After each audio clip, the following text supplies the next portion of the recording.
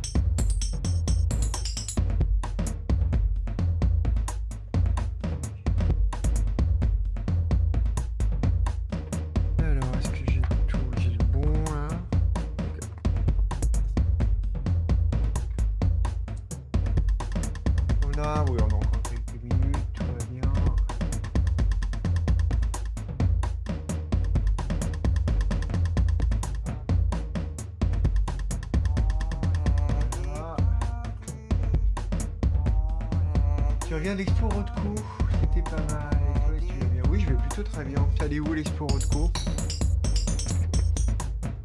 Qui accueille en ce moment une expo Rothko Je suis pas au courant des expos parisiennes.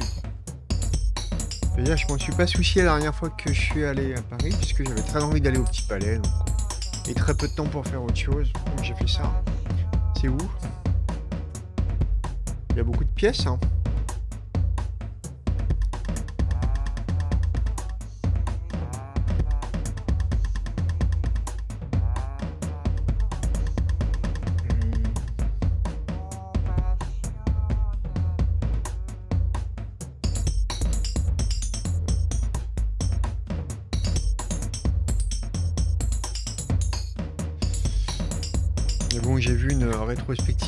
Il y a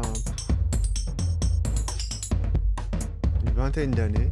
Je sais plus où c'était d'ailleurs. Salut à toi, le dernier des bipèdes. Et bienvenue ici, dernier des bipèdes. En voilà un bien joli pseudonyme.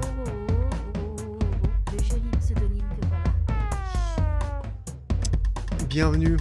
Hmm. Alors c'est à la fondation Vuitton. Ah quelle horreur. Mais enfin, que fais-tu? Que fais-tu? Pourquoi es-tu allé là-bas? Si ce n'est pour la brûler. Bon, ce serait dommage de brûler quelques Rodco, mais quand même. Bah écoute, je sais plus où c'était moi, euh, il y a 20 ans, hein, donc j'ai un peu oublié. Ça m'avait donné l'occasion d'en voir une... bonne centaine quand même. hein. C'était une expo assez incroyable. Il y a pas mal de pièces. hein. Sinon, j'en ai revu bah, la dernière fois que je suis allé à Londres. Dans quel monde Vuitton Excellent Excellent Tu vois quoi Formidable, tu viens à peine d'arriver, tu t'y mets. D'accord, j'ai bien. Tu es bien dans l'esprit de la chaîne. Ça suffit le pseudonyme. What an incredible calembour. Ah, je me trompe de bouton en plus.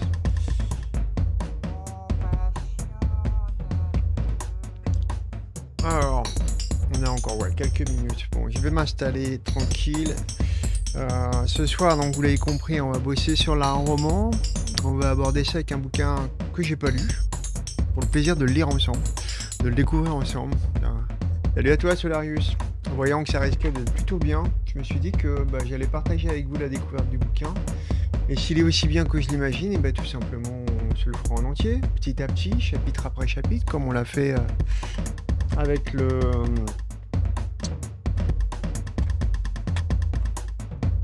Le bac et les formes de l'intention. Ça va être très bien.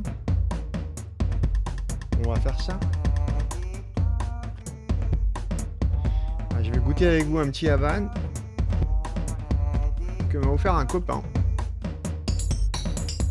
Cadeau très attentionné, très gentil.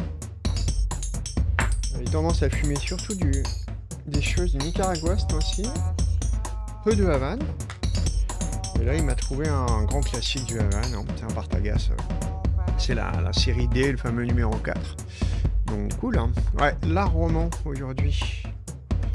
Pour ce que ça veut dire.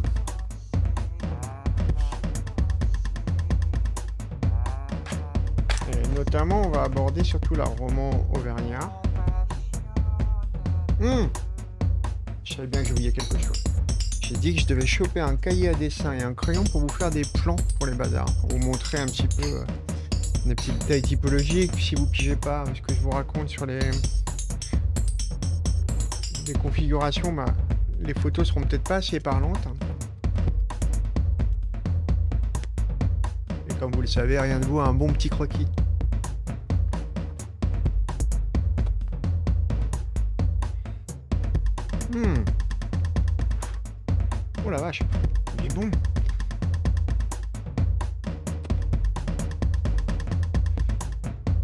Crois que je me régaler. Super. Quel gentil cadeau.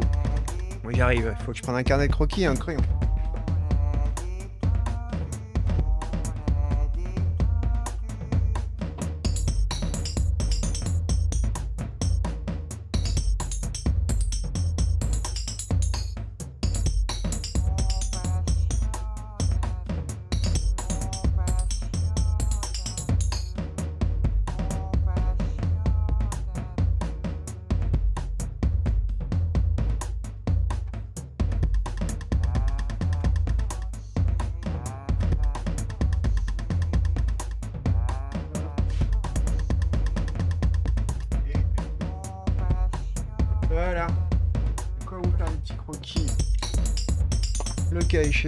Jamais ce que je vous raconte n'est pas assez clair, ce sera peut-être très utile. hein.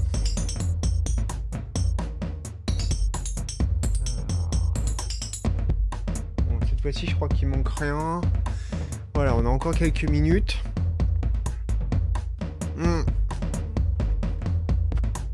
Comme on en parle souvent ici, en tout cas, vous m'en parlez souvent, euh, j'ai pensé que ce serait peut-être utile de vous faire une petite biblio, donc on va des fois vous demander euh, quoi lire pour aborder tel ou tel sujet, je sais jamais trop quoi vous répondre. Parce que c'est pas une question simple, c'est jamais pareil selon le l'endroit depuis lequel vous pénétrez un champ, une discipline, une notion ou une période. Et euh, je pense que là, j'ai ramené assez de trucs pour qu'ils soient adaptés à peu près à, à toutes les approches. Donc celles légères qui veulent juste savoir quelques petits trucs, euh, qui voudraient approfondir euh, le sujet de leur roman.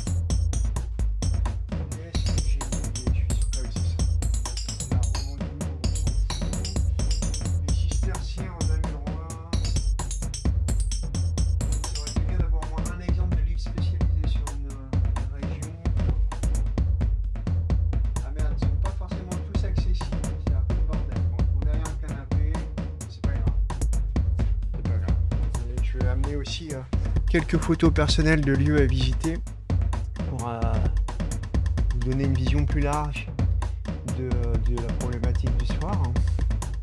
Cette approche. Ah, donc tu es tout nouveau, le dernier des bipèdes. Qu'est-ce qui t'a conduit ici? Si c'est pas indiscret, dis-moi.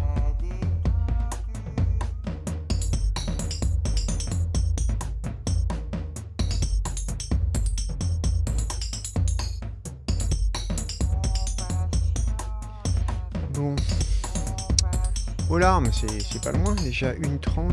Attendez, je vais rajouter. euh,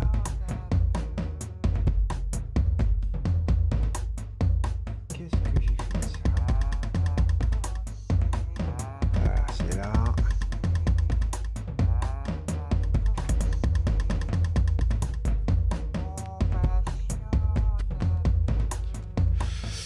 Et pourquoi avoir euh, finalement décidé à aller dans un endroit que tu avais décidé de, de boycotter, Pierre Quelle drôle d'idée. Tu, n'es pas capable de tenir les règles que tu t'imposes toi-même. C'est triste quand même, non Ah bah c'est très très chouette le dernier des bipettes, c'est une entrée en matière euh, bien. Les lives de psychopathologie de l'expression, je pense, donnent un, aspect assez juste de la diversité des approches ici, la multiplicité des objets qui nous intéressent. Puisque c'est au carrefour déjà de plusieurs questions qui sont traitées sur cette chaîne, donc c'est parfait. Bon, ben c'est bien. Alors pourquoi YouTube euh, t'a proposé ça? Va savoir.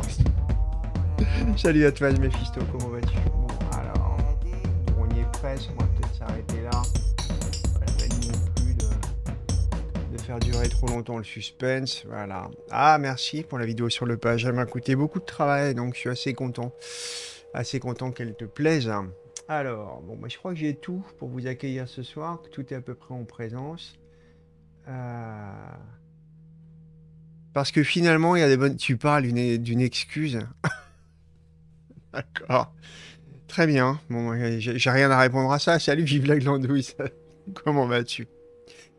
Donc, on va voir un peu ce qu'on va faire ensemble ce soir. Donc, la question est d'aborder l'art roman. C'est pas la première fois qu'on aborde cette question. On l'a déjà abordée sous des formes euh, plus générales ou euh, au détour d'un live consacré à l'art euh, sur tel ou tel aspect. au tournant, salut à toi euh, autour d'un objet quelconque rencontré dans, dans les diverses visites, mais abordé de façon plus générale. Eh bien, on l'a pas fait. On, finalement, on a parlé plutôt de la période un peu plus tardive, quand on a évoqué euh, les travaux des enlumineurs, ou même quand on évoque la peinture, on, regarde plutôt des choses plus tardives. Les lieux que nous avons visités ensemble sont plutôt des lieux plus tardifs. hein. Donc, euh, à partir du 13e essentiellement, et puis jusqu'au 17e, voilà à peu près les objets qui ont le plus euh, souvent attiré notre attention, alors que, à titre personnel, parmi les nombreux voyages que je peux faire avec ma compagne, beaucoup qui sont consacrés euh, aux églises romanes, à la recherche des églises romanes euh, en France. Et euh, ça me semblait chouette d'aborder cette question avec vous, a fortiori parce que je vous rebats régulièrement les oreilles avec le travail formidable que font les gars du GAOM, du groupe d'anthropologie historique de l'Occident médiéval, avec leur approche assez riche, assez généreuse et, comment hétérogène finalement. Alors peut-être pas en termes de, vision, euh, peut-être qu'il y a des, des, des- des caractères fondamentaux qui les unissent, mais déjà euh, l'histoire de tous les participants et participantes est très diaprée. Il y a, des gens qui sont là depuis le début. Enfin, c'est donc Claude Le Goff qui a, qui a créé cet espace. Et il y a des gens très jeunes qui désormais participent à la recherche euh, au GAOM. Et je dirais que tout le monde est plus ou moins contemporain. Bon, Le Goff est mort, bien entendu, mais travaille encore euh, au GAOM euh, des gens de la première heure, comme Jean-Claude Schmitt ou Jean-Claude Bonne, euh, dont vous connaissez peut-être les travaux déjà à travers cette chaîne, puisqu'on vous en parle souvent, peut-être à travers leurs publications. Rien que ça, le fait que leur travail soit très collectif, c'est pas une façon de parler. hein. Euh, pour vous donner un exemple, il y a un jour par semaine, le mardi, où euh, les, gens du GAOM, tous ceux et celles qui peuvent participer ce jour-là, euh, vont travailler autour des questions de l'image. C'est un des, objets importants de leur, de leur approche de l'anthropologie historique, les images, qui sont assez centrales dans leurs préoccupations. Ils se retrouvent, alors autrefois euh, ils étaient limités à la possibilité de se retrouver dans les locaux du GAOM, euh, au cœur de Paris, mais désormais la visioconférence leur permet de le faire en étant éloignés les uns des autres, ce qui leur permet de poursuivre leurs recherches dans tel ou tel coin de France, tout en euh, bossant à plusieurs autour de certaines questions, et ils traitent l'image que l'un ou ou l'une d'entre eux apporte. Donc euh, ça peut être euh, un livre enluminé, ça peut être une série de tableaux, j'imagine, enfin ça peut être beaucoup de choses.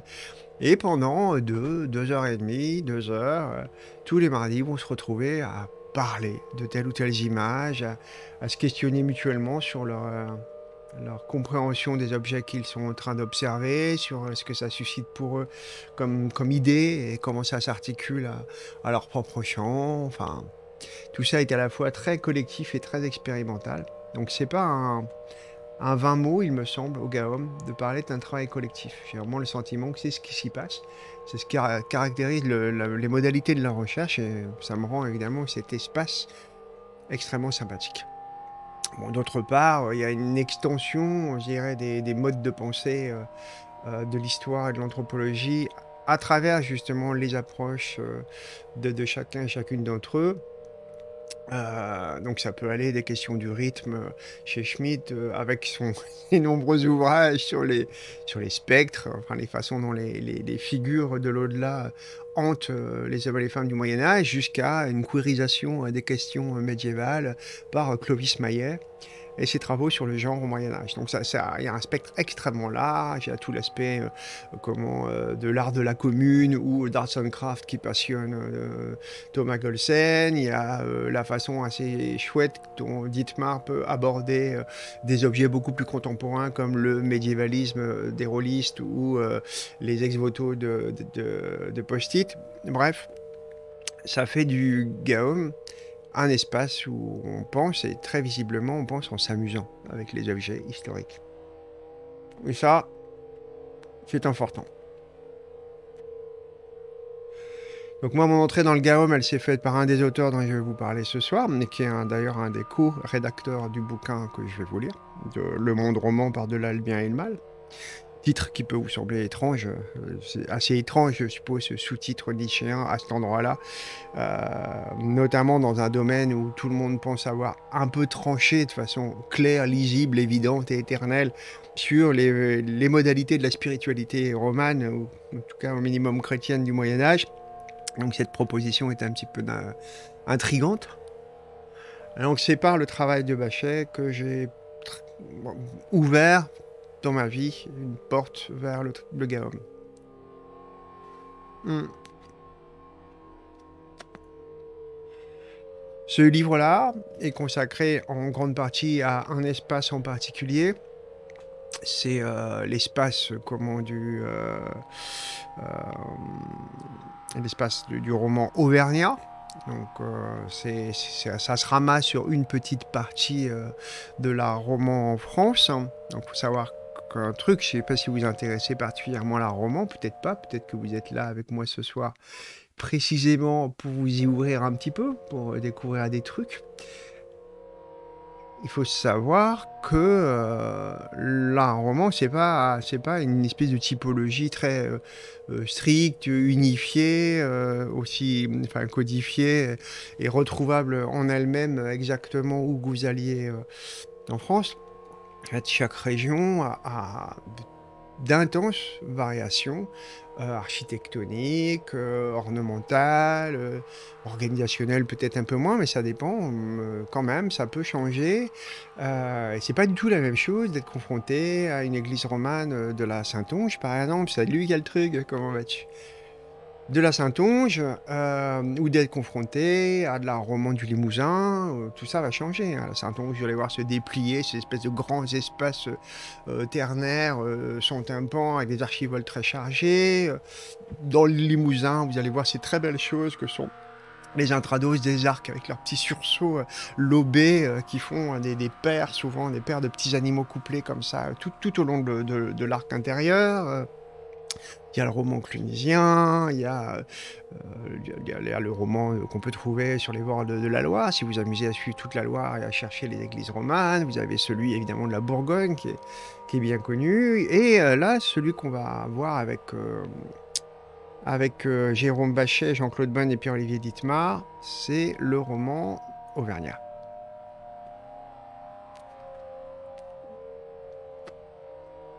Si cette question vous intéresse euh, de ces écarts, qu'on va dire typologiques, entre les différentes propositions euh, architecturales, sculpturales, ornementales de, l'art roman, il y a un espace que vous pouvez visiter et qui, euh, si vous êtes novice en la matière, peut vous ouvrir à cette pluralité de formes, à cette richesse de formes, de façon très simple, très immédiate, j'allais dire, quelque chose qui peut vous permettre un point de contact avec une lisibilité inattendue de tout ça, parce qu'évidemment c'est compliqué de, bien se rendre compte des caractères marquants euh, du roman Vergnat, du roman Bourguignon, euh, du roman euh, Limousin. Parce que pour ça, il faudrait, il faut de l'autonomie, un véhicule, beaucoup d'essence et beaucoup de temps.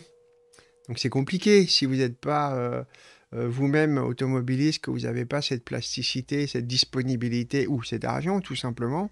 euh, comment faire? Eh bien, il y a un endroit que vous pouvez visiter. C'est un endroit très euh, étrange de Paris, enfin parmi les grands musées euh, que vous pouvez visiter à Paris. C'est pas un de ceux qui est le plus visité. C'est un musée qui est très calme.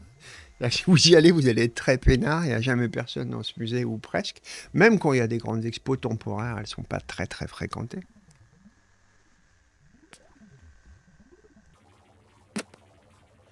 C'est le musée du patrimoine qui se trouve pas loin euh, du musée d'art moderne et du palais de Tokyo, donc c'est le même coin. hein. Coin pas très aimable de Paris, mais où il y a des beaux musées.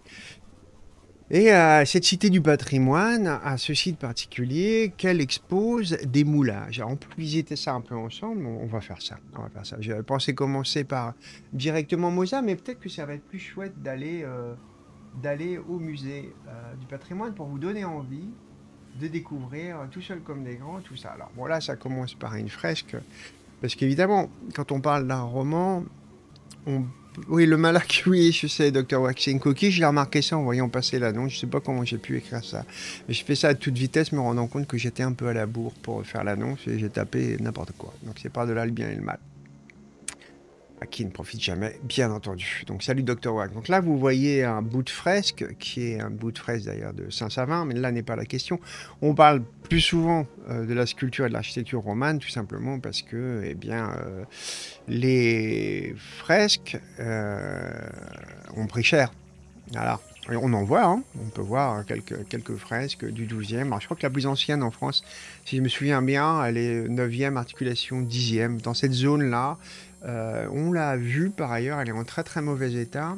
Euh, je crois que c'est près de Civaux. C'est peut-être une bêtise, mais c'est en tout cas c'est la première fois qu'on est confronté à une fresque euh, médiévale aussi ancienne. Bon, il y a quelques fresques antiques en France, très peu, mais il y en a. Salut Zazir.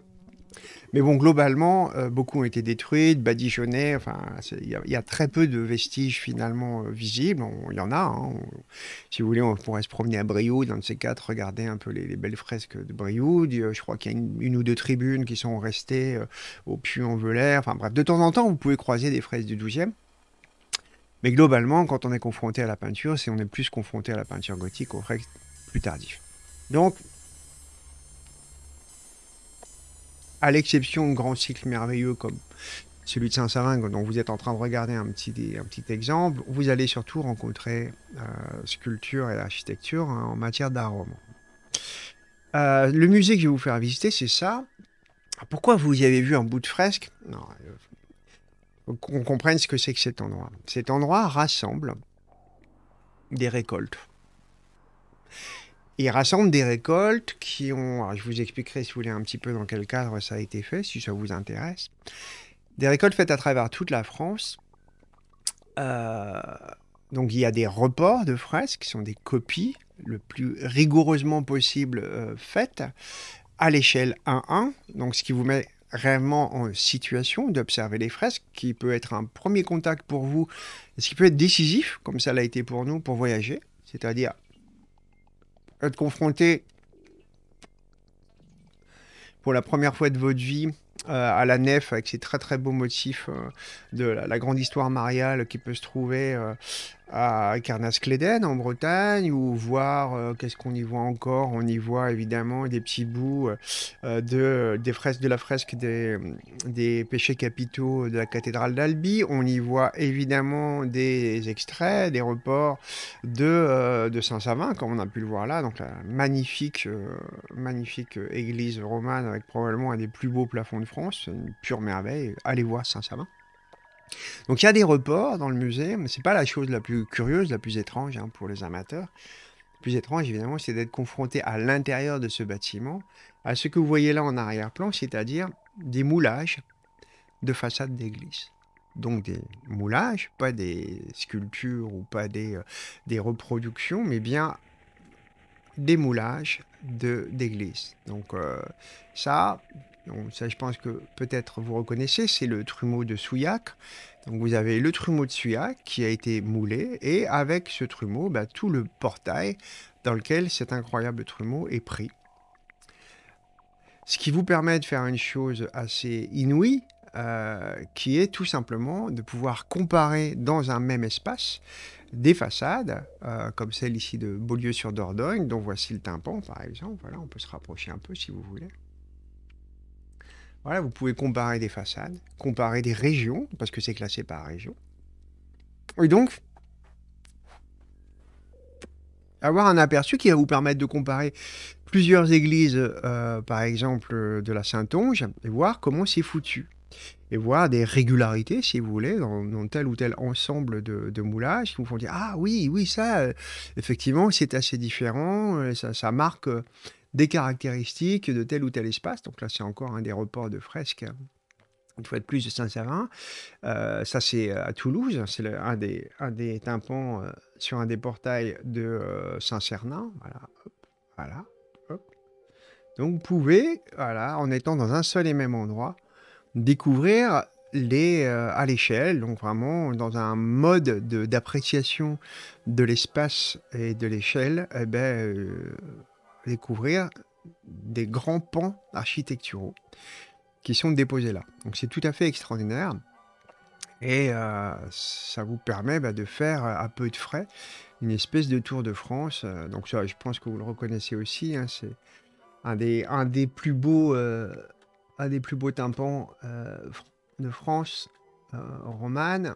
C'est le tympan de Conques. Il est si singulier qu'on peut difficilement le confondre avec un autre.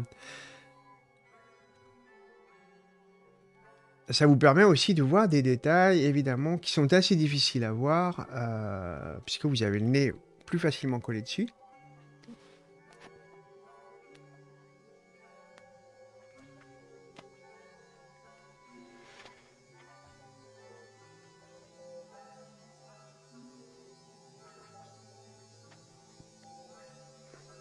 Regardez cette- ce beau gorgonillon, cette belle gueule de l'enfer hein, de conque. Et ça peut être décisif pour vous, je pense, hein, bah pour vous dire, putain, j'irais bien voir ça, quoi. Hmm. J'avais entendu parler euh, de Vézelay, du Puy-en-Velay, d'Autun, mais je me doutais pas que c'était aussi beau. Bon sang, j'y vais. Donc ça peut être vraiment décisif. Vous voyez, il y en a vraiment beaucoup. Donc ce sont des très grands espaces, assez fascinants à traverser. Donc euh, vous avez parfois un chapiteau qui est, qui est tombé et euh, enfin qui a été placé au niveau du sol et qui vous permet d'y voir de, de plus près. Euh, Là par exemple c'est Moissac. C'est assez intéressant pour tous ceux qui ont l'intuition contre Souillac et Moissac. Il y a peut-être des des, des points communs, des, des traits de caractère qui mériteraient d'être rapprochés. Mais comment faire? Eh bien vous pouvez. Salut à toi, comment vas-tu Ahmed? Hmm. Vous pouvez comme ça passer en, en 15 mètres de Souillac à Moissac en comparant comme ça les, les espaces, euh, les portails, etc. Donc, moi je vous conseille plus que vivement parce que si vous voulez, la première fois que j'ai entendu parler de ce musée, j'ai entendu parler de moulage des églises, j'avais du mal à me, représenter ce que ça pouvait être vraiment comme expérience. J'avais un peu de dédain, un peu de mépris pour cet endroit, en disant bon, je vais quand même pas aller voir des moulages, qu'est-ce que j'en ai à foutre, ça n'a pas beaucoup de sens. J'imaginais connement quelque chose comme, je sais pas, ces espèces d'espaces touristiques comme la petite Europe, quelque chose d'assez méprisable. Et euh, le plaisir pris pour découvrir d'un seul coup tout ça, et puis surtout le- l'espèce d'outil euh, pédagogique que ça représente, même conceptuel, quoi.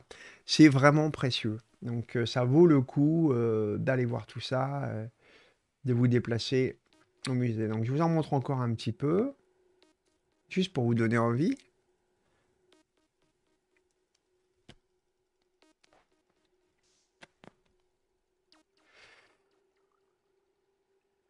C'est un- un- le genre de, de petite habitation qui fait craquer Agnès. Délicieuse petite bestiole. On parlera de bestiaires, on parlera d'animaux, on parlera de plein de trucs avec euh, ce bouquin. Alors, je suppose, parce que j'avais entendu parler du livre par un des rédacteurs, euh, que l'enjeu, c'est euh, Jérôme Bachet m'avait parlé de ce premier truc, ce truc il y a un moment. Et c'est grâce à un Pierre-Olivier Dittmar que j'ai chopé le bouquin d'une part et le PDF d'autre part, hein, ce qui va me permettre de vous montrer tous les plans qu'il traverse, c'est pas rien, et les photos que les rédacteurs ont pris euh, de Moza, ou Mozac, c'est pareil. hein. Moi j'ai connu la ville sous le nom de Mozac, mais en fait on peut dire les deux. Eh bien bien, bien, mais plutôt pas mal. Bon, ça c'est Autun par exemple, donc un, tympan euh, assez réputé et très beau. Ça se trouve en Bourgogne, c'est très beau. Hein. Autun, c'est assez impressionnant. Dans mes souvenirs, il y a aussi plein de pièces à l'intérieur de l'église qui sont plutôt, euh, plutôt intéressantes. Donc avec un triste angloire pas banal. Il y a vraiment une position euh, très euh, singulière. hein, dans, là. Ah, je vois qu'on a un petit problème de visualisation. euh. Ouais, on n'a pas tout. Donc ça, c'est con. Alors, si on n'a pas tout, comment faire? Donc, je vais, je vais changer ça pour vous permettre de tout voir. Ça va être mieux de voir ça comme ça. Ah, c'est quand je fais des zooms. hein. C'est ça le problème. Hmm, Je comprends. Bon, quand je ferai des zooms, vous auriez que, que, des, que des petits bouts. Donc, il faut que je regarde bien à l'endroit que vous visualisez. hein, Et pas... euh, ça zoome sur le kiki, mais de, quel, de quoi tu parles? Tu parles peut-être du vêtement qui fait cette espèce d'ourlet là. hein. C'est. Donc ça, c'est la partie inférieure du, du dernier.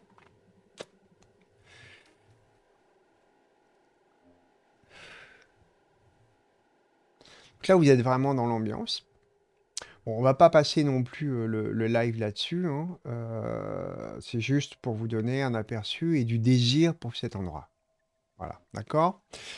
Euh, donc, le bouquin qu'on va lire, c'est ça. Il est consacré en grande partie. Salut Clint. Salut Pim. Il est consacré à l'art roman auvergnat. On pourrait déjà parler un petit peu de ce que c'est que l'art roman. Peut-être que. euh, c'est compliqué, évidemment, puisque les, euh, les, termes qui ont été créés de toutes pièces au 19e siècle, pour la plupart, euh, pour parler des, des périodes architecturales ou artistiques, ben, sont sujets à caution, vous pouvez vous en douter, ils sont forcément très approximatifs. Difficile de savoir s'ils sont plus justes pour parler euh, de typologie euh, euh, formelle ou pour parler de périodisation, mais en fait, ils parlent aussi mal de, de l'un que de l'autre. C'est, c'est forcément des approximations, c'est forcément des choses qui ont été décidées jusqu'au choix des mots eux-mêmes à des moments où il s'agissait beaucoup de construire une espèce de grand roman historique assez rationnel, euh, avec ces grandes configurations euh, euh, presque progressistes finalement de, l'organisation du monde, des images et des productions artistiques. Donc c'est un, peu,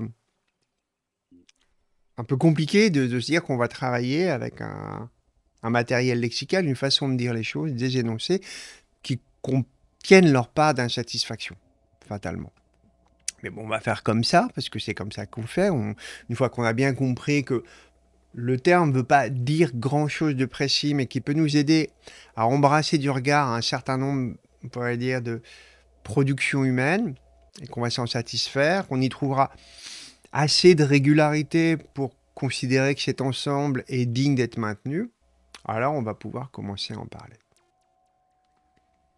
Alors, déjà, on va parler d'art roman auvergnat. Il faut bien comprendre qu'à la période dont on parle, la période dite de l'art roman, donc euh, en gros 11e, 12e siècle, euh, l'Auvergne elle-même, c'est pas tout à fait l'Auvergne euh, dont on parle là, quand on parle de l'Auvergne. Essayez d'imaginer comme zone géographique, ça recouvre euh, la partie de l'Auvergne. Vous voyez, euh, je sais plus comment ça s'appelle, si c'est là-haut ou la basse Auvergne, mais enfin autour de Rion, de Clermont-Ferrand, de Ambert, de Brioude, hein, euh, dont on a parlé tout à l'heure, qui est une église assez fascinante.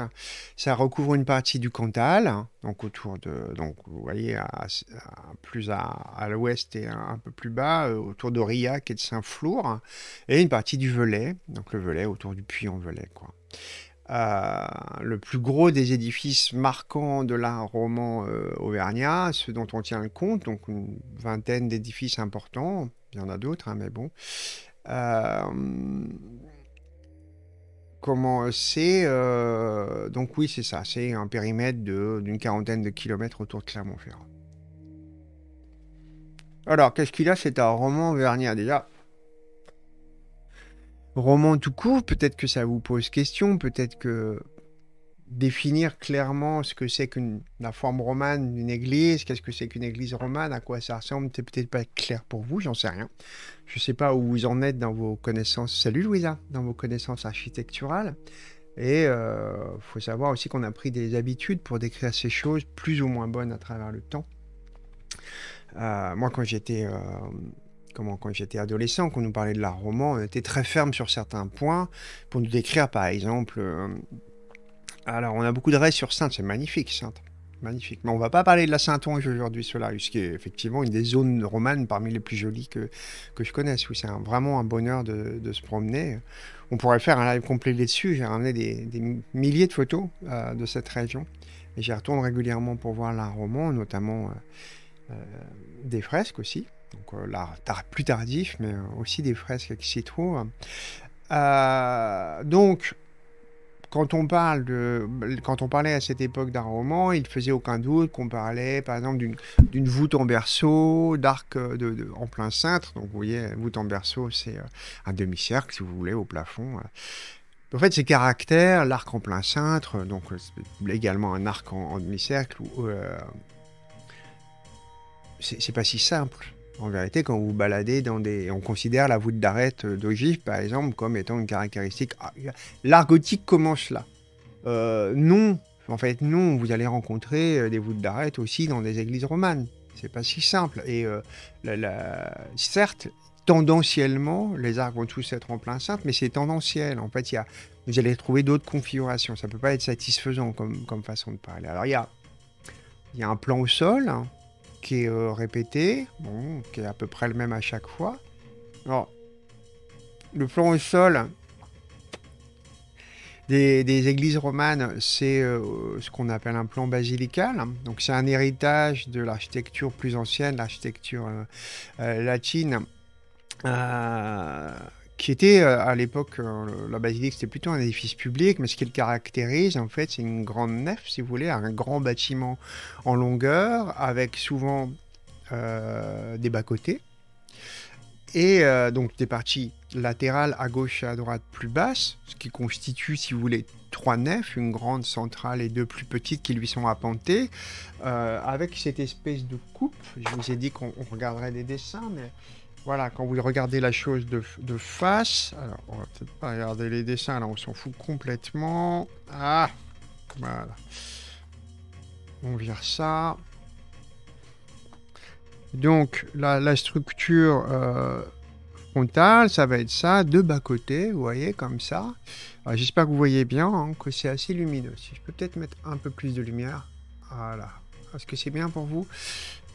Bas-côté, et euh, la partie centrale plus haute et plus large. Voilà. Alors bon, ça, c'est, on va dire, c'est la base, mais évidemment, dans des bâtiments euh, plus amples, vous pouvez avoir 5 nefs hein, au lieu de, 3. Mais bon, là, globalement, c'est ça, c'est 3. Hum.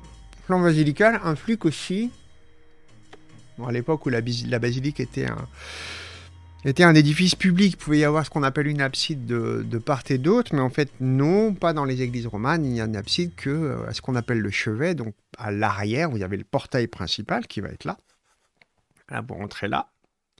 Et puis, au fond de cette nef, vous allez avoir une partie curviligne, voilà, qui va être surplombée par une espèce de voûte, vous voyez, qui est creusée, euh, bah, qui va faire un, quart de sphère, hein, qu'on appelle un cul de four, hein, quand vous le regardez euh, comme ça par-dessous, et qui est souvent peint, euh, il est très belle chose. Donc vous avez ce plan avec ses bas-côtés, voilà, qui sont là, comme ceci. Alors les, bas- bas-côtés, ils sont marqués, bah non, ils sont intégrés à la nef, je fais des conneries. Ils sont marqués à l'intérieur par la colonnade. Ne tenez pas compte de la connerie que je fais là, ça n'a rien à voir. Par une colonnade, voilà, qui va suivre un petit peu tout l'intérieur de, la nef principale et qui va marquer une déambulation tout autour. Cette déambulation, elle peut se faire à l'arrière, ici, hop, et ça tourne tout autour de cette partie qu'on appelle le cœur, qui euh, était euh, pendant longtemps le lieu. Alors, il faut savoir que l'organisation de la liturgie, elle a pas cessé de changer à travers les siècles. Donc, il y a eu euh, des fois, enfin, pendant longtemps, vous avez eu ici des chœurs en partie centrale avec, qui étaient complètement cloisonnés, ce qui vous permet assez tardivement dans les églises de, voir conserver ce qu'on appelle des tours de chœur. C'est très fréquent dans les belles cathédrales gothiques qui rendent, euh, euh, comment, qui, qui clôturent complètement cet espace qui n'est pas destiné aux croyants, aux fidèles, mais simplement bah, au chapitre, c'est-à-dire aux membres du clergé. Donc l'autre euh, chose qui va caractériser votre église romane, ben, c'est un petit, euh, ce qu'on appelle un transept. Voilà. C'est-à-dire, ça donne à tout ça une forme de croix latine Voilà, assez courte. Donc les, les bras des transepts vont avoir tendance à s'étendre plus tardivement euh, dans, dans le- les montages gothiques. Donc c'est tendanciellement court dans les euh, églises romanes. Et euh, par ailleurs, vous pouvez trouver donc en Auvergne comme ailleurs, surtout en Auvergne où les chevets sont quand même puissants et chargés en général. C'est vraiment des imposants le, chevet euh, auvergnat. Vous avez euh, des, ce qu'on appelle des, des absidioles, c'est des petites chapelles rayonnantes. Pourquoi? Parce qu'elles forment un rayon autour de cette partie. Voilà, comme ça. Vous voyez ces petites chapelles, on appelle aussi absidioles bah, leur forme, chapelle c'est plutôt leur fonction, parce que ce sont des petites absides qui viennent comme ça les poursuivre. Et régulièrement, vous avez aussi ici et là deux petites euh, chapelles potentiellement qui peuvent se retrouver le long du transept hein, euh, et prolonger comme ça à cet endroit-là, euh, comment le l'espace des bras de ce transept. Tu vois mal ce que je dessine Est-ce que ça cause ah, Je sais pas. Vous voyez pas Si vous voyez pas, vous me dites, hein, parce que faut vraiment. Je vous fais un croquis. Si vous les voyez pas, je vais prendre un gros feutre et puis on verra ça au feutre. Voilà. Donc vous voyez ça, c'est le plan au sol. Alors, de ce point de vue-là, les églises euh, romanes auvergnates ne sont pas spécifiques. Elles ont euh, gros feutre plutôt pour tout le monde. Je vais chercher ça. Ok. Alors, hop, hop. Euh, je vais vous trouver ça rapidos. Attendez. Euh, Je crois que j'en ai un. Hop. hop. Là, il y a des feutres. Ce sera peut-être plus simple pour vous. Donc, je vous refais très rapidement. Je repasse. Ce que je vous avais montré, la coupe ici, évidemment, le feutre ne fonctionne pas. On le balance. C'est toujours comme ça. Voilà la partie. L'en- ici, donc la nef principale de face et euh, les bas-côtés, d'accord Et le flanc au sol, en gros, hop, l'abside, ici, les petites chapelles rayonnantes, les bras du transept, donc cet endroit-là où ça se croise s'appelle codement la croisée, tout simplement, voilà. Et là, la colonnade qui, à l'intérieur, eh ben, va tout simplement marquer euh, la séparation des bas-côtés. Voilà, donc ça fonctionne euh, comme ça. On verra plus de détails tout à l'heure parce que je crois qu'il y a des plans dans le bouquin euh, pour les détails, notamment parce qu'il y a des espaces liturgiques qui ont un peu disparu. Il faut savoir qu'il y a eu des reconfigurations hein, régulières de l'espace liturgique, notamment à la réforme grégorienne. Hmm.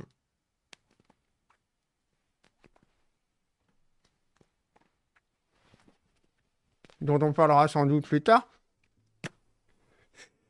Alors, donc, dans les églises auvergnates, il y a aussi cet espace, vous voyez, euh, euh, qui poursuit la colonnade ici, euh, qu'on appelle le déambulatoire, donc qui déambule tout autour de, cette, de cette partie, de la partie du et le- du maître-autel euh, qui se trouve ici. Ah, hop, voilà. Alors, parfois dans le transept, enfin, ah oui, il y a autre chose que j'oublie qui est présent dans une bonne grande quantité d'églises romanes. C'est une, espèce de vestibule euh, à cet endroit-là, assez, important. Ce vestibule, euh, on appelle ça un narthex. Donc c'est une espèce de comment euh, une espèce d'espace, si vous voulez, on va appeler ça comme ça, euh, qui fait un, sas euh, dans cette euh, dans cette construction. Donc euh, alors, qu'est-ce que j'ai dit? Donc, on a euh, comment les absidioles, j'oublie rien. Alors, donc le narthex euh, qui a plus ou moins d'importance, qui se trouve à cet endroit-là. Alors, ça peut être selon les régions et selon les périodes, un espace avec plus ou moins euh, d'importance. Donc, il est ici, il a à proprement parler pas, nécessairement de colonnade, bien que j'en ai rencontré qui soient colonnés, voire parfois même avec motif de colonnade, parce que ça peut être juste un petit sas euh, muré, mais il peut être aussi euh, ouvert, hein, comme un, comme un portique.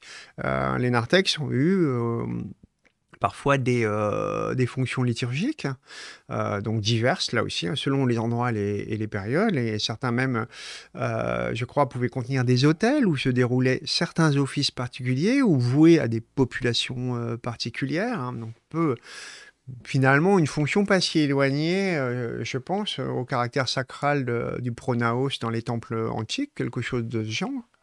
Voilà. Donc les voûtes, je vous l'ai dit, ça n'est que tendanciellement en berceau, mais bon, on peut quand même y rencontrer euh, des croisées euh, d'ogives. Et quant à euh, l'absence de couleur euh, supposée euh, des églises, évidemment, c'est plutôt l'effet du vieillissement, du badigeonnage, des, des, fresques. On ne doit pas douter que les fresques, les, églises romanes étaient elles-mêmes chatoyantes et très peintes. D'ailleurs, aujourd'hui,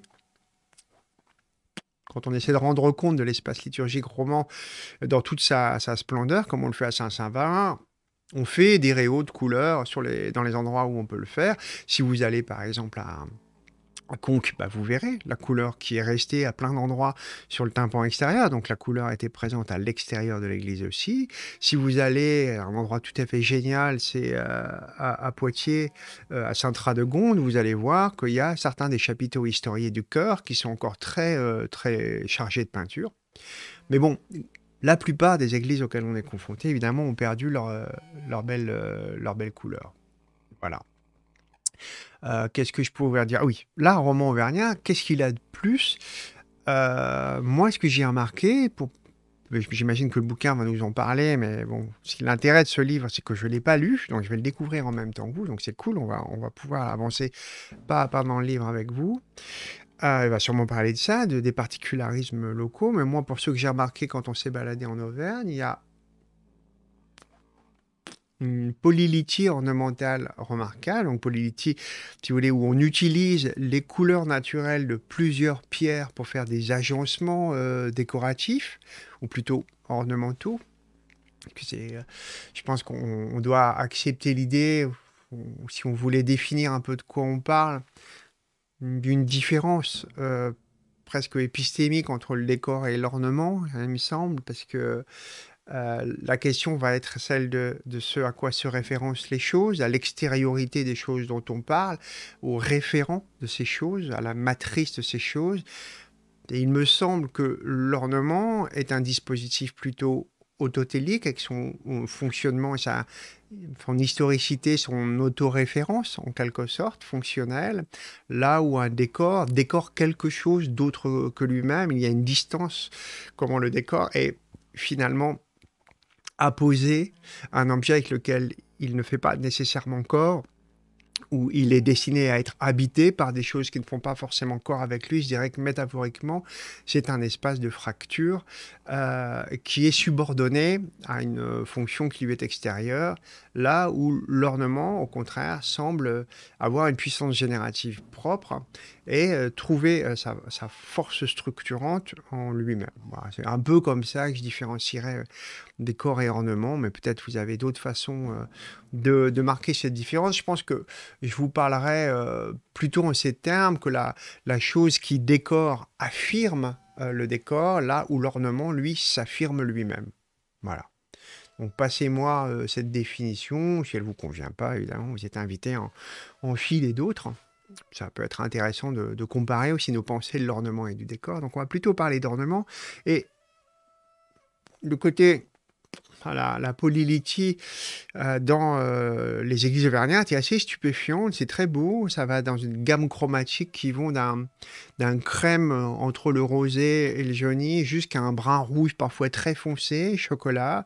Ça produit des véritables marqueteries de pierre, euh, parfois avec un côté géométrique, parfois un côté floral, parfois les deux en même temps. Et euh, l'autre caractère, c'est le clocher, qui est assez particulier. Alors le clocher se situe la plupart du temps, enfin en tout cas pour celles que j'ai rencontrées, euh, au-dessus de la, croisée, à cet endroit-là, donc à l'endroit où la nef et euh, le transept se croisent. Donc c'est un, clocher qui surplombe cette zone-là. Et un autre aspect qui est assez intéressant et propre, je crois, à la Auvergnat, c'est un massif particulier, ce qu'on appelle le massif Barlon. Un massif Barlon, c'est ça. Donc vous avez votre transept. Alors là, on est. Ah non, on va se mettre côté chevet. Je ne vous fais pas les absidioles, hein. je vous fais juste l'abside principale. Imaginez juste que tout autour, il y a des petites chapelles rayonnantes. Là, vous avez votre transept qui apparaît et avec ses bas-côtés. Et en fait, à un certain endroit, avant le clocher orthogonal, en, en arrière du truc, là, vous avez euh, un massif supplémentaire. Voilà. Au niveau de la croisée, à peu près, qui vient, euh, qui a souvent une espèce de, pente aussi, donc ça fait une double pente. Donc là-bas, vous voyez que va se prolonger en fait votre église, comme ça. Hop, voilà, en gros. hein. Et euh, ici, bah, vous avez euh, l'implantation de votre clocher. Et le clocher, son plan, bah, c'est un plan octogonal. Voilà, donc un plan à chaque fois, c'est assez remarquable dans, dans, dans. C'est ma perspective est pourrie, mais je pense que vous comprenez un peu comment ça fonctionne. Voilà, voilà, voilà. Vous avez là le truc, ça là comme ça, voilà. Vous avez votre plan euh, ici, euh, avec l'implantation de votre clocher octogonal euh, au-dessus à la croisée. Donc ça, ce truc-là, ce qu'on appelle un massif barlon, eh bien, c'est propre à, à votre église. Ailleurs, ça peut être complètement différent. Vous pourrez vous trouver dans des espaces, par exemple, où le narthex est suffisamment important pour trouver un clocher qui vient euh, surplomber euh, le narthex. Donc euh, à cet endroit-là, à l'endroit où se trouve le portail principal. Parce que ça, c'est l'arrière, hein, c'est ce qu'on appelle le chevet, ça, c'est le portail principal. Et bien, dans certaines anglois, en église, ben, le narthex est très puissant, et il peut y avoir un clocher. Des fois, c'est des clochers à claire-voie. Là, vous pouvez trouver des... Par exemple, dans ce type de dispositif, dans certaines régions, vous pouvez trouver un clocher comme ça, avec, euh, qui est ouvert, avec les cloches visibles à cet endroit-là. Voilà, deux cloches. Bon, c'est pas le cas de ce que j'ai pu voir en Auvergne. Le clocher, pour toutes celles que j'ai vues, était placé à cet endroit-là. D'accord? Salut Sarah, salut Suze, salut les gens. Donc, voilà près hum, ce qui me semble très marquant dans euh, l'art roman auvergnat, c'est euh, quelques éléments que je vous donne. Euh, merci euh, Jack Bauer hein, pour, euh, pour le follow, c'est bien, c'est gentil. Alors, qu'est-ce qu'on va pouvoir dire de tout ça? On va s'approcher donc de ce livre-là. Ce que je voulais faire aussi rapidement, j'ai amené quelques lectures supplémentaires au cas où, mais ça on, on en parlera peut-être après. Je vais euh, peut-être vous filer, parce que c'est une question qu'on me posait souvent par rapport à, l'histoire de l'art, c'est par quoi commencer, quoi lire? Je sais bien que la plupart d'entre vous ont très envie d'un livre de tout. C'est-à-dire Un livre où il y a euh, tout l'art dedans, où vous pourriez comme ça vous balader euh, dans toute l'histoire de l'art. Il y a des livres qui prétendent faire ça, mais en fait, euh, ça n'a pas beaucoup de sens. Alors, J'en ai quand même amené un. Alors, je vous ai pas encombré de l'embarrassant Gombrich pour lequel j'ai vraiment aucune sympathie. Je préfère un livre finalement plus trivial, mais disons plus léger et prétendant moins euh, vous proposer une théorie de l'histoire générale avec une vision euh, panofskienne euh, souvent extrêmement euh, centrée sur une idée progressiste qui, chasse tout ce qui fait défaut à sa compréhension de son système avec quand même une, grande sévérité. C'est pas très intéressant. Moi, je vous conseille pas. Je vois que Jack Bauer conseille Gombrich. Moi, je vous le conseille franchement pas. D'une manière générale, je vous conseille pas les livres généraux. Voilà, c'est décevant, je sais bien, vous avez très envie de ça. Vous avez envie d'un gros, pour commencer, d'un gros livre d'histoire de l'art euh, sur tout l'art, mais ça n'existe pas un bon livre comme ça. Donc je vous en ai amené un quand même, parce qu'il est euh, sympatoche. Euh, il a été fait par le comptoir du livre. Son avantage, c'est d'être très visuel. C'est-à-dire, par période, il propose un nombre assez considérable de euh, photographies très très riches euh, et à chaque fois en contrepoint des plans qui décortiquent euh, tous les montages possibles et imaginables pour vous faire approcher les particularités architecturales ou picturales de chaque période. Le texte vaut ce qu'il vaut, de mon point de vue évidemment, c'est toujours à la serpe et ça me fait frissonner. Les invasions barbares sont décrites, je dirais, avec une légèreté qui laisse complètement de côté euh, les- l'espèce de, de complexe mixité euh, des, euh, sociétés qui s'y sont rencontrées et qui n'est pas du tout euh, univoque, euh, uniforme, avec euh, des barbares païens d'un côté et puis une unité chrétienne de l'autre. Bon, le livre ne dit pas ça, mais par la rapidité avec laquelle il passe sur certains montages, il laisse penser des choses simples, trop simples sans doute pour être vraies. Pour autant, quand on plonge dans l'art roman, ici on voit des très belles choses, ça c'est vrai, puis on les voit de très près. Et il y a, euh, je dirais, une possibilité vraiment assez juste de rentrer dans euh, différentes périodes de l'art avec une certaine aisance, sans être effrayé par l'ampleur du projet.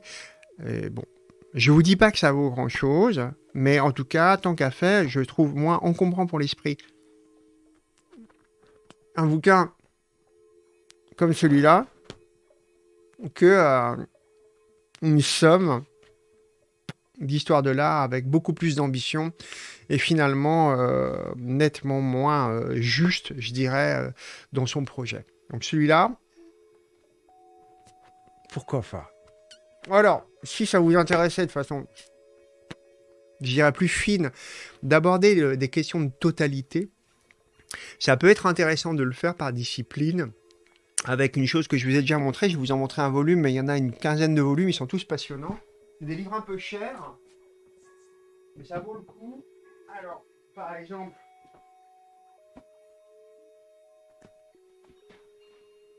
voilà celui qui est consacré euh, à l'architecture. Ce truc a été initié euh, par Malraux au début, mais le truc formidable, c'est que ça s'écrit tout le temps. Donc cette série merveilleuse, qui sont publiées par le Centre des Monuments euh, Nationaux euh, et aux éditions du patrimoine, c'est un inventaire général, extrêmement crédible et soucieux du moindre détail pour vous parler point par point de ce que sont les éléments constituant une grammaire historique, une grammaire des formes, qui va de l'outillage à l'archéologie, en passant par les éléments euh, comment architectoniques, euh, sculpturaux. Ça, c'est celui sur l'architecture.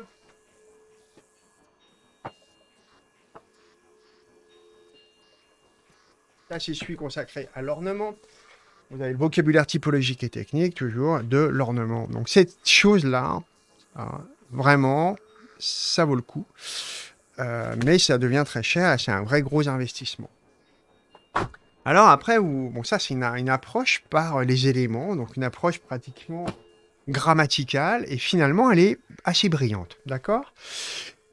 Mais vous pouvez avoir envie évidemment d'approcher ça par période. Alors pour l'art roman, à proprement parler, moi ce que je vous conseille, euh, c'est ça. C'est modeste, hein, mais c'est pas mal du tout. Euh, c'est pas mal foutu. Il y a, toujours à redire. Hein. Mais là, hein, vous avez une vision assez vaste, en fait, des, euh, je dirais, du chatoiement des propositions euh, euh, plastiques proposées par cette, par cette période. Hein. C'est un bouquin qui est publié par Flammarion.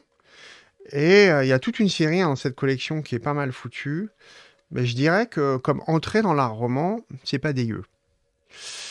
Euh, voilà, ça, pourquoi pas, pour rentrer dans l'art roman. Si euh, vous voulez faire des, rentrées dans, ce genre de questions euh, un peu moins coûteuses, vous voulez des petites choses, il y a à la Cité du patrimoine des petits fascicules beaucoup plus généraux, mais qui sont alors très condensés hein, pour le coup, qui vous permettent d'aborder juste la question du vocabulaire architectural, avec des repères chronologiques, un petit fascicule pas cher, assez juste. même dans un, je dirais, un temps aussi ramassé, ben, ils disent pas de conneries, ils s'en tiennent, je dirais, de façon assez factuelle à euh, quelques lignes historiques tirées, mais euh, sans brosser euh, trop violemment à grands coups l'histoire elle-même comme matériau. Donc ça, c'est pas mal. Et bon, bah là, vous avez par exemple, je parlais du plan basilical et euh, de ses effets sur euh, l'architecture romane, mais voilà, vous avez là euh, toute, toute, une espèce de déroulement historique des changements de plan, donc avec des vues aériennes comme ça, de l'architecture paléo-chrétienne, en passant par l'architecture carolingienne, ottonienne, puis romane, etc. Premier pas du roman. Donc avec les plans, là, je vous parlais des églises à trois nefs. Là, vous avez fait par exemple celle de Saint-Cernin à Toulouse, qui est colossale, et vous voyez là un développement effectivement d'une nef à cinq vaisseaux, d'un ensemble de cinq nefs, appelez ça comme vous voulez. Donc là, ça peut prendre cette grande ampleur-là. Hein. c'est un, sacré truc.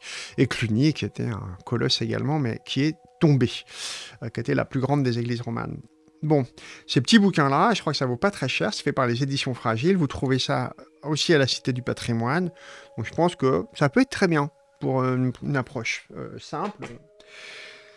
Sinon, vous avez euh, des publications Glycero qui sont des petits dicos, Donc un petit dico pas cher et dans un tel dictionnaire d'architecture, là aussi vous l'abordez par l'élément, mais avec moins d'ampleur, euh, moins d'ambition évidemment euh, que les énormes publications du patrimoine que je vous ai montrées.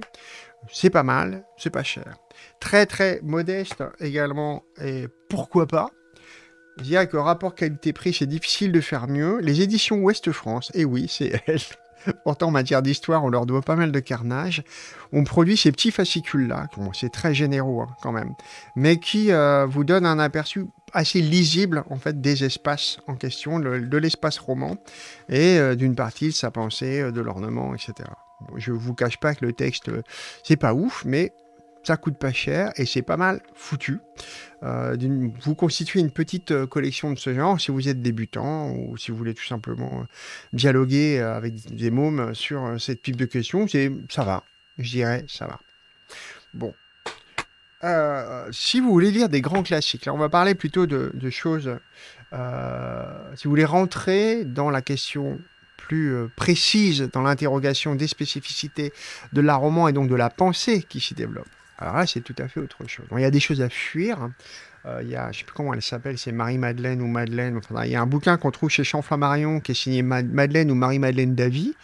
Donc c'est une mère de son nom. Donc ça, vous fuyez comme la peste. Euh, il vaut mieux en revenir à des fondamentaux. je pense que tant qu'à faire, pour ça, c'est un bouquin qui n'est pas tout jeune c'est, je dirais, c'est un pionnier. Alors, c'est vraiment les, les grandes lectures de la fin 19e, début 20e, avec Faucillon, euh, qui vraiment une approche très euh, sur la forme. Hein. mais euh, là, c'est, dirais, comme approche d'historien, c'est très honnête pour cette période. Et c'est pas mal de rentrer par ça, c'est Émile Mal. Voilà, c'est les fondamentaux. Bon, évidemment, euh, vous doutez bien que, depuis Émile Mal, euh, l'eau a, coulé euh, sous les ponts et on a beaucoup changé les, les approches. Hein. on a enrichi très considérablement les moyens de faire l'histoire, tout simplement. Enfin, cette histoire-là, l'histoire des formes, on a l'archéologie, le, travail sur les matériaux, plein de trucs ont, changé de ce point de vue. L'anthropologie, évidemment, mais sans déconner, Émile Mal a vraiment bossé le sujet de façon très fine avec le matériel dont il disposait. Et je pense que sa façon d'approcher euh, l'art roman, elle est assez, elle est très novatrice à cette époque. il y a beaucoup de choses qui tiennent encore debout. C'est très agréable à lire et c'est pas mal.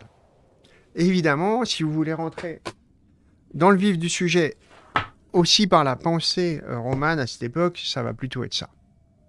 Là, pour le coup, si je devais vous conseiller une œuvre à titre personnel, pour penser euh, l'époque romane, c'est ça que je vous conseille et rien d'autre en fait. Ce serait le bouquin que je vous conseillerais de lire si vous voulez avoir une pénétration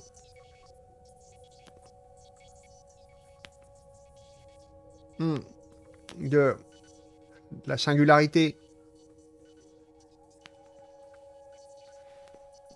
de l'art roman c'est Jean Wirst. Voilà, évidemment, lui aussi, il n'est pas exempt de défauts. On a déjà parlé des limites conceptuelles de Jean Wirth pour essayer de penser l'image. Il y a un côté terriblement conservateur chez, chez Wirth. On avait lu euh, son bouquin sur la définition d'une image. On avait bien vu qu'elle excluait l'intégralité des choses produites dans le XXe siècle et le XXIe. C'est-à-dire que son appareillage conceptuel ne permet pas de penser l'image en ces termes.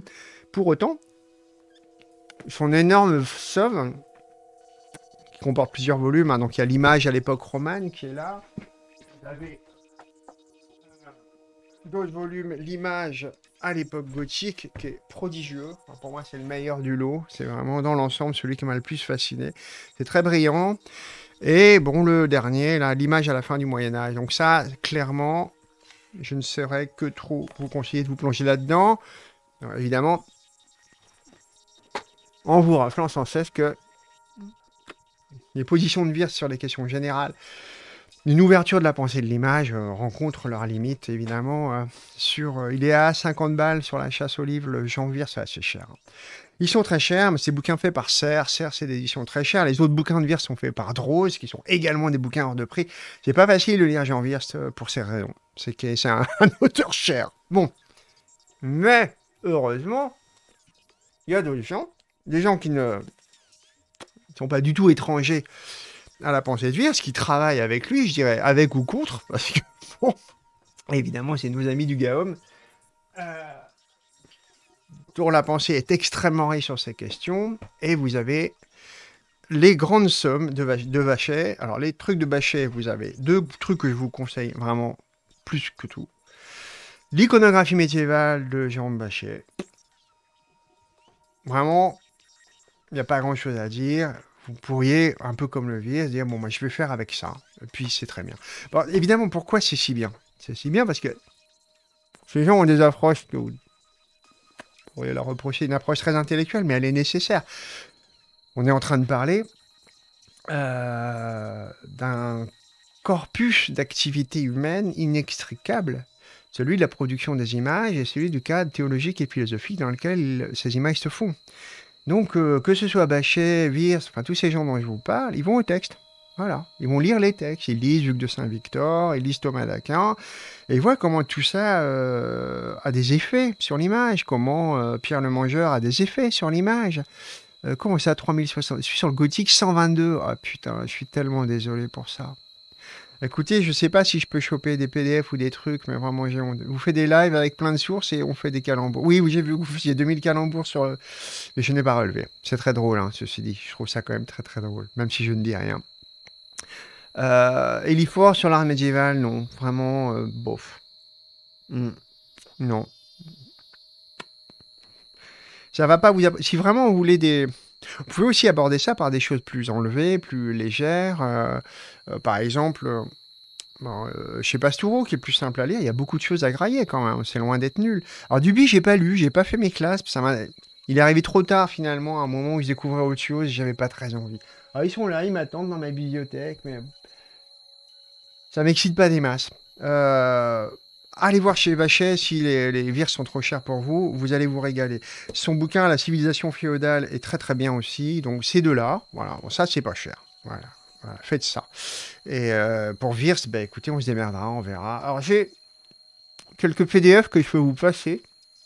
Sainte-Anne est une sorcière, qui est super, et qui a rien à voir avec l'âge roman pour le coup. et euh, j'ai qui a rapport avec l'âge plutôt gothique, un peu plus tardif, il y a son très bel essai sur Villard de Honnecourt. Donc ça, je pourrais vous passer ça. Le troisième, c'est l'image à la fin du Moyen Âge. Oui, c'est ça, Dr. Watt. Bon, il y a aussi hein, son gros volume sur l'image médiévale, tout simplement, qui est plus théorique.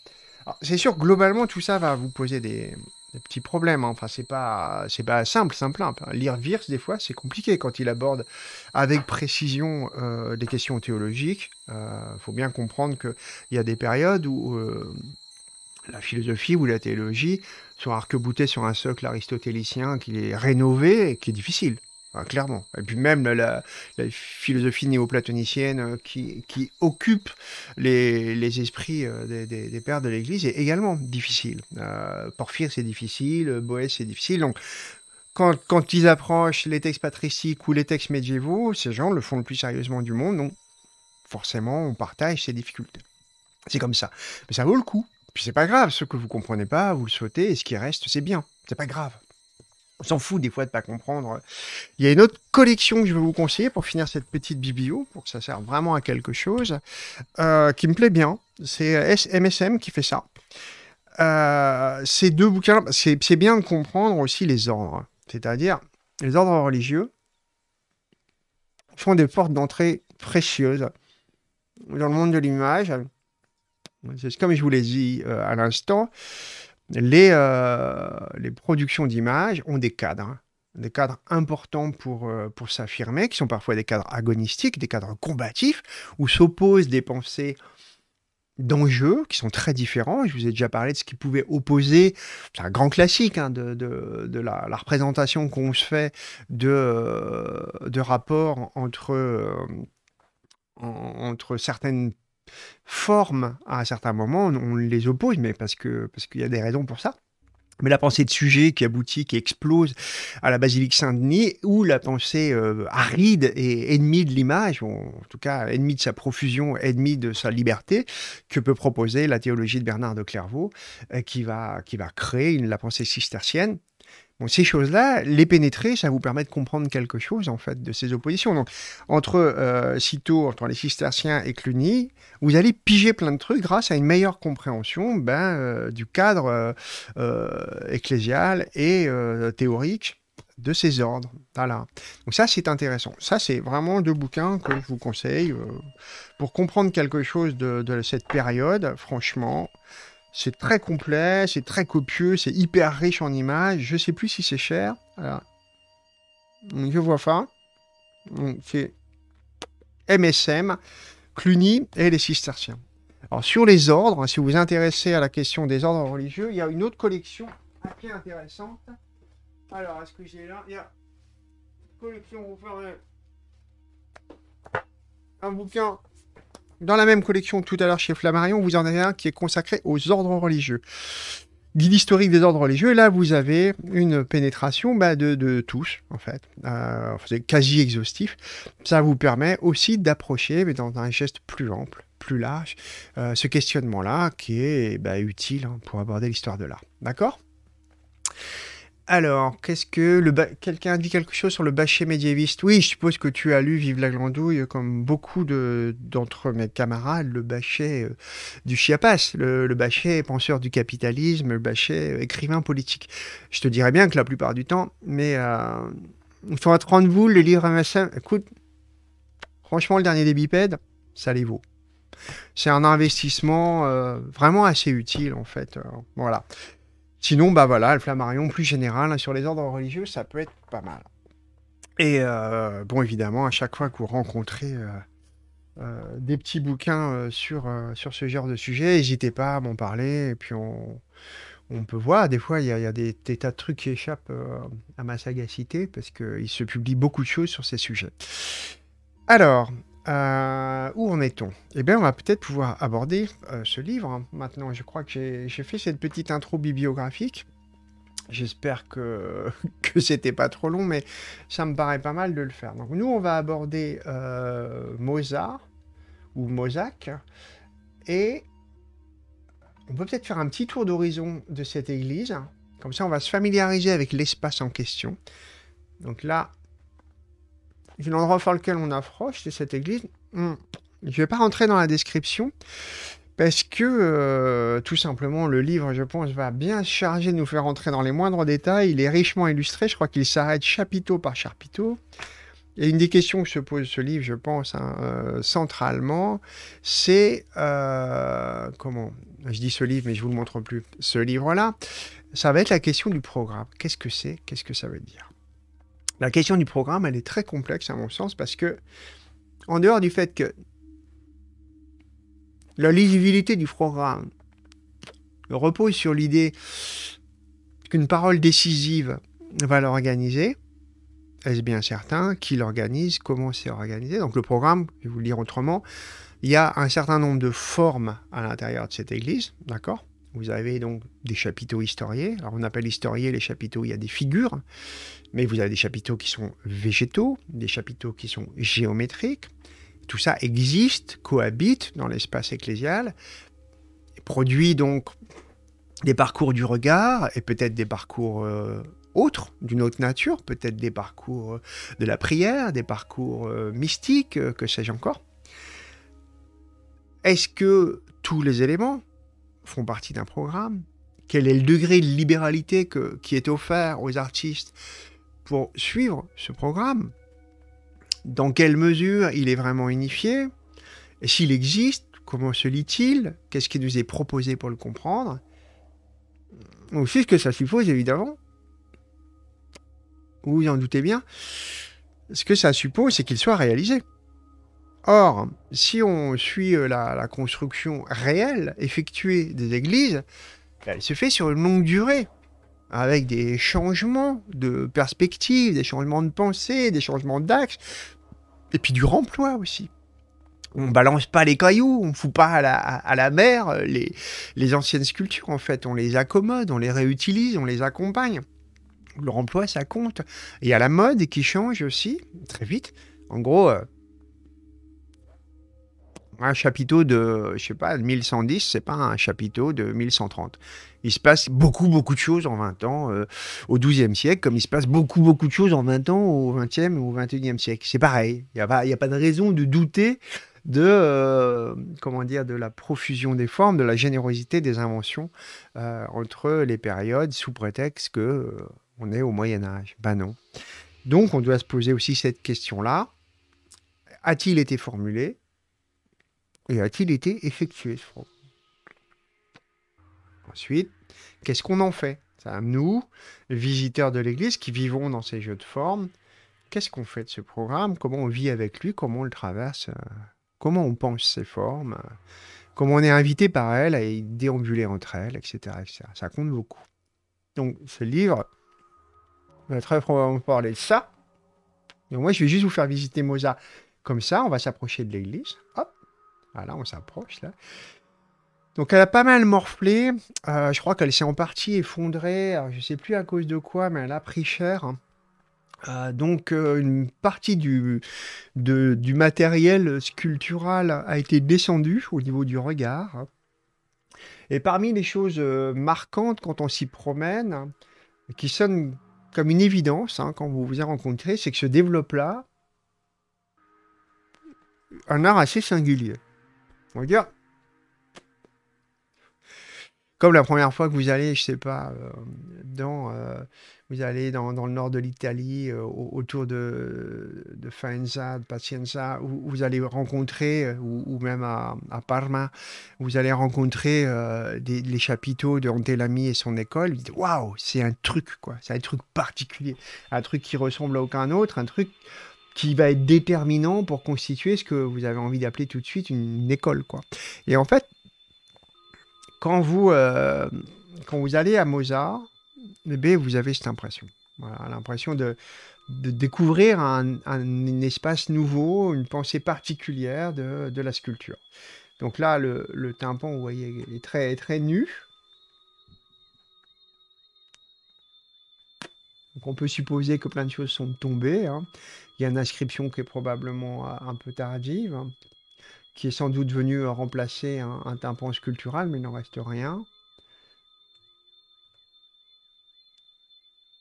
Là, vous voyez un, un appareil étonnant, qui a l'air assez archaïque, mais qui est partagé ici entre vous voyez, des pierres, des moellons qui sont très disjoints, avec euh, un un mortier assez, assez large et qui est pris dans des, des pierres beaucoup plus taillées. Donc, euh, il y a plusieurs périodes. Et voilà, on rentre, on regarde un peu les chapiteaux et après on va se plonger dans le bouquin. Alors la question tout à l'heure était, je crois, de Pierre qui demandait si j'allais lire le livre tout au long, du début à la fin, ou si j'ai un autre mode de lecture. Et B, euh, oui, je vais le lire du début à la fin. Voilà. Alors on continue la promenade. J'ai levé le nez vers les chapiteaux historiques qui étaient en place. Bon, là, je vais pas dans le détail pour une bonne raison, c'est que le livre euh, n'arrête pas de détailler. Là, vous avez euh, une très belle Vierge à l'enfant en bois sculpté à l'intérieur et peint. Un des chapiteaux qui a été descendu, qui est assez remarquable. Un autre. Regarde, on va se rapprocher un peu. Là aussi, hein, j'y vais pas dans le détail parce qu'on les verra dans le détail à l'intérieur du livre. On va faire la même manière de lire en général. Alors, j'ai pas de règle, fier. Il y a des livres qui sont très importants dans ma vie et pour lesquels j'ai lu qu'une vingtaine de pages. Et ils prennent parfois plus de place que des livres que j'ai lus de A à Z et oubliés quasi aussi secs. C'est pas. Je peux être très promeneur dans certains bouquins, même si a priori ils sont censés être linéaires, et au contraire euh, extrêmement systématiques dans d'autres. J'ai pas vraiment de méthode de lecture. Et il est rare que je lise un, un seul livre en même temps. La plupart du temps, je suis dans plusieurs bouquins. Donc là, vous pouvez goûter un peu l'espace intérieur. On observe les chapiteaux. Donc là, on voit plutôt des chapiteaux euh, végétaux, avec quelque chose qui fait penser au traitement euh, des feuilles d'acanthe corinthiennes avec ces espèces de boucles là. hein. Et là, un chapiteau historié très très beau, avec des bâtiments. Donc vous voyez, on, oscille, le regard euh, est partagé, comme dans la plupart des églises romanes, entre euh, des chapiteaux historiés. Donc ça, on a une chasse, assez caractéristique du travail des émaux du Limousin de la période, je dirais, début 13e, ouais, 12e, ouais. Voilà. Donc ça, c'est des choses que vous pouvez voir copieusement, euh, euh, ce type euh, des mots euh, euh, vous pouvez trouver ça assez... ben, les chasses de ce genre, vous pouvez voir ça. C'est souvent des... Des... Là, une chasse reliquaire, donc qui contient des reliques. Vous allez au musée de Cluny, vous en verrez de très très belles, ou tout simplement au, au musée de Limoges. Un autre des chapiteaux qui a été descendu. Alors évidemment, je pense qu'un boulot du bouquin va être d'essayer de reconstituer le remplacement de l'église. Ça ne devait pas être si simple. Là, vous avez un, vous goûtez un peu la lumière. C'est important de voir l'espace. Vous avez un hôtel euh, bien plus tardif, évidemment. hein. Là, on est plutôt dans du baroque, mais qui est très beau. Non, cette chaîne. oui, enfin, si, cette chaîne fait l'apologie de la chasse reliquaire, effectivement, Jack Bauer. C'est du propre. Des choses euh, moins intéressantes. hein. Mais bon, vous êtes dans l'espace, c'est important, je pense, pour, euh, pour lire ce livre, de voir un peu. euh, nous, on va se concentrer évidemment sur l'aspect roman, donc on va, on va rater ça, par exemple. On va rater hmm, la pinacothèque plus tardive. Donc évidemment, euh, Bachet, Bonne et Dietmar n'ont pas de raison d'observer euh, dans le cadre de leur bouquin. Mais ça fait partie de la réalité actuelle de cette église, de la façon dont vous la traversez, dont vous pouvez comprendre cet espace euh, et l'apprécier. Donc euh, c'est pas quelque chose, c'est marrant, ça. on dirait une composition à la Del Sarto, c'est peut-être une copie. Donc vous avez pas mal de trucs étonnants là-dedans, des choses qui paraissent beaucoup plus rustiques, très impressionnantes, un petit côté, là on a vraiment un chapiteau plutôt 11e, euh, assez euh, rugueux et très très beau. Hum, salut maman.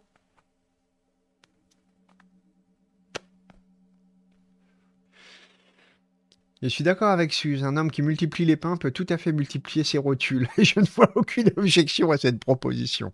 Jésus a tout à fait le droit d'avoir beaucoup de rotules. Bah, Qu'est-ce que c'est que ça? Je vais pas retourner toutes les photos. Donc on continue, vous voyez. Encore un très beau chapiteau. Avec une sorte de singe tenant sa main une sphère, euh, d'une espèce de parodie étrange euh, de, de l'enfant euh, portant le monde.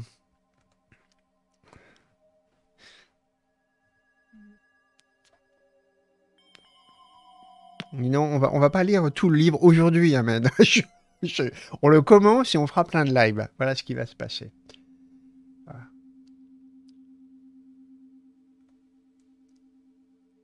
C'est vraiment très impressionnant. Enfin, globalement, le, travail de, sculpture qui se trouve là-bas, avec ses plis très robustes et droits, est vraiment particulier.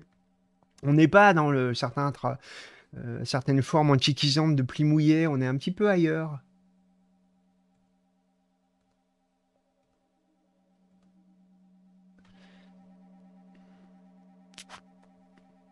Il pourrait, Suze, il pourrait chier dans un calice. C'est pour bientôt le, live scato, mais je suis en train de lire 5 ou 6 nouveaux textes et euh, je voudrais voir ce que, ce que je vais choisir pour vous parler de tout ça.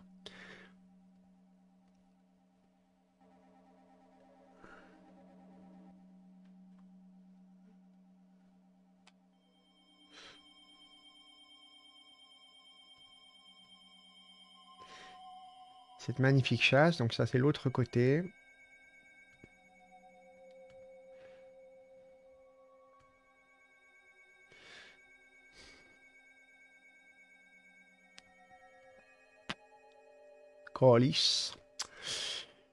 Voilà, voilà. Donc évidemment, je ne peux que vous conseiller hein, d'aller traîner vos guêtres euh, en Auvergne. D'une manière générale, quand vous voyez n'importe quelle église romane, bah rentrez, parce que, ça vaut toujours le coup. Euh, quelle que soit la région de France où vous vous trouvez, vous avez quand même des chances d'en d'en croiser quelques-unes, je pense. Donc euh, faites ça. On voit que j'ai particulièrement kiffé la chasse, que je l'ai archi photographiée ce jour-là. Il faut dire qu'elle est, est vraiment magnifique. hein. Qu'est-ce que tu irais foutre en Auvergne? Bah, Voir des églises romanes, par exemple, Suze. Voilà, ce que tu pourrais y faire? Regarde. C'est bien aussi que je vous montre ça en couleur parce que le livre est en noir et blanc. Donc, vous voyez, là, il y a des, des restes, des pins. Oui, ça va aller mieux avec, euh, avec le roman.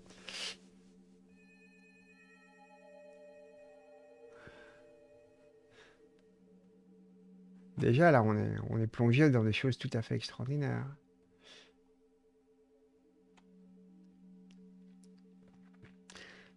Alors là, vous avez un isolat, par exemple, plastique de, de l'eau, de la mer, tout autour de la figure qu'elle porte, comme une espèce d'assemblage où toutes les, pièces sont codépendantes. hein. Un petit peu comme euh, euh, ce magnifique hippopotame égyptien qui porte sur lui euh, son paysage. À Nantes, il y en a une, Saint-Jacques de Pirmille. Ah ben j'y suis jamais allé, dis donc. Mais on pourra, en fait, je pense qu'à chaque live sur ce livre, si vous voulez, on pourra visiter une nouvelle église romane, d'une région différente. Comme ça, on verra un petit peu euh, les différentes typologies. On ira dans le Limousin, on ira dans la Saintonge, on, on ira en Bourgogne. Comme ça, vous en verrez plusieurs. Je vous montrerai celle de Conques, évidemment. On pourra voir aussi euh, celle de Toulouse.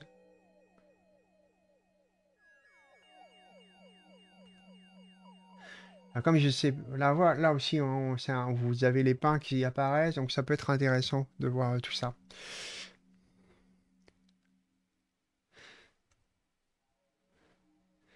Oui, dans le sud-ouest, il y en a des tout à fait incroyables. En se rapprochant de l'espace, il y a de l'Espagne, il y a des endroits, c'est assez dingue, quoi. En Ariège, il y a des trucs complètement incroyables, vraiment incroyables. Hmm.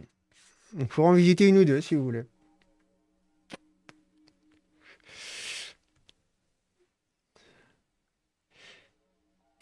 Ahmed, tu, es la garantie de sérieux de cette chaîne. Tu vas pas te mettre aussi et faire des calembours pourris, bordel. C'est pas vrai. Non, mais c'est contagieux. Vous êtes contagieux, en fait. Voilà ce qui se passe. À la fin, tout le monde fera des calembours dans cette, cette foutue chaîne. Le chat ne sera plus qu'un immense filet interminable de calembours.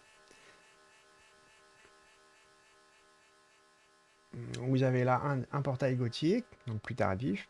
Parce qu'évidemment, les, les- églises vivent leur vie d'église et, elles sont très, souvent très hétérogènes. C'est pas tant que ça le cas des églises romanes dans leur configuration générale. Euh, c'est beaucoup le cas à l'intérieur. hein. Moi, en général, l'église elle-même a une forme assez unifiée. Ce qui est rarement le cas dans les églises gothiques où il y a toujours des parties plus tardives.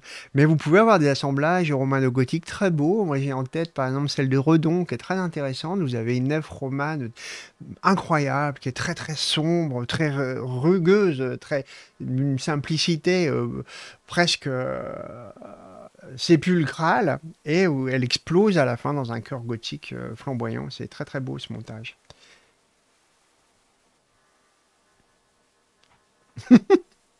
La musique te fait cet effet-là. Bon, on, va passer au texte. J'espère qu'elle est. Normalement, elle doit être au niveau pile, hein, ce qu'il faut.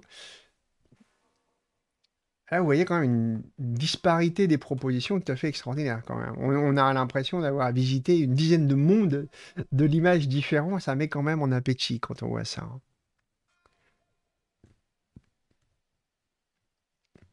Là, vous avez un feuillage habité, c'est-à-dire parle de rinceaux habités ou de chapiteaux habités, de structures habitées, quand vous avez euh, des rinceaux, des feuillages, dans les rinceaux, c'est ces, boucles de végétaux qui, font ensemble une sorte d'ornementation filée, comme ça. Et de temps en temps, ils sont habités, donc une figure vient euh, comme ça, s'arc-bouter à, à une tige, à une fleur, à une feuille. euh.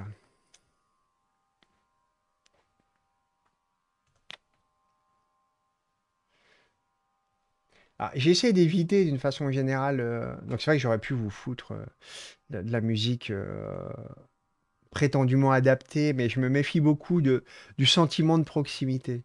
Parce que je le trouve plus trompeur que quoi que ce soit d'autre. Donc c'était pas forcément une bonne idée de vous mettre de, la musique des chants grégoriens ou des choses de ce genre ou de la musique médiévale. Je pense plus juste de, faire comme je fais, de, jouer la, le grand écart. Regardez ça, c'est particulièrement beau. hein. C'est deux visages pris dans les feuilles d'acanthe.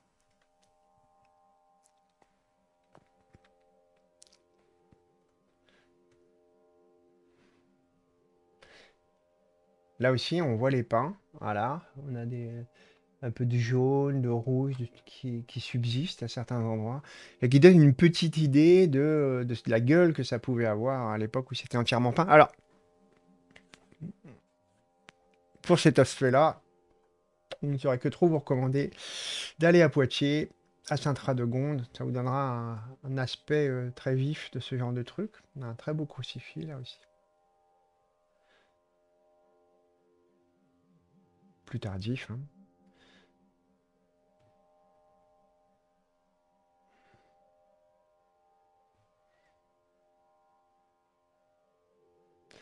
Très bonne idée, Pierre. Mettre du grégorien quand on parle de Karl André, c'est une excellente idée. Ou de d'Anne Flavine. Euh, Voilà.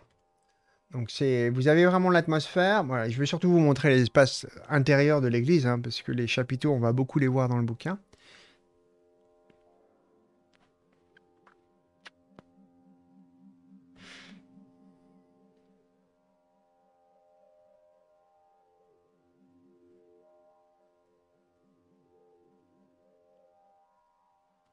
Donc les chapiteaux descendus, le portail gothique.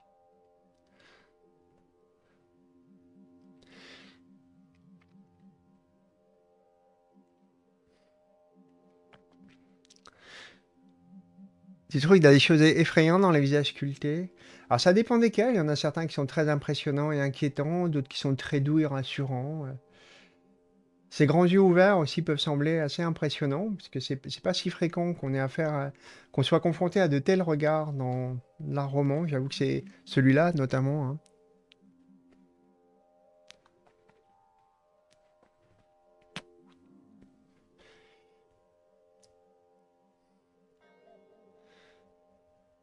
Là, il y a un caractère quasi euh, romain à cette sculpture. Voilà. Donc là, on s'est un peu baladé. On a vu un petit peu euh, comment euh, Mozart ou Mosaque. Et on va pouvoir rentrer dans le bouquin. Il était temps, hein Alors, je vais me servir une petite, euh, une petite chicorée, évidemment.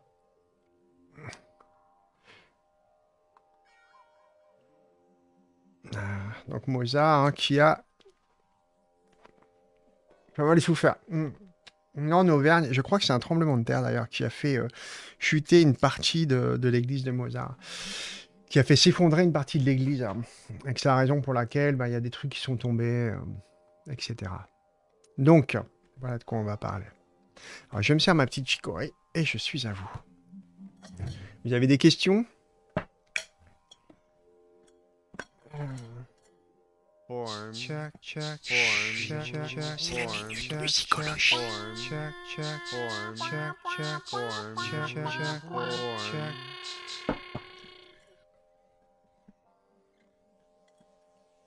Alors, hop là.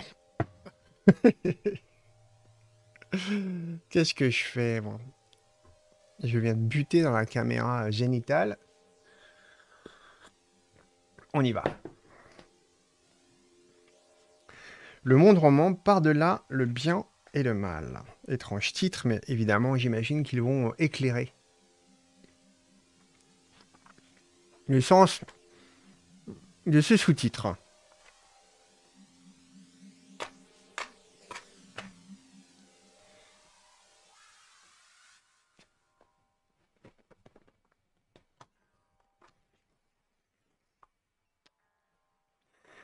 Ce travail est né d'une fascination et de plusieurs questions.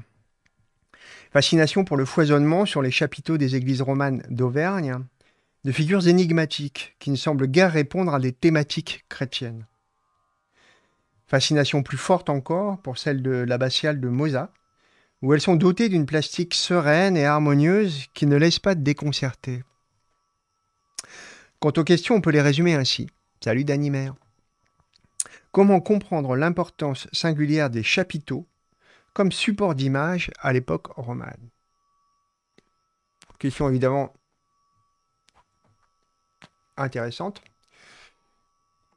à savoir quel est le statut particulier de ces sculptures-là, très en hauteur, donc difficile à apprécier, à embrasser du regard, des fois extrêmement ouvragées, d'une taille très savante, riche en détails, souvent interdit au regard et qui semble ne pas participer vraiment au mode de traversée de l'église, là où par exemple le traditionnel euh, chemin de croix du Christ hein, qui flanque les côtés de la nef euh, semble participer de façon pleine, immédiate et assez évidente à la vie du croyant. Que font les chapiteaux dans cet espace Où ils se placent dans l'appréciation de cet espace? Quel est leur effet? Non, je n'ai pas parlé de caméra génitale, mais zénitale. qu'ils sont bêtes. Mais qu'ils sont bêtes. Hmm. Comment rendre compte de leur distribution au sein de l'édifice ecclésial? Alors ecclésial, c'est ce qui, va se rapporter aux, aspects communautaires de l'Église. Hein. Ecclésial, euh, vous pensez l'Église, mais en tant que communauté humaine, hein, communauté de croyants, et aussi en tant qu'institution euh, des corps qui constituent cette communauté croyant. Euh. Hmm.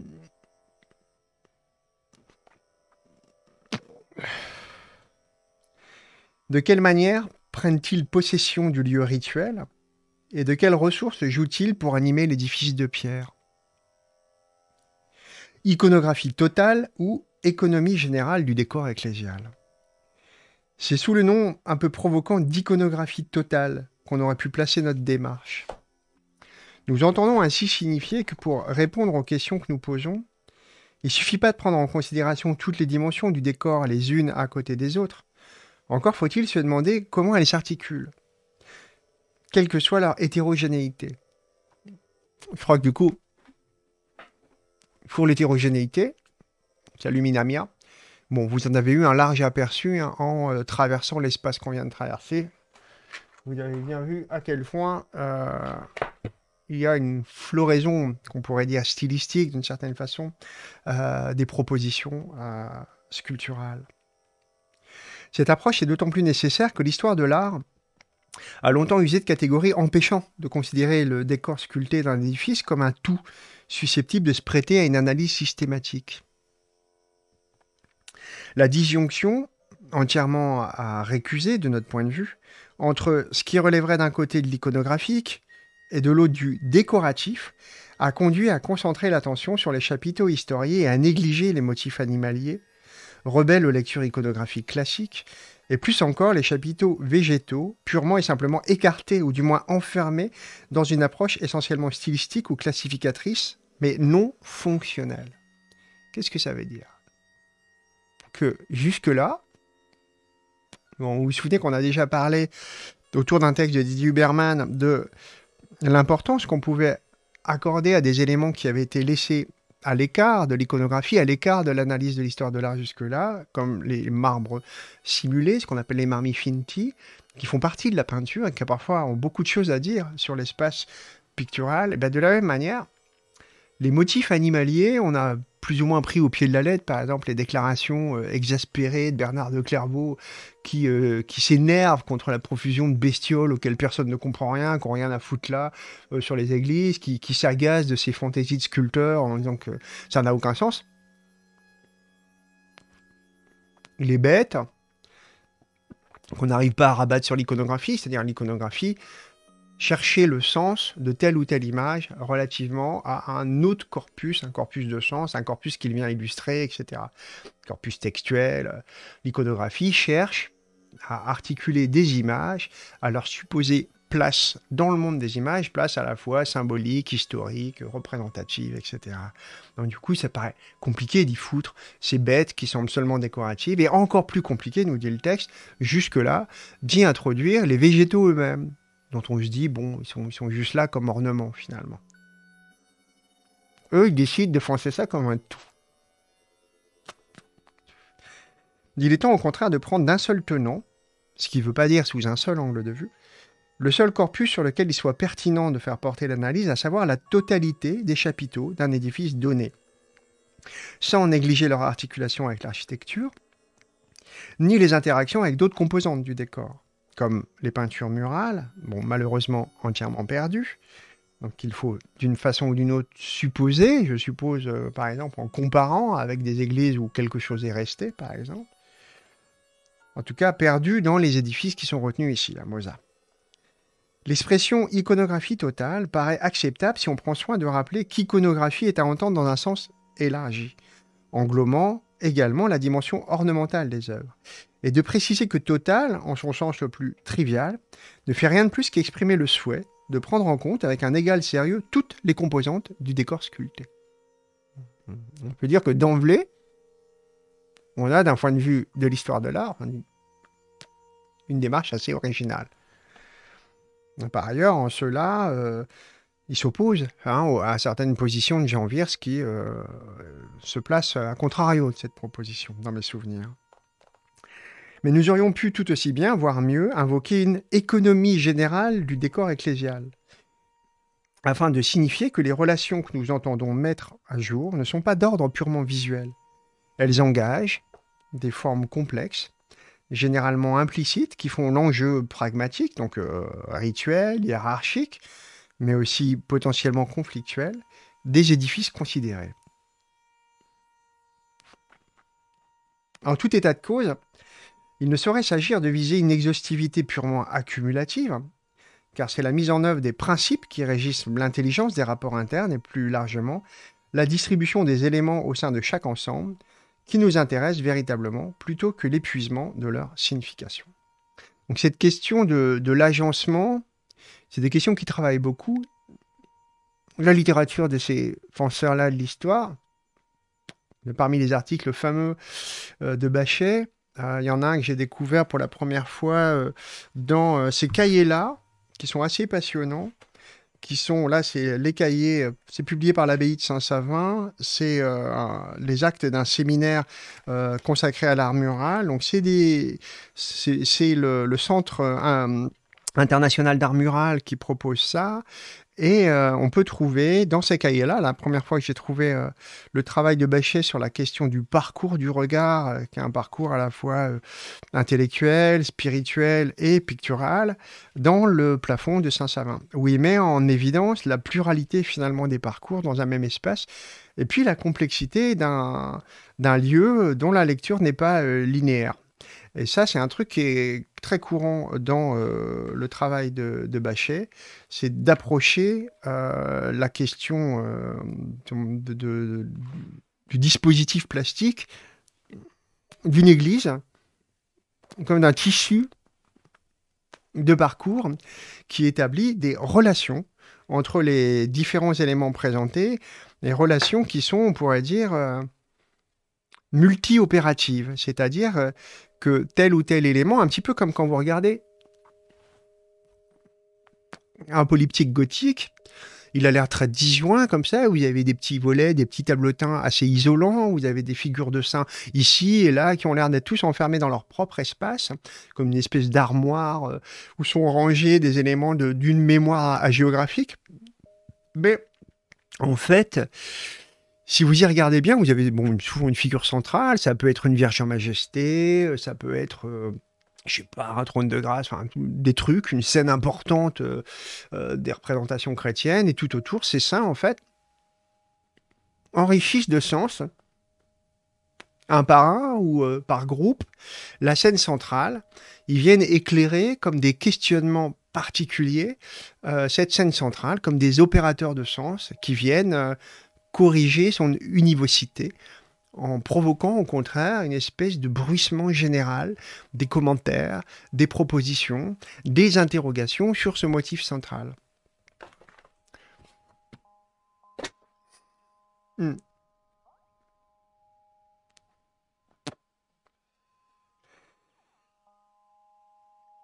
Il s'agira donc en tout premier lieu de faire honneur au déploiement de la végétalité et à la diversité des figures de l'animalité, trop rarement considérées d'une façon aussi compréhensive que le décor historien. Que viennent faire en effet dans le lieu rituel une si abondante efflorescence végétale et des figures de l'animalité si diverses, aux côtés de l'humain, des créatures spirituelles et du divin? Aborder cette question suppose en outre de les associer, dans leurs différences constitutives comme dans leur croisement et leur hybridation, afin de tenter de comprendre ce qu'ils font ensemble et comment ils contribuent à la fois conjointement et spécifiquement à la constitution du décor sculpté. Alors, Jack Bauer, pardon de la question naïve, mais aucune question là, ou alors elles le sont toutes, tu sais, Jack Bauer. On est tous dans un état de naïveté aussi devant ces figures, parce que parce qu'elles jaillissent du couloir euh, des siècles et elles ne sont pas accompagnées euh, de, beaucoup d'éclaircissements, hein. parce que tout simplement, ben, quand on produit des formes, elle dialogue avec le présent. Et quand le présent a disparu, bah, a disparu avec le présent, et ben tout ce qui nous les rendait familières. Donc on est tous naïfs On a perdu la familiarité. Euh, on parle souvent de l'art contemporain comme d'un art euh, qui serait euh, difficile à accéder, qui nécessiterait des explications particulières. non, à proprement parler, non. Au contraire, quand vous regardez une œuvre d'art contemporaine, vous avez tout ce qu'il faut pour la comprendre autour. Ça s'appelle le monde dans lequel vous vous déplacez. Et tout est là pour les accompagner. C'est plus compliqué quand on est confronté à une pièce du XIIe siècle, du XIe siècle, dire bon, c'était quoi le présent? Qui permettait de ne pas avoir à s'expliquer sur cette présence, euh, sur telle ou telle figure. Parce qu'en fait, euh, plein de choses euh, du contemporain permettaient de les éclairer. Alors, est-ce que c'était le cas des temples grecs ou romains avec plein de fresques et statues? Je ne sais pas. Mes connaissances dans l'art antique sont médiocres, en fait, Jacques Bauer. J'ai une vision générale de l'art antique, mais en fait, je connais mieux les textes que l'art. Je fréquente hein, les, les collections antiques, mais en fait, j'en suis pas familier et surtout, je les connais que disjointes de leur cadre. Je suis jamais allé en Grèce, par exemple, donc je connais les statues que séparées de leur environnement. Je ne sais pas du tout comment ça fonctionnait, si tu veux savoir. Voilà.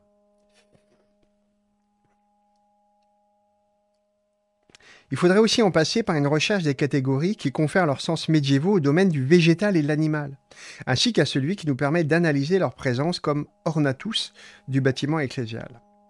Alors euh, là, ils ont maintenu le terme ornatus et ils s'expliquent. Donc effectivement, où est la catégorie de l'animal, du végétal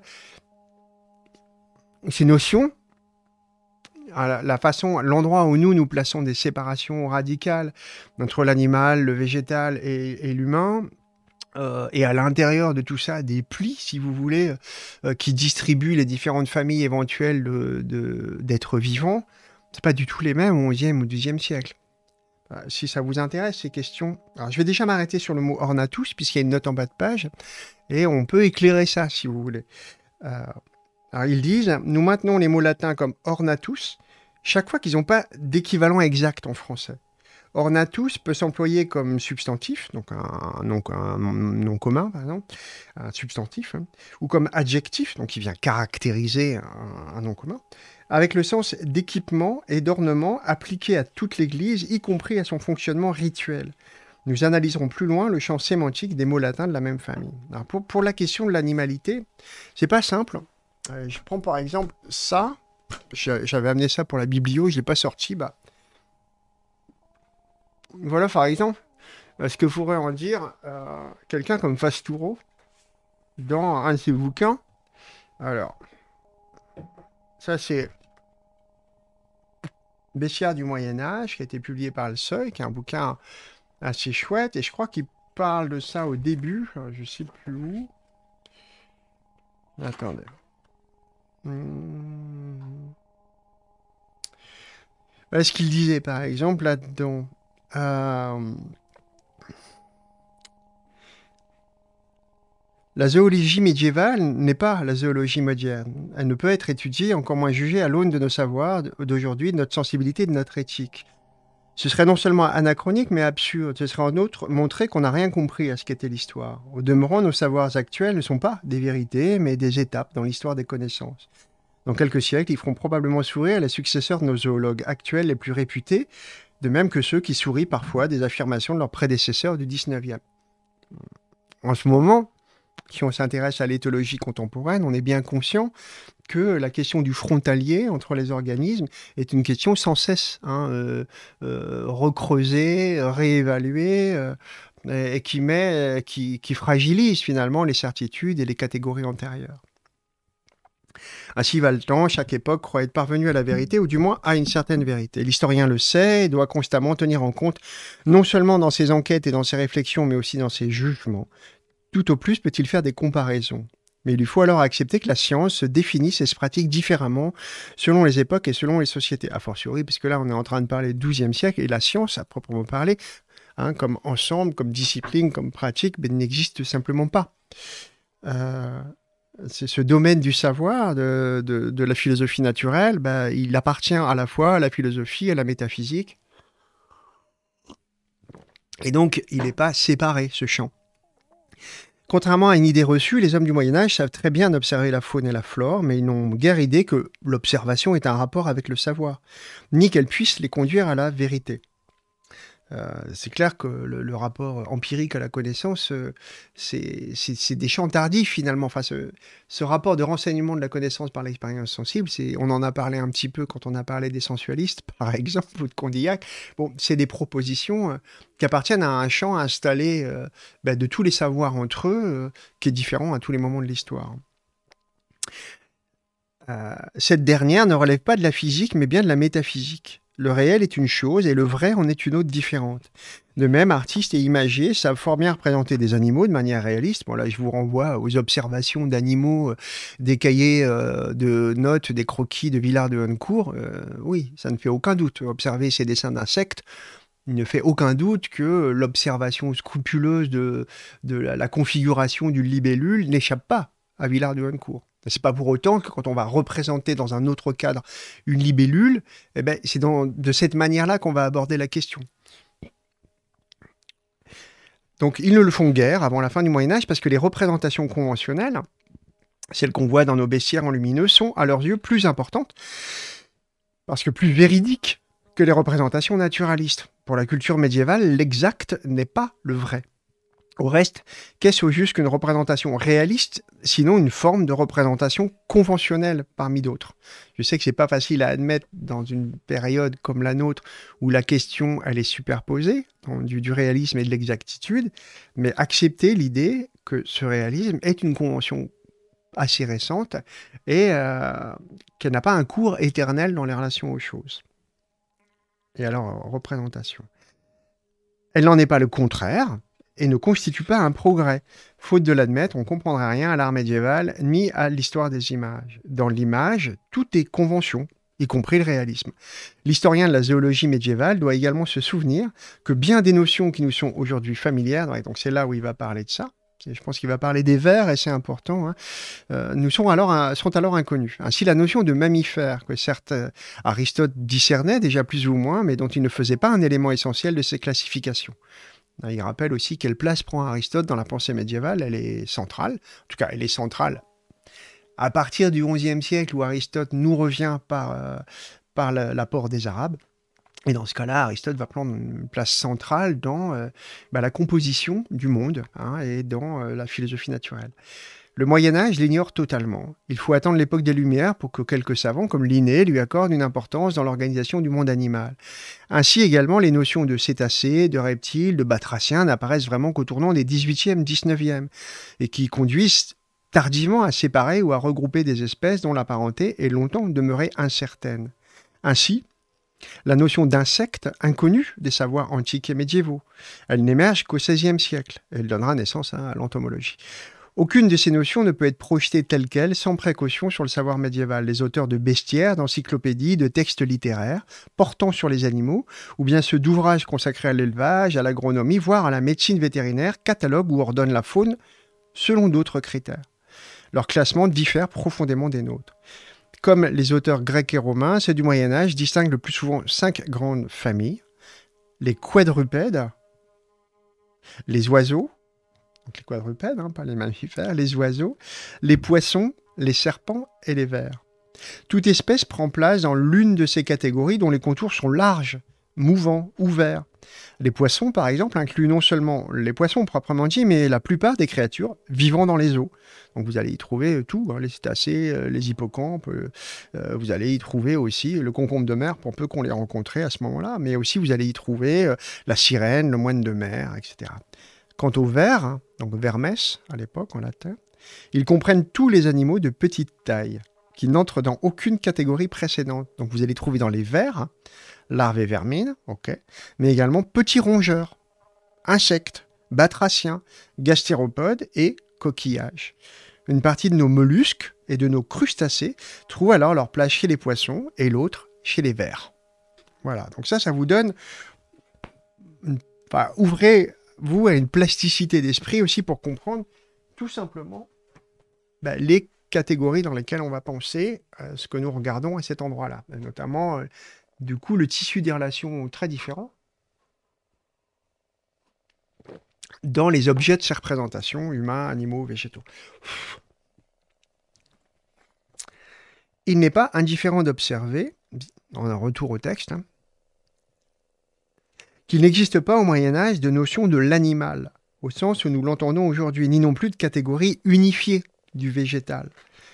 Ce n'est donc exactement ni du végétal, ni de l'animal, au sens qu'un lecteur du XXIe siècle donne spontanément à ces termes, qu'il sera question ici. Il faudra donc amorcer un travail de décentrement des catégories.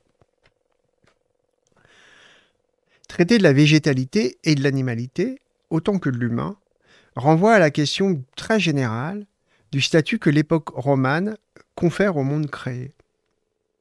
On ne saurait trop insister sur le caractère fondamental de l'opposition créateur-création qui structure les conceptions médiévales du monde.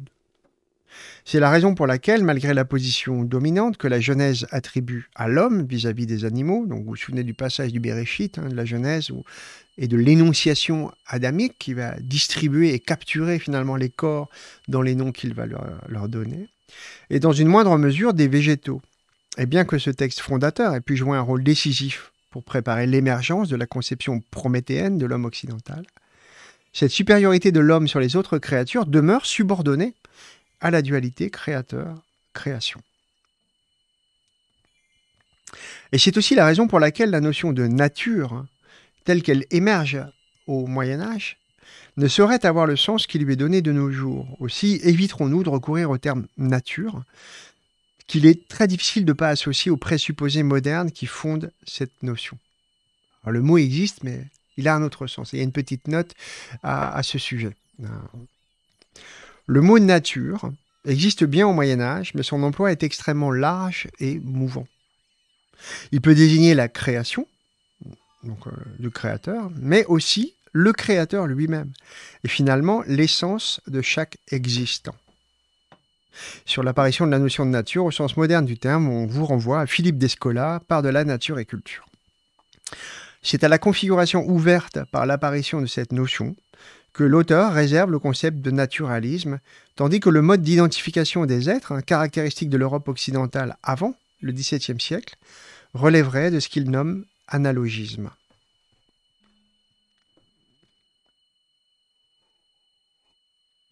Donc là, il renvoie à euh, la proposition de typologie de Descola. Par ailleurs, il faudra faire place à une tension dont nos images semblent tout particulièrement imprégnées entre d'une part des conceptions qui séparent et hiérarchisent l'humain, l'animal et le végétal, et d'autre part les marques innombrables de leur association au sein d'une continuité qui les traverse. Ce que j'appelle des assonances souvent dans les lives, qui peuvent être euh, très structurantes, hein, des relations, euh, des, comparaisons et des associations qu'on peut faire dans l'histoire des images entre euh, différents corps qui sont différents, mais dont la différence est moins importante finalement que la cohérence. C'est pourquoi, pourquoi nous prêterons une attention particulière aux différentes formes d'hybridation que les chapiteaux permettent d'observer, notamment hybridation entre l'animal et le végétal, mais aussi entre ceci et le minéral architecturé. Le minéral lui-même qu'est le chapiteau. Ainsi qu'aux figures qui donnent forme aux forces vitales qui anime la création dans son entier. on doit insister euh, peut-être sur un détail qui est important pour ce qui est euh, de la question donc, de, cette force euh, qui traverse le monde des choses dans la création, c'est que l'idée même d'une d'un ensemble de lois naturelles, d'une légalité de la nature, doit être laissé de côté, en tout cas tant que la régularité que ça suppose, et qui est vraiment un héritage pour le coup aristotélicien, n'est pas établie comme, euh, comme, comme, comme, modèle pour penser le monde. Ça va changer beaucoup de choses hein, à partir de ce moment-là, à partir du XIIe siècle surtout. On va commencer à penser cette question de la légalité, c'est-à-dire d'une reproduction de, ces forces qui seraient euh, inlassablement reconduites par les choses elles-mêmes, cet ordre ayant été donné une bonne fois pour toutes, donc supposer que cette régularité, par exemple, n'est plus à être traversée par un, interventionnisme divin, mais repose finalement sur la création elle-même achevée et parachevée. Cette idée-là, elle est en train d'être euh, questionnée à ce moment-là. Ce n'est pas une évidence, la question des lois naturelles. On insistera également sur l'ambivalence constitutive du monde créé dans le mythe chrétien, et tout particulièrement dans les conceptions des siècles centraux du Moyen Âge, qui s'éloignent d'un dualisme vouant au mépris un univers matériel entièrement livré au mal. Alors ça, je vous ai déjà dit hein, qu'il y a, des axes théologiques assez différents dans la relation à la matière, selon euh, les ordres, les théologies, les, les, les propositions euh, philosophico-théologiques de l'époque, l'incarnation, donc la présence du Christ sur Terre, peut être évaluée tantôt comme un abaissement du Christ à la matière, donc un, maintien euh, de la matière dans un, état abaissé, avili, auquel le, Christ euh, condescend, ce qui, fait partie, si vous voulez, du, commencement de, la, de la rédemption. Il descend dans la matière avilie, euh, mais des propositions théologiques sont très différentes et, et proposent au contraire, que le Christ amène le monde à lui, c'est-à-dire l'élève, vient contaminer de sa propre élévation euh, la matière dans laquelle il va euh, étendre son ministère. Donc on peut avoir une vision très différente dans euh, ces deux cas de figure de ce que, de, ce que la matière représente d'un point de vue moral, en fait, à cet endroit. Si la chute a de lourdes conséquences pour l'ensemble de la création. Donc euh, on parle là évidemment euh, de, de, la, de la, chute euh, comment, dans l'ordre général de, la Genèse hein, et de la chute d'Adam et Ève particulièrement. Celle-ci n'en continue pas moins de porter la marque de la perfection que le Créateur a voulu imprimer à son œuvre. Cela concerne d'abord l'homme dans le temps présent, marqué à la fois par les effets de la chute et par les promesses de la rédemption. Oscillant entre la tentation du péché qui le menace de perdition et les moyens de salut à travers l'Église, à travers lesquels l'Église l'invite à bénéficier de la grâce divine, l'état de l'homme demeure incertain entre le bien et le mal. toutes, euh, toutes les propositions hum, théologiques d'interprétation de l'éviction du jardin d'Éden, du Gan Éden, donc de, Adam et Ève, repose sur la complexité euh, du rapport de la connaissance à cet endroit-là, de, l'arbre de, la connaissance, et notamment euh, du sens même du fait de connaître en s'emparant à ce moment-là de, de ce qui était interdit. Et il y a une grande ambiguïté je dirais, interprétative euh, du statut même de la chose à connaître à, cet endroit-là. On en a déjà parlé ensemble euh, dans le grand volet sur Jardin de la connaissance. Donc, je vous renvoie à ça. c'est plus intéressant de rentrer dans les détails. On ne va pas le faire ici, sinon on va ouvrir, ouvrir ce, ces lives à l'infini. Mais il y a le premier volet donc, de Jardin de la connaissance avec Gladys Lecuf qui évoque ces questions de la chute et de la connaissance euh, à cet endroit-là. Cette indétermination est du reste le propre d'un monde mêlé, dans lequel les justes et les impies ne sont pas encore clairement identifiables. En effet, c'est seulement lors du jugement dernier que la distinction entre les deux moitiés de l'humanité fera l'objet d'une pleine révélation. Jusque-là, prédomine la permixtio, des deux cités. Donc ça le mélange, la confusion, hein. la permixtio, selon un terme employé par saint Augustin et repris jusqu'au XIIe siècle au moins. Donc permixtio évoque le mélange, mais aussi la confusion. Voilà. Ce mélange ambivalent du bien et du mal exprime avec force le statut du monde et particulièrement celui du pécheur dans le temps présent de l'Église. Les vérités y restent voilées et les apparences trompeuse. Salut Quentin. Dans tes cours d'histoire des jardins, on voit que l'imaginaire du jardin d'Éden est venu par la découverte de jardins orientaux, appelés en latin euh, Paris d'Aésé, un truc comme ça. D'accord, je connais pas l'expression Paris d'Aésé. Euh, ok. Euh, dans ma propre culture du mot, c'est du pardès euh, que découlerait le paradis, mais euh, peut-être que c'est une interprétation latine du Pardest. Donc jardin de la connaissance, euh, que Paris Daisy découlerait Je sais pas, je dois te dire. Et euh, contrairement à toi, Solarius, j'ai pas une formation très grande dans l'art des jardins. Et c'est le deuxième live qui devait nous ouvrir à ce questionnement. Donc on va faire avec Gladys bientôt. Promis. Alors ça désignait des jardins clos de murs avec vergers, potagers, fontaines, etc. D'accord. Alors l'image du jardin clos, elle est vraiment très précieuse euh, dans euh, l'iconographie chrétienne puisque euh, elle reviendra euh, de façon im- importante s'affirmer quand il sera question euh, de Marie, euh, de Marie comme jardin clos, Hortus conclusus. Alors, à ton souvenir, c'est d'origine perse, le nom paradis dit Dr. Wack. D'accord. Bon, on a tous des origines différentes pour paradis, c'est intéressant. on a tous des propositions étymologiques différentes. Lourd héritage euh, de, confusion. Pourtant, la question ne concerne pas seulement l'homme en tant que pécheur, mais aussi son statut d'être vivant et celui du monde créé dans lequel il vit, dans la mesure où il ne se laisse pas entièrement inscrire dans les catégories théologiquement définies du bien et du mal, sans nier pour autant l'importance écrasante de cette dualité. C'est pourquoi notre sous-titre invite à regarder aussi ce qui, dans le monde roman, se situe d'une certaine manière par-delà le bien et le mal, d'où ce sous-titre à cet endroit-là. Euh, il note, on aurait pu également dire en deçà du bien et du mal, c'est probablement plus exact, mais moins immédiatement compréhensible. Puis je crois que ça les amusait sans doute beaucoup d'y imprimer là une proposition euh, euh, très connotée, on va dire. Certes, le monde est lui aussi partiellement déchu, mais il ne cesse pas pour autant de témoigner de l'harmonie que le Créateur a instillée dans son œuvre. Il contient du bon et du mauvais, du point de vue d'un vivre qui ne relève pas d'une qualification morale.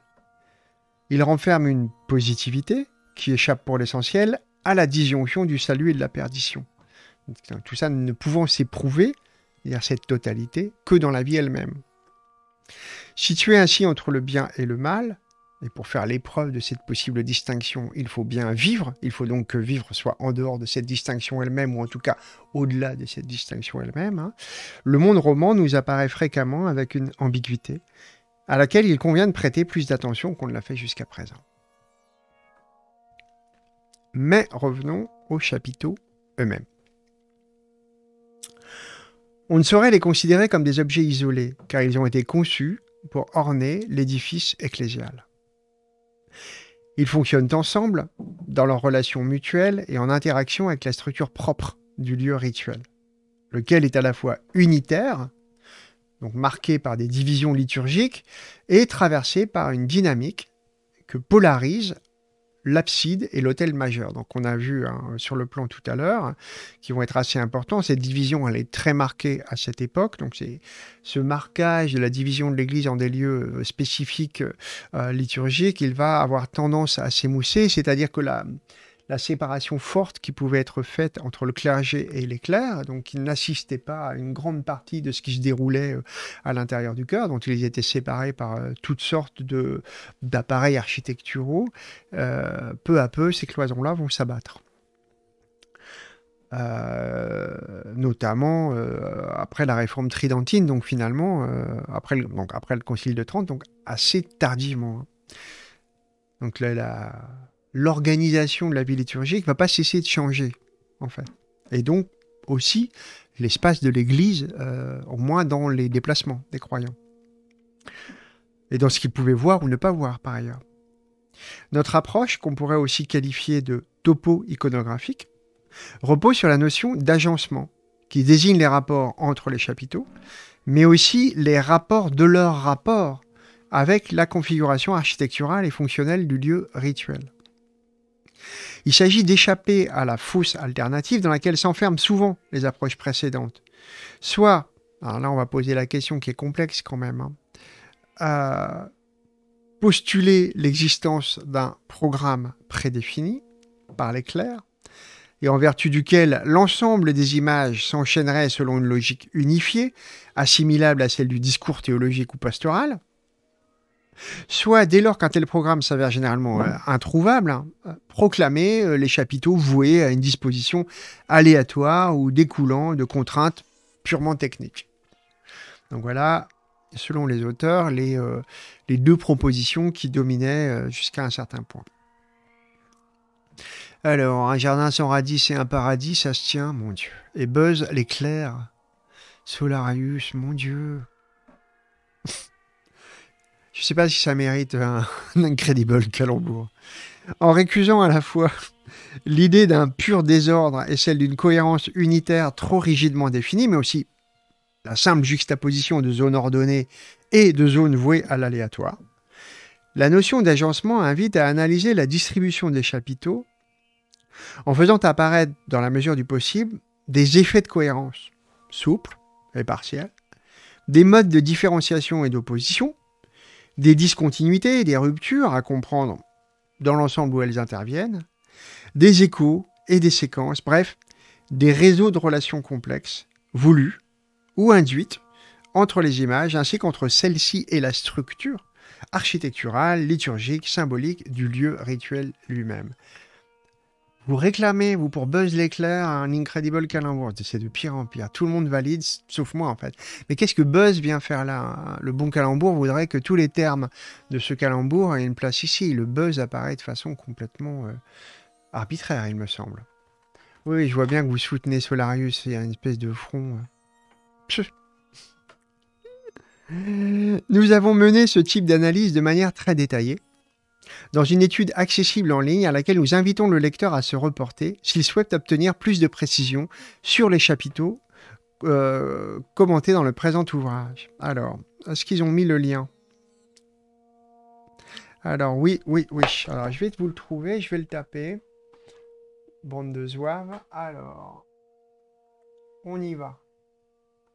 Qu'est-ce qu'il nous propose? Alors, euh, imagerevue.revue.org. On y va.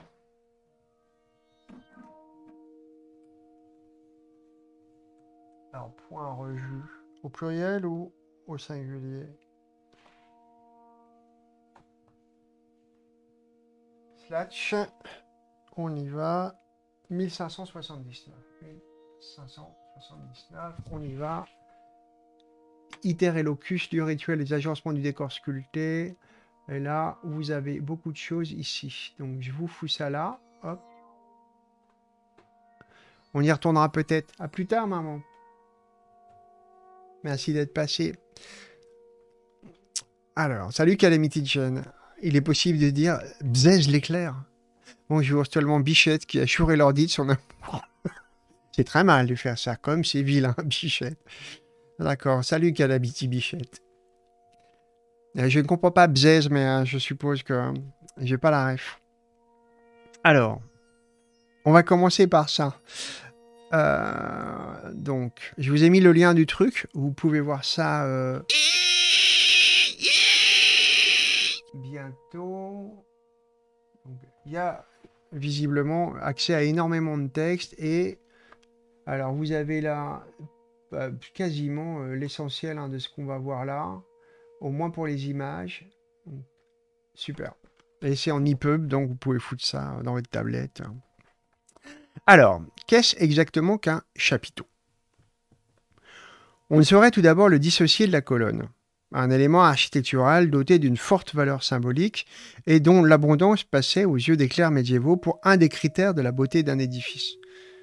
Donc la, colonne va être effectivement un, élément central de l'organisation des lieux, mais aussi de la peinture. hein. Dans, les annonciations, euh, sa fonction est euh, à la fois organisatrice et symbolique, et nombreux aussi sont les, euh, les apparitions, nombreuses sont les apparitions de la colonne, se substituant parfois soit au, à métonymie du supplice du Christ, donc la colonne de son supplice, soit symbole du Christ lui-même. Donc comme, euh, plan euh, de, jonction entre le temporel et le spirituel.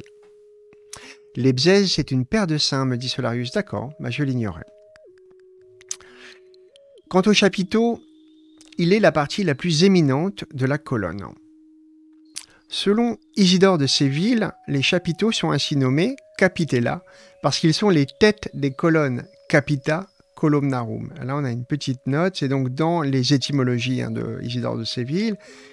L'expression euh, caput columnae renvoie sans doute le plus souvent, dit-il, au sommet de la colonne elle-même, mais il n'est pas exclu qu'elle puisse désigner le chapiteau, comme c'est sans doute le cas dans les gestas de Gérard de Cambrai. Alors, euh, peut-être vous vous demandez euh, qui est Isidore de Séville, bien qu'on en ait quand même parlé assez régulièrement ici, il a une importance assez cruciale dans l'iconographie. Son ouvrage va servir de mine, comme plein d'autres ouvrages. On pense souvent que, les, artistes du, Moyen Âge ont copieusement illustré la Bible, mais en fait, c'est pas le texte qui les illustre le plus. Hein.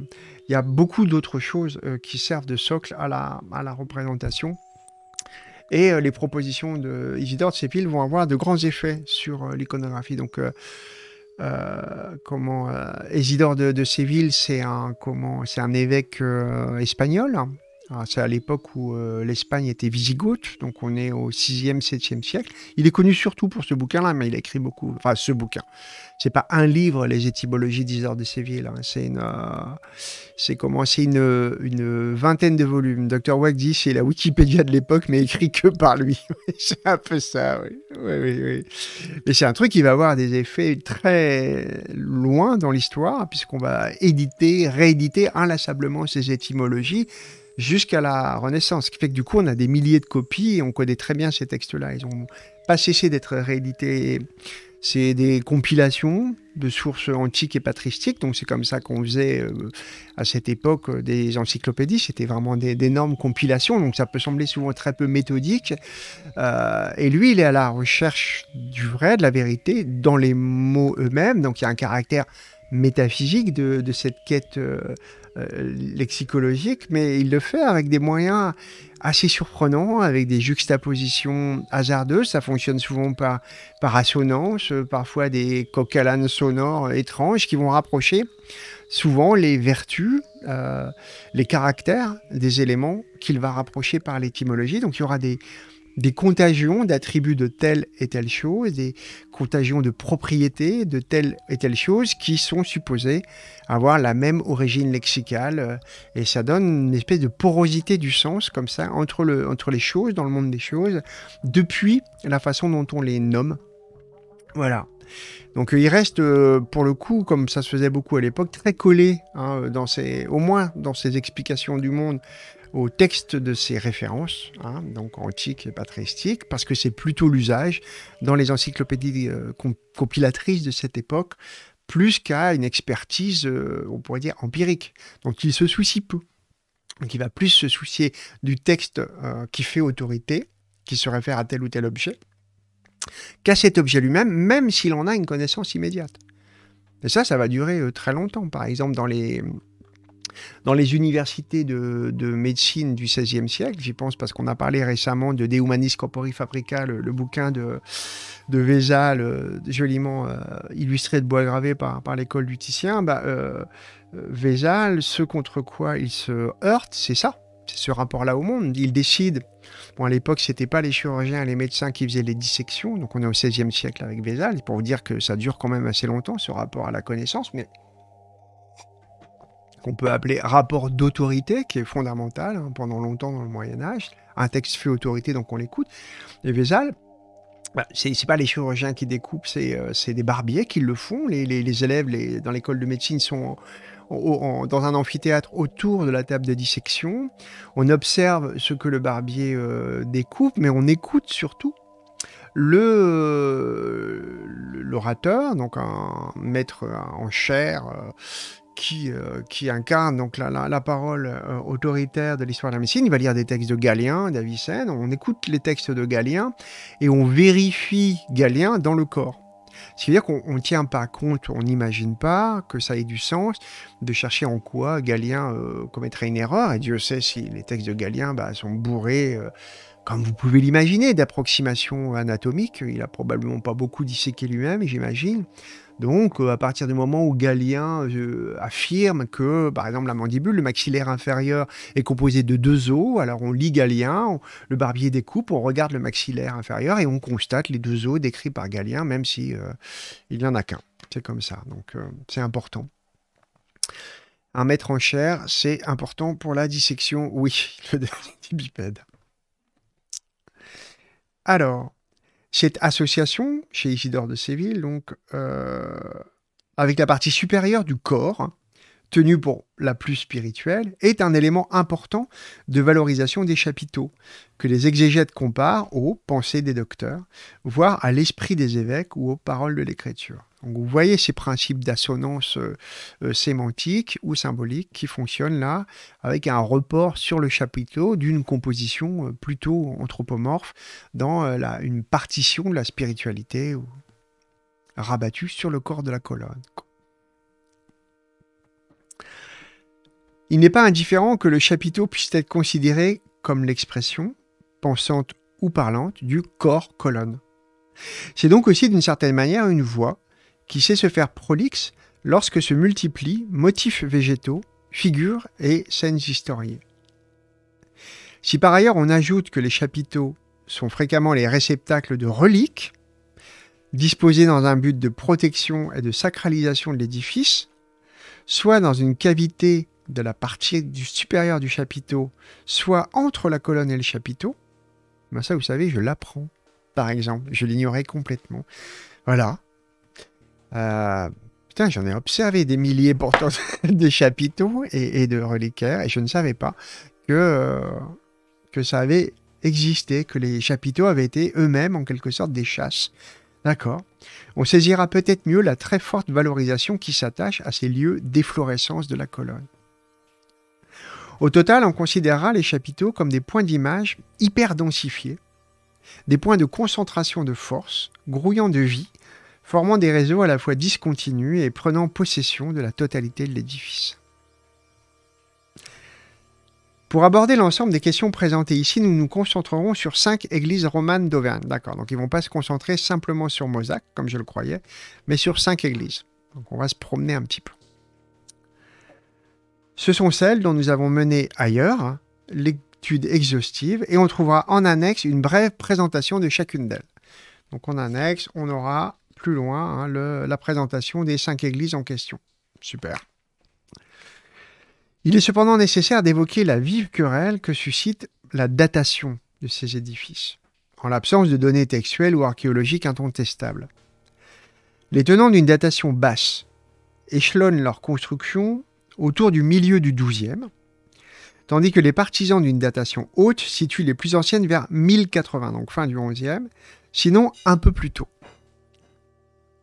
Alors, pour cette question de la, période, hein, là aussi, hein, ayez bien en tête, parce que ça nous paraît tellement évident qu'il y a une espèce de, coupure radicale, euh, au moins dans la périodisation entre roman et gothique, gardez en tête que euh, bah, la basilique, par exemple, de Saint-Denis, dont on parlait tout à l'heure, euh, elle est faite au début du XIIe, dans la première moitié du XIIe siècle. Donc elle est contemporaine de grands édifices romans. Je crois que c'est Paray-le-Monial qui doit être de cette période-là. Donc gardez quand même en tête ça hein, par rapport à, à ces trucs bien rangés, bien séparés. euh, c'est pas si simple.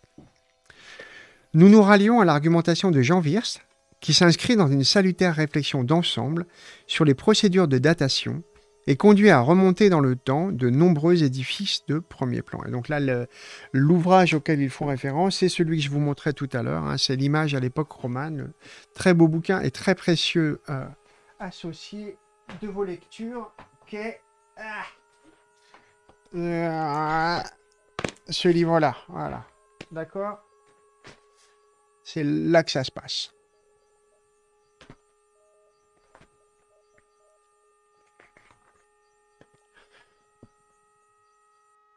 Ce débat engage également la manière de concevoir la séquence des édifices auvergnats. Saint-Pierre de Moza, témoignant d'un art exceptionnellement épanoui, une sorte de préjugé de type évolutionniste, a conduit nombre d'auteurs à y voir l'aboutissement d'une lente maturation de la sculpture auvergnate. Ça, c'est une vieille antienne euh, du rapport progressiste aux formes hein, qui a voulu supposer qu'il y avait une lisibilité évidente qu'on a appliquée par exemple à l'art pariétal ce qui n'a aucun sens et qui a été bousillé évidemment quand on a fait des, découvertes nouvelles qui venaient renverser euh, la certitude que c'est comme ça que les images se faisaient, qu'elles existaient sous des formes simples et que viendraient euh, pas à pas se constituer. Je pense qu'on y calque une espèce d'image complètement anthropomorphique de, euh, de l'enfance à l'âge adulte, quoi. Quelque chose d'assez con en fait. hein. Or, il y a tout lieu de penser, comme l'avait déjà avancé Zygmunt Zichowski, qu'il s'agit du plus ancien édifice de la série. Donc, euh, a écrit ça dans La sculpture romane d'Auvergne, qui a été publiée en 73. Je ne sais pas si on peut encore trouver ça. Je peux vous mettre la façon dont s'écrit son petit nom, parce que c'est pas simple. Euh, Z W I E C H C H O W putain S K I voilà. Donc je sais pas.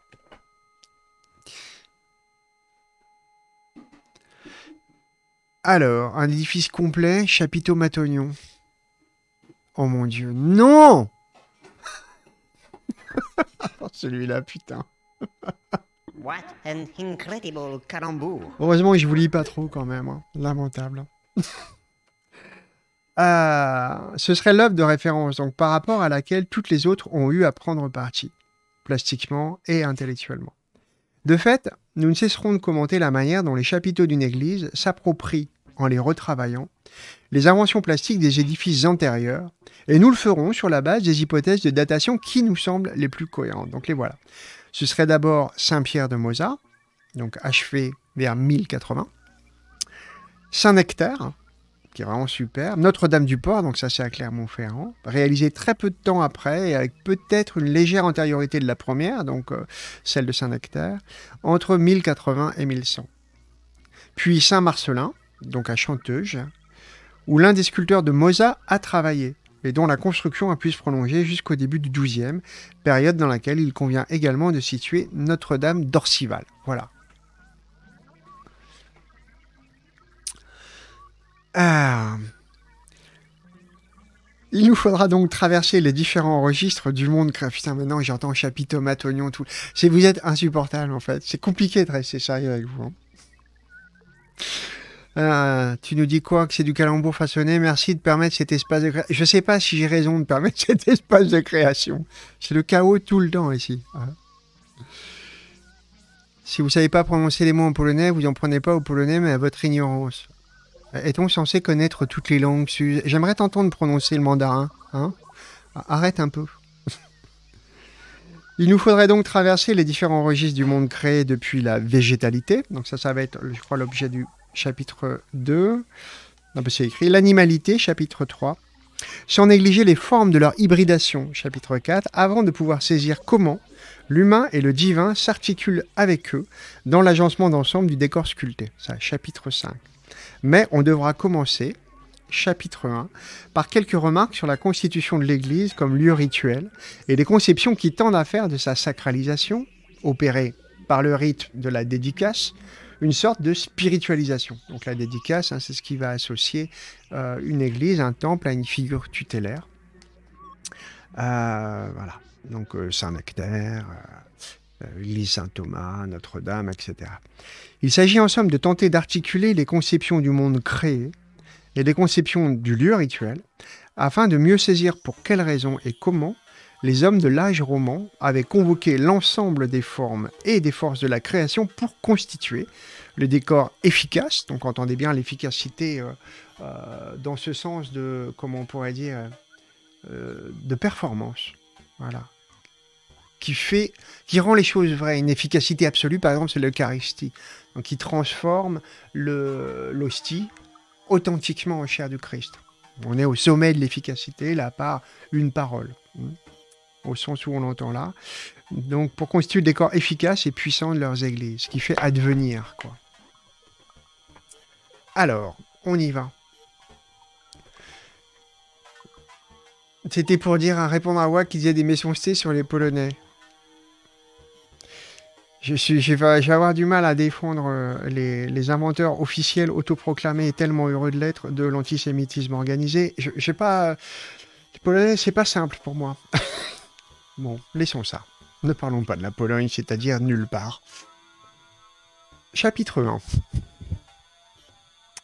Le lieu rituel à l'articulation du matériel et du spirituel. Pardon Polonais du chat. Pardon pour ce raccourci scandaleux. Il est courant de faire des siècles qui encadrent l'an 1000, l'époque d'un dualisme exacerbé qui ne verrait de salut que dans la fuite du monde et l'absolu mépris de la chair. Je vois que Dr. Wack a des lettres pour ce qui est d'aller nulle part en Pologne. à la trappe. hein.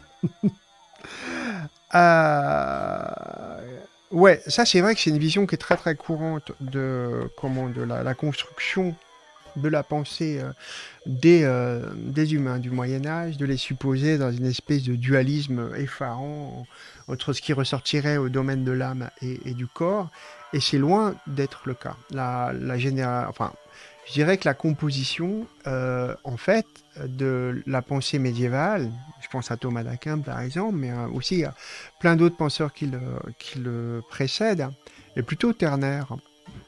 Euh, donc, euh, c'est une dualité, certes, mais c'est une, une dualité qui n'est pas dualiste. Euh, si ça vous intéresse, Bachet a pas mal écrit là-dessus. Euh, dans la civilisation féodale. Ah, attendez. Je vais vous retrouver ça. Ça, va vous éclairer. Alors. scandaleux Odysseus. Oui, c'est scandaleux, je suis bien d'accord. Imaginez sinon tu étais en Pologne. Alors là, je ne vous dis pas.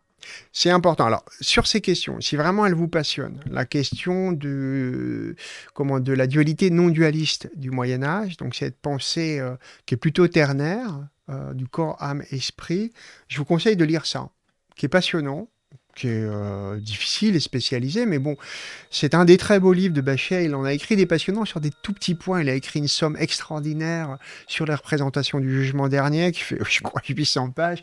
Une autre qui est passionnante juste sur la figure du saint d'Abraham. Donc, il est capable de rentrer beaucoup, beaucoup dans le détail.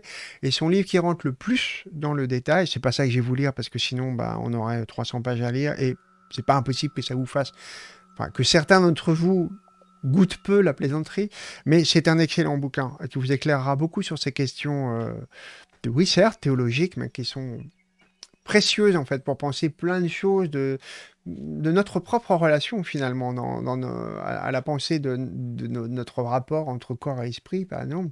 Si on peut, on peut supposer un Moyen Âge dualiste, ce qu'il n'est pas euh, entre âme et corps, mais la vérité c'est que nous sommes beaucoup plus dualistes aujourd'hui. Je, pense que les zététiciens par exemple sont des, des, des coupables d'un dualisme radical euh, assez bécasso. Euh, à chaque fois que j'entends, j'ai encore entendu Bronner, c'est très drôle, il est censé être sociologue, et à chaque fois qu'il explique un fait anthropologique qui nous parle du cerveau, c'est très drôle. Donc on a un truc qui flotte à l'intérieur de nous, hein, qui est une espèce d'autonomie euh, complète, de laquelle nous dépendrions comme, euh, comme si nous étions assujettis à cette masse euh, euh, complètement auto-organisée. Voilà, il parle du cerveau pour parler d'un grand nombre de faits anthropologiques. Je trouve ça assez drôle. Ce type est prétendument sociologue, je ne vois même pas de quoi on parle. Donc en tout cas, j'ai plutôt tendance à, penser que les, humains du Moyen Âge étaient finalement vachement moins dualistes que mes contemporains. Ah, tu n'es pas de droite, mais tu dois nous quitter. Euh, bon, bah, à très bientôt, le dernier des bipèdes. Et, tu regarderas la suite. Et ben, écoute, euh, si ça t'a plu, c'est déjà pas mal. Euh, on y va. La question de ce, rapport, je pense qu'elle est- c'est bien donné ici. Je ne vais pas vous faire le chapitre entier parce que c'est très long, un tout petit bout, mais ça vous mettra au clair parce que je pense qu'ils vont pas rentrer dans les détails hein, euh, là-dedans. Donc on va, faire ça. La théologie médiévale offre des centaines d'occurrences de l'énoncé suivant. L'être humain est formé par la conjonction de la chair, périssable, et d'une âme, entité spirituelle, incorporelle, immortelle. C'est ce qu'on appelle ici une conception duelle de la personne, mais non nécessairement dualiste. Cette représentation n'est pas une innovation du christianisme, elle apparaît déjà dans la tradition platonicienne, qui pèse fort sur la théologie chrétienne. Dans l'Empire romain règne entre l'âme et le corps un dualisme bienveillant, mélange de hiérarchie ferme et de sollicitude. Tel est alors le style de gouvernement qui prévaut entre eux, selon l'expression de Peter Brown, qui invite à être attentif aux formules nuancées du rapport âme-corps. Plusieurs aspects semblent cependant compliquer l'anthropologie duelle du christianisme médiéval. En effet, celui-ci trouve dans la Bible, dans les conceptions judaïques et chez Saint Paul, une représentation ternaire de la personne. Esprit, âme, corps. Donc l'âme, anima, psyché, est le principe animateur du corps, que possèdent également les animaux. Tandis que l'esprit, donc spiritus, pneuma, donné à l'homme seul, l'humain donc, le met en contact avec Dieu. C'est pourquoi Saint Paul affirme que l'homme spirituel est plus élevé que l'homme psychique. Cette trilogie, reprise par saint Augustin, parcourt la théologie jusqu'au XIIe. De même, Augustin et la tradition qui s'inspire de lui distinguent dans l'âme trois instances, donnant lieu à trois genres de visions.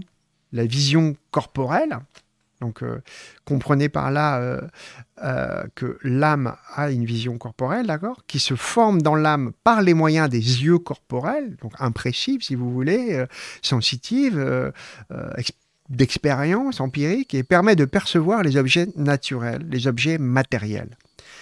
L'âme a aussi une vision spirituelle qui forme dans l'imagination des images mentales ou oniriques possédant l'apparence des choses corporelles mais dépourvues de toute substance corporelle, avec donc une espèce d'autonomie productive dans ce cas-là de l'âme. Enfin, la vision intellectuelle, acte de l'intelligence, atteignant une pure contemplation dégagée de toute similitude des choses corporelles. Même si Augustin lui-même recourt fréquemment à l'opposition duel des yeux du corps et des yeux de l'âme, un tel schéma institue une instance intermédiaire entre la matière et l'intellect. Donc après, il poursuit sur euh, ce qui se passe euh, après, mais comme là, on est en train de parler de ce qui se passe au 12e, je trouve intéressant, puisqu'on est dans, là clairement dans le, siècle concerné, de s'en tenir là. Donc voilà, si vous voulez euh, avoir une vision plus claire en fait de, de cette espèce de dualité non dualiste, voilà un petit moment de sa civilisation féodale qui est plutôt clair là-dessus je ne sais que trop vous conseiller, évidemment, de vous encombrer de cette merveilleuse petite chose qui n'est pas très chère. Hein. Vous avez un gros pavé à 13 balles, là. Je dis, vous en avez, vous avez de quoi vous faire euh, des bonnes lectures. Hein. vous avez 860 pages de Bachet qui valent le détour. C'est passionnant. Donc, voilà, pour euh, cette partition non dualiste. Euh, le dualisme suppose en effet une incompatibilité totale entre le charnel et le spirituel, ainsi qu'une dévalorisation complète du matériel. Il n'accorde de valeur qu'à un spirituel entièrement pur et séparé du matériel. Or, le christianisme s'est toujours démarqué du véritable dualisme, tel qu'il s'est manifesté par exemple dans le manichéisme, puis dans diverses dissidences médiévales. Déjà, en plus, si c'est bâché, ça craint pas la pluie. Mon Dieu. What an incredible calembour. Déjà, Augustin, tout en affirmant avec force la dualité du charnel et du spirituel, avait engagé ce dépassement du dualisme, notamment en récusant la définition du corps comme prison de l'âme, en accordant une valeur positive au mariage ou encore en assumant, à la différence des pères grecs, une interprétation résolument matérielle du corps spirituel des élus ressuscités. Donc toute la question euh, de, cette matérialité du corps spirituel, elle est très très complexe. Là, euh, il faudrait plutôt aller ailleurs dans, les lectures pour parler de l'illémorphisme ou de choses comme ça. Si vous vous intéressez à ça, si vous vous intéressez à ce type de questions et que vous n'avez pas envie de rentrer beaucoup dans la théologie elle-même, parce que ça peut vous sembler un peu relou, parce que vous n'avez peut-être pas envie de l'aborder par ce point de vue, dans un point de vue plus historien des corps, je dirais, euh, même des corps spirituels, il y a le très joli euh, bouquin qui est un peu fondateur d'une, je dirais, de, bah, en partie d'ailleurs du Gaume, puisque c'est un bouquin de Le Goff, euh, c'est le très beau livre de Le Goff sur le purgatoire. je pense que ça peut passionner même les moins intéressés aux questions chrétiennes d'entre vous. Je pense, hein, vraiment. Euh, Même si une pesanteur dualiste qui accable le corps se fait bien souvent sentir, il convient d'accorder une attention non moins soutenue à une puissante dynamique antidualiste qui ne cesse de s'amplifier. Dans l'image à l'époque romane, Jean Wirst interprète la réforme grégorienne comme l'expression d'un dualisme radical. Donc ça, c'est dans l'image à l'époque romane, le bouquin que je vous ai montré. Alors, euh, la réforme grégorienne, on en a un petit peu parlé ensemble, mais pour ceux et celles qui n'étaient pas là, je vous la refais très rapidement, puisque c'est long. Hein. C'est un truc qui va se poursuivre sur plusieurs siècles. Donc ça commence, euh, même si c'est pas lui qui va en initier le désir, il va en initier en tout cas l'organisation, la pensée, la décision, etc. Autour de la volonté d'un pape, de Grégoire VII. Donc c'est au XIe siècle. Donc là, on est en plein dans, la période où ça, ça devient actif, euh, qui vise une, euh, comment, une réorganisation générale de l'Église. Il l'ouvre, mais ça va se poursuivre très longtemps. Donc le premier mouvement, je vous en ai parlé un petit peu, vous vous en souvenez, là je vous renvoie directement euh, au live que j'ai fait, euh, je crois que c'est sur celui sur Burkhard. Et euh, l'interminable lutte entre les Guelfes et les Gibelins, ça prend encore là. Ça prend encore dans la querelle des investitures. Donc ça prend sa naissance dans la décision de l'Église de s'émanciper du pouvoir temporel, donc le, pouvoir euh, de, l'organisation euh, euh, de ce qui n'est pas encore un État, mais de l'organisation par les féodaux, pour la nomination des cadres de l'Église. L'Église va reprendre en main ça pour ne plus laisser euh, à l'empereur, par exemple, notamment, enfin dans la, dans la querelle qui naît entre des Guelfes et des Gipelins, c'est euh, l'empereur qui, qui, est écarté de ce choix, euh, de, qui place ses hommes jusque-là à la tête de l'Église, et l'Église veut retrouver cette autonomie, veut retrouver la caution centrale de son organisation autour de Rome, et ne plus laisser s'immiscer dans les affaires de l'Église la puissance temporelle des comment des nobles. Donc c'est cette querelle euh, des investitures va durer un bon moment. Le Grégoire VII va aussi essayer de resserrer l'Église autour de, règles plus strictes pour son clergé séculier. Donc clergé séculier, donc c'est les prêtres, c'est l'Église, par opposition au clergé régulier, les moines, euh, qui eux vivent autour de règles très serrées, euh, certes, mais là il s'agit d'autre chose. C'est les règles du clergé séculier et notamment la chasteté des prêtres. Euh, la surveillance aussi du trafic des biens de l'Église, qui était intense à la fin de l'ère carolingienne, c'était le bordel le plus total. Donc, euh, trafic intense euh, des biens matériels et spirituels. Donc, matériel, il y a ce qu'on appelle la simonie, euh, c'est euh, le trafic des biens de l'Église qui sont fourgués. Il y a, euh, par exemple, les royaumes vendent les biens et les terres de, l'Église parce que tout est bon pour faire du pognon. Et comme ils ont placé à, la tête, ils ont placé des évêques qui leur appartiennent, ils se servent librement dans les possessions de l'Église, mais aussi à l'intérieur de l'Église même, on vend des sacrements. on peut vous vendre une, absolution, etc. Donc là, on est euh, dans la simonie euh, spirituelle. Donc, euh, on vend des charges ecclésiastiques aussi. Donc il y a euh, des espèces d'associations euh, contre nature entre les pouvoirs. Il y a même des principautés ecclésiastiques qui frappent la monnaie, par exemple, c'est n'importe quoi. Enfin, tout ça affecte considérablement l'unité de l'Église et la centralité de Rome. Donc la réforme grégorienne va entreprendre un contrôle de tout ça, une réorganisation de l'Église et du rite également, hein, et notamment euh, vis-à-vis des, caisses de l'Église, du, du pognon de l'Église. Le pognon donc voilà ce que, ce que, ce que fait euh, donc à cet endroit-là. Voilà ce qu'il y a deux petits points. Donc en gros, s'il y a deux petits points, c'est que c'est Wirst qui parle dans son image à l'époque romane. Euh, du mouvement du dualisme radical. Ce mouvement, donc, qui acquiert toute sa vigueur dans la seconde moitié du XIe, serait animé par l'idéologie monastique du mépris du monde et de la haine du corps. La chair et le monde ayant été entièrement corrompus par les effets de la chute, il ne saurait y avoir place pour une image apaisée ou un temps soit peu positif de la création. Alors, pour ce qui est de la séparation, comment, de l'organisation du monde euh, du clergé, euh, comment euh, entre les moines et, les prêtres, qu'on soit clair, à cette période-là, la représentation de la vie de l'Église, elle est quand même essentiellement monacale. C'est si je ne me trompe pas, c'est vraiment à partir du XIIIe que la représentation de l'Église va être essentiellement séculière.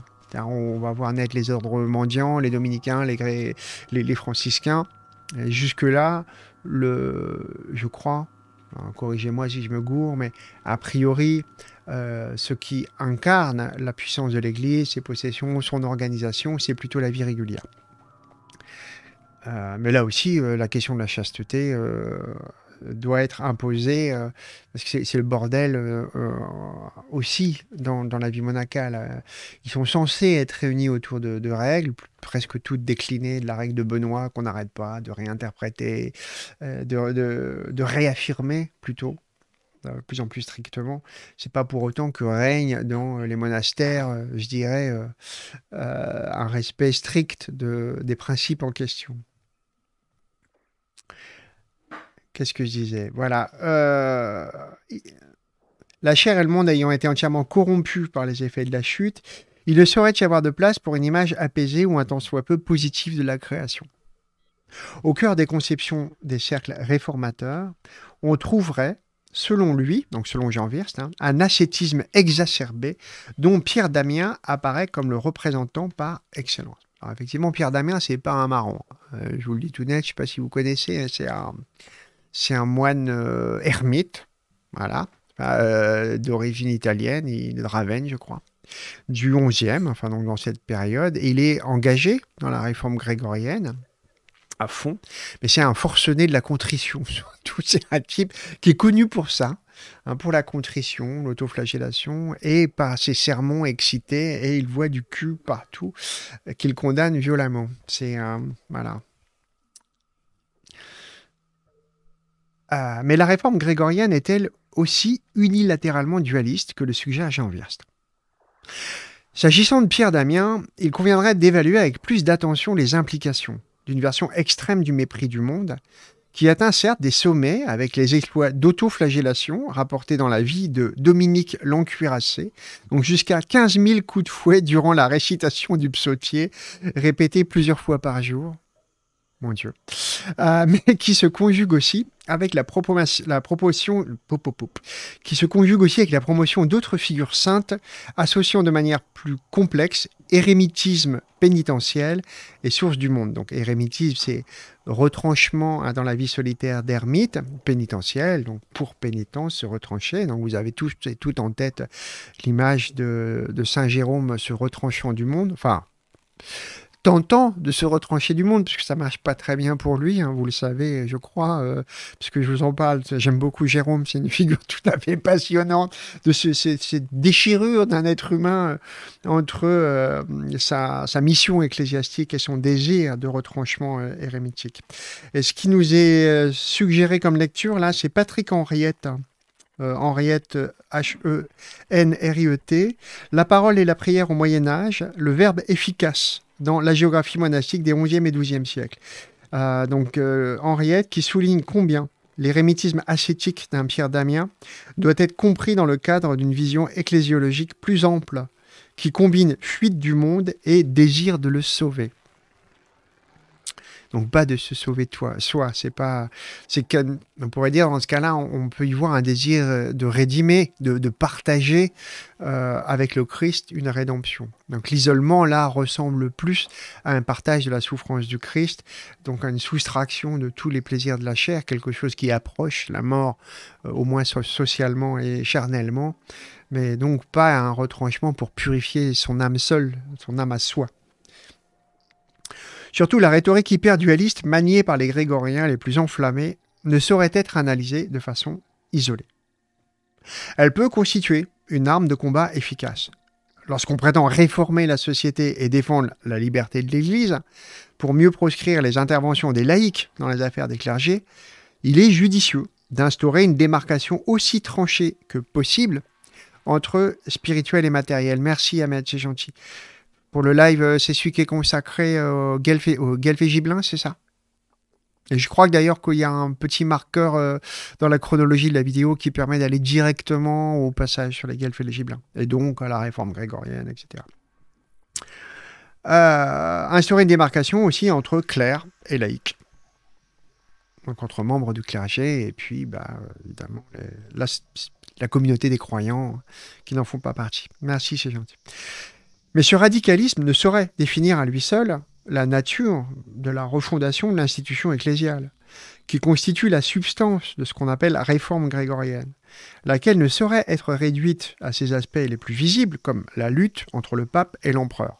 Précisément, lutte entre le pape et l'empereur, on est en plein hein, dans euh, impliquant une suréminence nouvelle du clergé, sous l'égide du pouvoir centralisateur de la papauté, qui se met alors en place. Celle-ci n'est nullement une entreprise monastique, même si elle s'appuie largement, dans un premier temps au moins, sur des alliances nouées au sein du clergé régulier.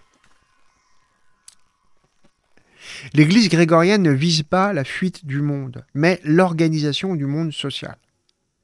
Donc elle va reposer, on peut le supposer, beaucoup plus sur la mission du clergé séculier. Donc séculier pris dans le siècle, quoi. Ou pas retranché, si vous voulez. C'est un lieu de partage de la vie de tous les croyants. Or, une institution qui revendique de régenter entièrement la société ne saurait se fonder sur un strict du dualisme. Pour se mettre au clair. What an incredible calembour. Pouf pouf. De fait, ce qui est au cœur de la réforme grégorienne, c'est pas la séparation du corporel et du spirituel, aussi nécessaire que soit le rappel de leur distinction, mais bien davantage leur articulation positive, laquelle ne saurait entraîner le corporel dans une dynamique positive que si la prééminence du spirituel est respectée. Du reste, l'Église tout entière est une institution éminemment incarnée, ne, ne serait-ce que dans l'immensité de ses terres, de ses bâtiments, de ses trésors, mais elle ne saurait avoir de légitimité qu'en se réclamant du principe spirituel qui la guide. Exemplaire de cette logique est l'affirmation du moine Placide de Nonantola, partisan de la réforme, qui dans son livre Liber des Honoré Ecclesia, rédigé en ben ah oui, 1111, c'était difficile à lire, c'est 4 1 côte à côte, rédigé en 1111, justifie la possession des biens matériels de l'Église par une homologie avec la relation de l'âme et du corps. Que dit-il? C'est des questions qui sont centrales dans l'histoire des images, ces questions. Par exemple, c'est-à-dire par là les, liens que vous pouvez établir de, euh, presque de substance quoi, entre différents types de corps, notamment spirituels et matériels, pas seulement euh, de l'âme et du corps humain, mais de toutes choses. Vous imaginez bien que si, comme Bernard de Clairvaux, euh, vous pensez que la couleur ressortit au monde matériel, alors vous pensez que la couleur est un barbouillage abaissant à l'intérieur des églises. Vous pensez que c'est un maquillage platonicien en quelque sorte. Hein. Platon rejetait euh, la peinture comme une tentative de camoufler, de, maquiller les choses. Eh ben, la position de Bernard de Clairvaux repose sur une interprétation de la lumière comme corps matériel appartenant à la matière, et de ce fait, elle hérite, si vous voulez, des propriétés disqualifiantes de la matière. Mais pour sujet, par exemple, donc, euh, qui va instituer cette espèce de programme avec euh, Hugues de Saint-Victor de la basilique de Saint-Denis, la couleur appartient au domaine de la lumière. Et dans ce cas-là, elle est touchée par la spiritualité. Donc faire exploser la couleur, a fortiori quand vous fabriquez des vitraux colorés, là vous arrivez carrément à la consubstantialité euh, de, ces deux propositions, eh bien c'est tout à fait juste. C'est un luxe, mais qui est un luxe très honorable dans, un cadre ecclésial. Alors que nous dit-il euh, Placide de Nonantola? Que cherches-tu Agnès? Tu veux Alors là il y a de la chicorée dans le... Il y a une tasse, tu as besoin d'un objet, dis-moi.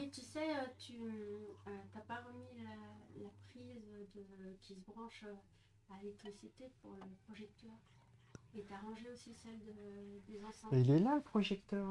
Avec sa prise, je mets toujours sa prise avec lui. Non, pas le projecteur. Le projecteur. Le...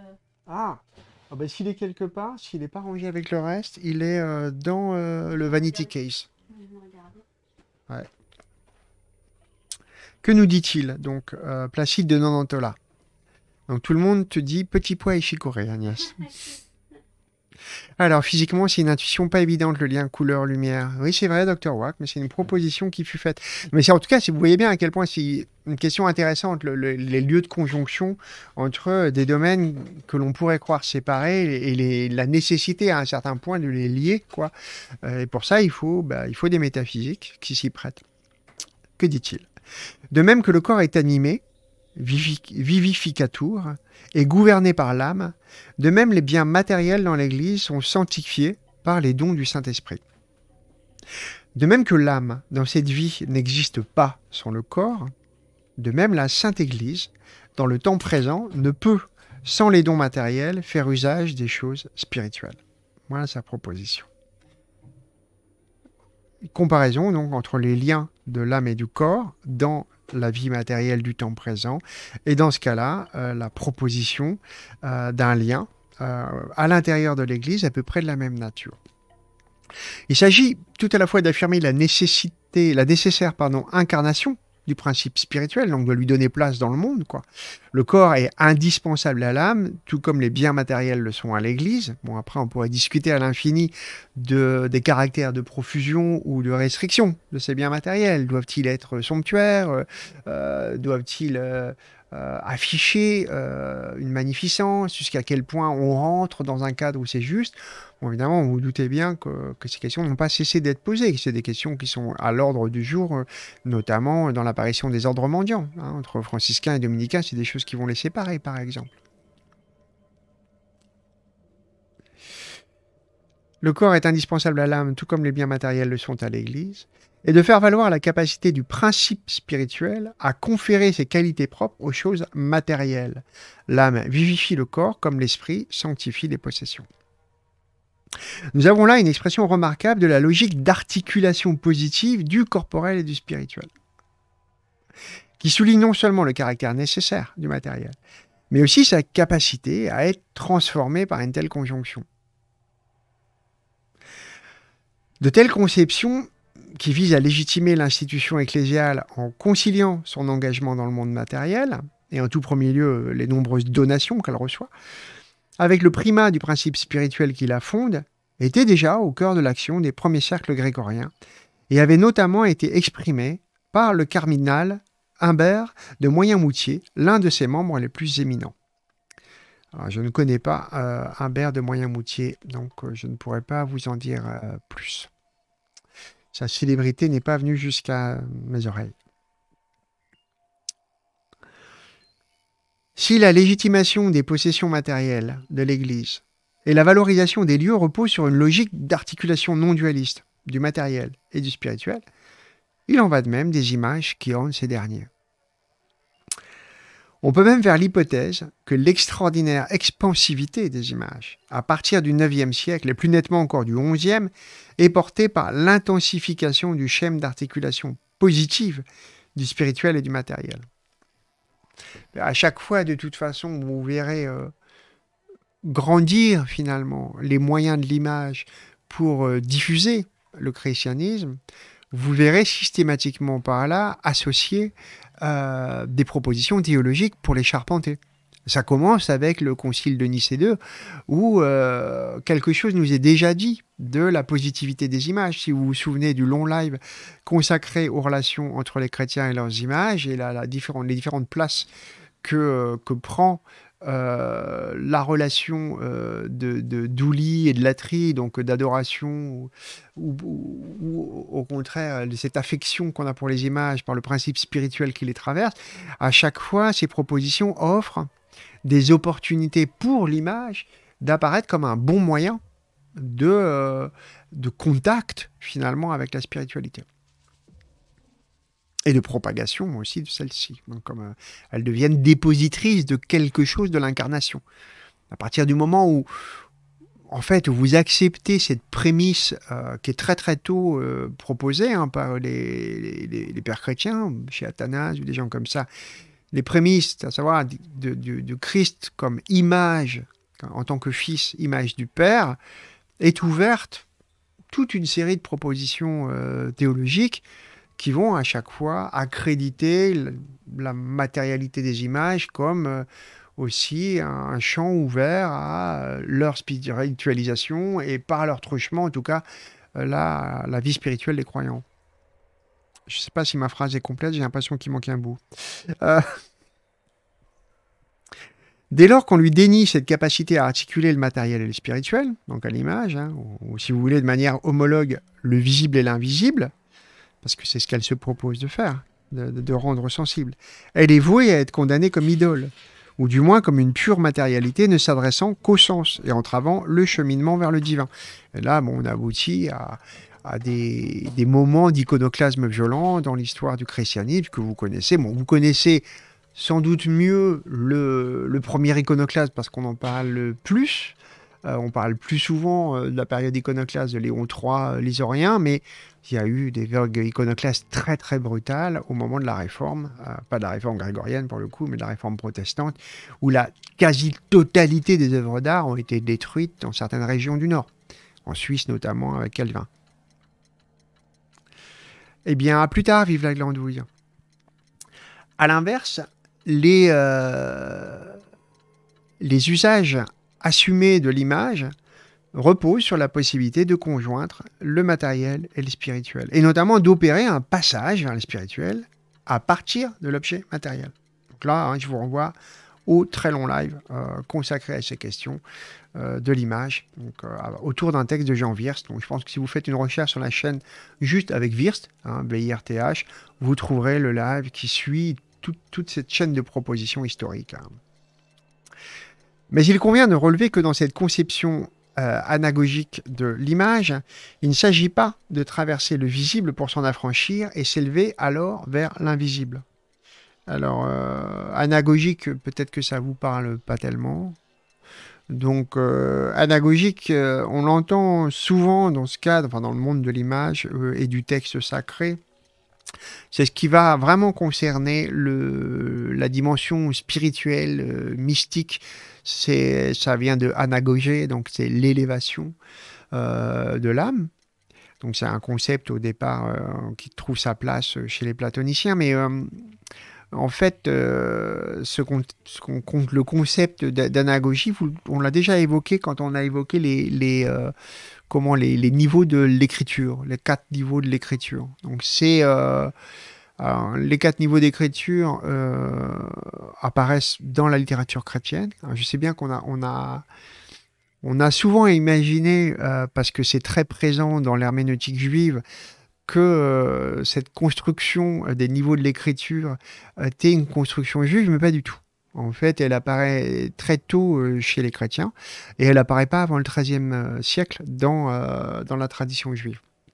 Donc, euh, chez les chrétiens, vous allez trouver des premières traces euh, écrites dès le deuxième siècle de cette proposition. Vous la trouvez chez Irénée de Lyon. Et puis après, vous allez la retrouver chez des tas de gens, et notamment chez Saint Augustin. Euh, euh, Il n'y a pas chez les, pères de l'Église, il n'y a pas d'ordre à proprement parler des, des niveaux d'écriture. Euh, mais il y a euh, une demande de comment d'examiner euh, les textes saints à l'aune de plusieurs façons de le faire, c'est-à-dire depuis euh, dans le récit, euh, euh, le récit des événements lui-même, le côté eschatologique, la prévision du futur, la, la révélation des vérités éternelles, et puis aussi la, dimension morale. Donc, cette dimension-là, elle va devenir, elle va s'articuler de façon euh, hiérarchique. Euh, salut à toi, Jack Bauer. À, à peu près euh, comment euh, chez Bède le Vénérable, je crois. Donc Bède le Vénérable, c'est euh, 8e siècle, début du 8e ou 7e. Donc les niveaux de lecture, donc vous allez trouver le niveau anagogique, c'est euh, d'abord le niveau littéral, le niveau euh, narratif, ce qu'on appelle la lettre du texte. Donc c'est ce qui raconte le, texte. Euh, comment il y a Augustin de Dacie a, caractérisé euh, chacun de ces niveaux. Euh, donc la lettre, il dit la lettre enseigne les faits et gestes. Voilà, donc ce qui s'est passé. Vous avez le niveau comment allégorique. Donc ça, c'est les dogmes, les, mystères de la foi. Augustin de Dacie dit l'allégorie, c'est ce qu'il faut croire. Vous avez le niveau tropologique, donc là on touche au, au niveau moral, euh, c'est le niveau homilétique aussi, enfin cette science du sermon, de l'homélie, donc c'est la dimension morale, la dimension tropologique. Augustin Dacie dit la morale c'est ce que tu dois faire. Et la dimension anagogique, la dernière, ce dernier niveau de la lecture, euh, qui est euh, donc ce- cette construction que vous allez retrouver aussi hein, dans l'herméneutique juive, c'est le niveau spirituel, céleste, euh, tout à l'heure, on, évoquait chez, Thomas la prévision du futur, c'est-à-dire la dimension eschatologique, la dimension relative à, à la, aux fins dernières, euh, au salut. Donc, euh, chez Augustin de Dacy, c'est dit l'anagogie, ce vers quoi tu dois tendre. Voilà. Donc, vous avez ces quatre niveaux euh, littéral, euh, allégorique, tropologique et anagogique, donc le domaine spirituel. C'est euh, c'est dans ce cadre souvent hein, qu'on rencontre le terme. euh, enfin, moi, à chaque fois que j'ai rencontré euh, le caractère anagogique, c'était toujours dans ce cadre-là. Mais bon, là, il est dans un autre cadre, la conception anagogique de l'image. Dans cette conception anagogique de l'image, il ne s'agit pas de traverser le visible pour s'en affranchir et s'élever ainsi vers l'invisible. C'est d'abord une manière d'assumer la matérialité des lieux de culte et de leur décor, une matérialité par laquelle et dans laquelle s'opère l'accès au spirituel. Euh, non, ça s'écrit pas comme ça, c'est Augustin de Dacy, euh, comme ça, ça s'écrit, je vous montre. De...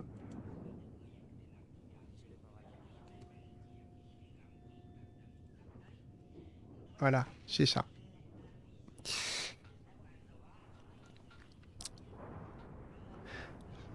La dynamique antidualiste qui caractérise la période grégorienne se manifeste à la fois par la... Donc là, il s'oppose à la proposition euh, comment, euh, de Jean Viers qui voulait en faire une période complètement dualiste. La dimension antidualiste qui caractérise la période grégorienne se manifeste à la fois par la valorisation des inscriptions matérielles du spirituel et par la célébration visible du monde créé. De ce fait, au lieu de postuler que les images de l'époque romane ne sauraient montrer le monde créé autrement qu'écrasé par les conséquences du péché, il s'avère nécessaire de faire place à une lecture beaucoup plus ambivalente de celle-ci. La dénonciation grimaçante des vices et de la chair coupable peut certes y tenir une place de choix. Qu'est-ce qui a été supprimé du message de Solarius Qu'as-tu écrit encore, Zozo? Ah oui, c'était écrit chien. La dénonciation grimaçante, mais le pardon, mais la dynamique antidualiste, donc inhérente au rôle croissant conféré au décor du lieu rituel, hein, pour soutenir cette simple présence profuse finalement, ainsi qu'à la valeur spirituelle de l'édifice matériel qui l'orne, a fortiori parce que, si vous voulez, cette valeur spirituelle, elle s'éprouve aussi de façon très très matérielle par le fait que l'Église est un parcours pour le croyant qui a sa logique propre et qui va constituer dans le fait même de pouvoir être traversé un chemin de spiritualité. Hein, Vous voyez bien que ce lien, il est très euh, incarné, il est très littéral en fait. S'exprime également avec force dans des représentations de la vitalité du monde créé et dans la figuration d'une corporéité potentiellement réévaluée. Il est vrai que le monde et l'humain en particulier ont été profondément affectés par la chute. Est-ce que faut-il adorer les images Oui, c'est ça, Ahmed, bravo, tu l'as trouvé, c'est exactement ça.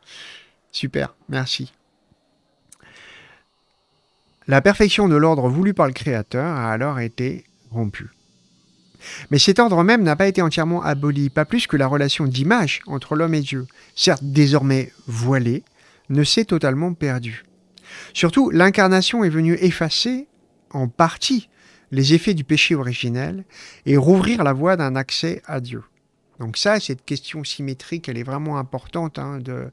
C'est-à-dire que de, la place, finalement, c'est assez central, de, je dirais, de l'iconographie chrétienne, c'est de faire jouer inlassablement les figures du, de la Nouvelle Alliance, du Nouveau Testament en regard de l'Ancien, et aussi donc des figures réparatrices. Donc Marie répare quelque chose d'Ève, et euh, l'incarnation répare quelque chose du péché originel d'une certaine façon. En tout cas, les figures qui se présentent à vous dans les représentations se présentent aussi dans ce rapport euh, au minimum d'interrogation de l'ancienne alliance par la nouvelle. Le péché. Mon Dieu. Je ne peux pas ne pas saluer ça. Bon, je ne suis pas sûr qu'il s'agisse d'un péché, hein. mais bon.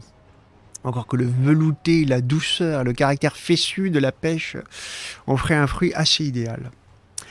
euh, pour le péché. Donc, dès lors, le monde créé doit être perçu dans la tension entre une constitution initiale parfaite, la perte de celle-ci lors de la faute, et la possibilité, soutenue par l'œuvre rédemptrice, de recouvrer l'harmonie des premiers jours. Cette perception littéralement ambivalente, pardon, surpris par l'arrivée. Bonsoir Ingolp.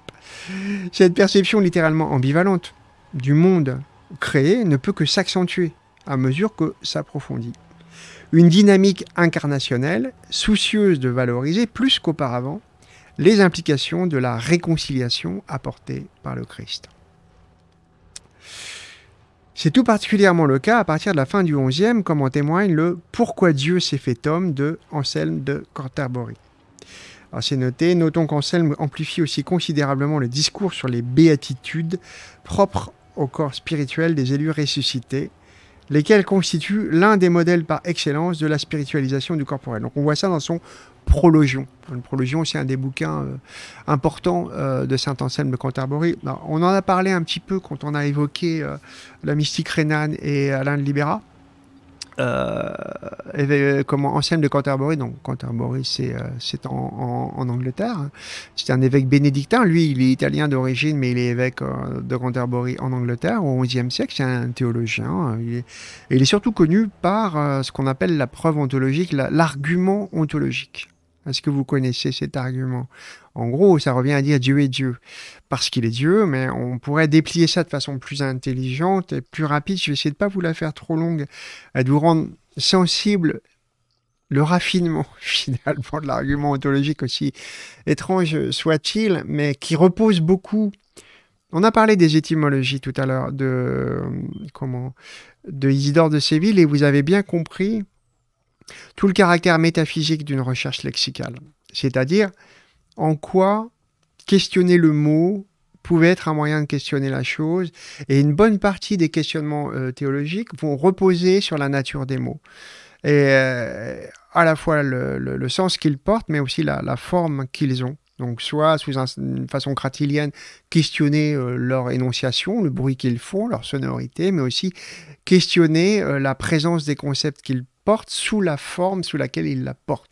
Ça va opposer beaucoup euh, les réalistes aux nominalistes euh, énormément. Donc dans cette période de l'histoire, enfin un tout petit peu après, hein, euh, un siècle après, mais c'est quand même là, sous cette forme que se pose la question. Et l'argument d'Anselme de Canterbury est au fond largement autant vous avez un problème d'affirmation du mot que d'affirmation du concept, qu'on pourrait donc déplier de cette façon. Donc Dieu est parfait. C'est ce par quoi Dieu se définit, être parfait. Or, il est indéniable que quand on parle d'être parfait, c'est de lui qu'on parle. Hein, c'est de Dieu que l'on parle. Sa perfection même implique donc la possession de toutes les facultés puisqu'il est parfait. Dépossédé d'une faculté, il ne serait parfait. Pas parfait, il ne serait donc pas Dieu. Donc il se définit par ça, on ne peut pas dissocier Dieu de sa perfection. Du coup, s'il a possession de toutes les facultés, il possède parmi les facultés l'existence, sans quoi il ne serait pas cette totalité, il ne serait pas Dieu.